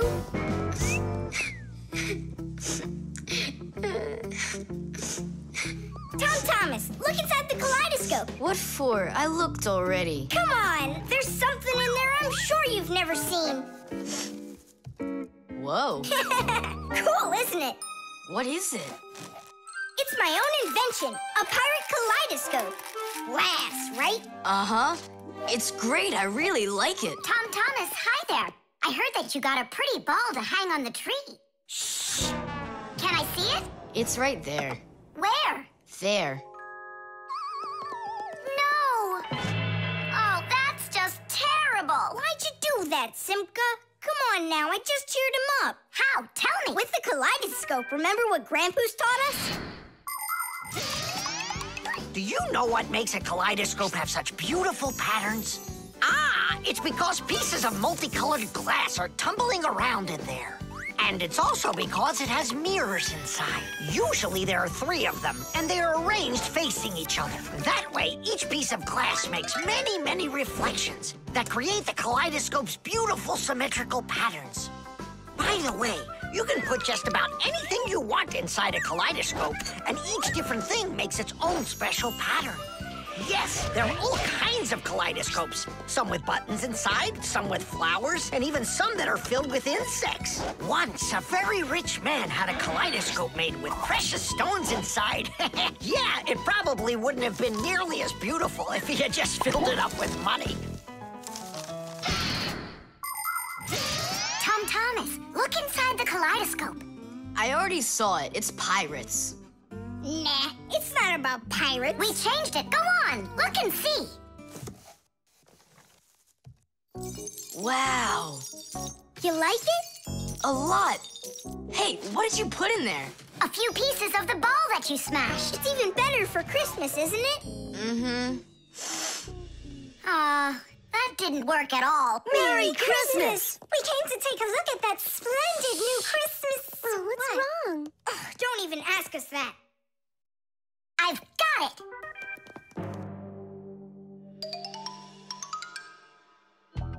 Tom Thomas! What? Look inside the kaleidoscope. Again? I don't want to. And I'm telling you, you've got to. Fine. Cool, yeah. Merry Christmas! Thanks so much. Now, don't you feel good again? Yeah. It's really something. And you're the first human in the world that's ever seen it. How about that? Turn it! It's great, isn't it? Wondrous designs that tickle the eye in the kaleidoscope.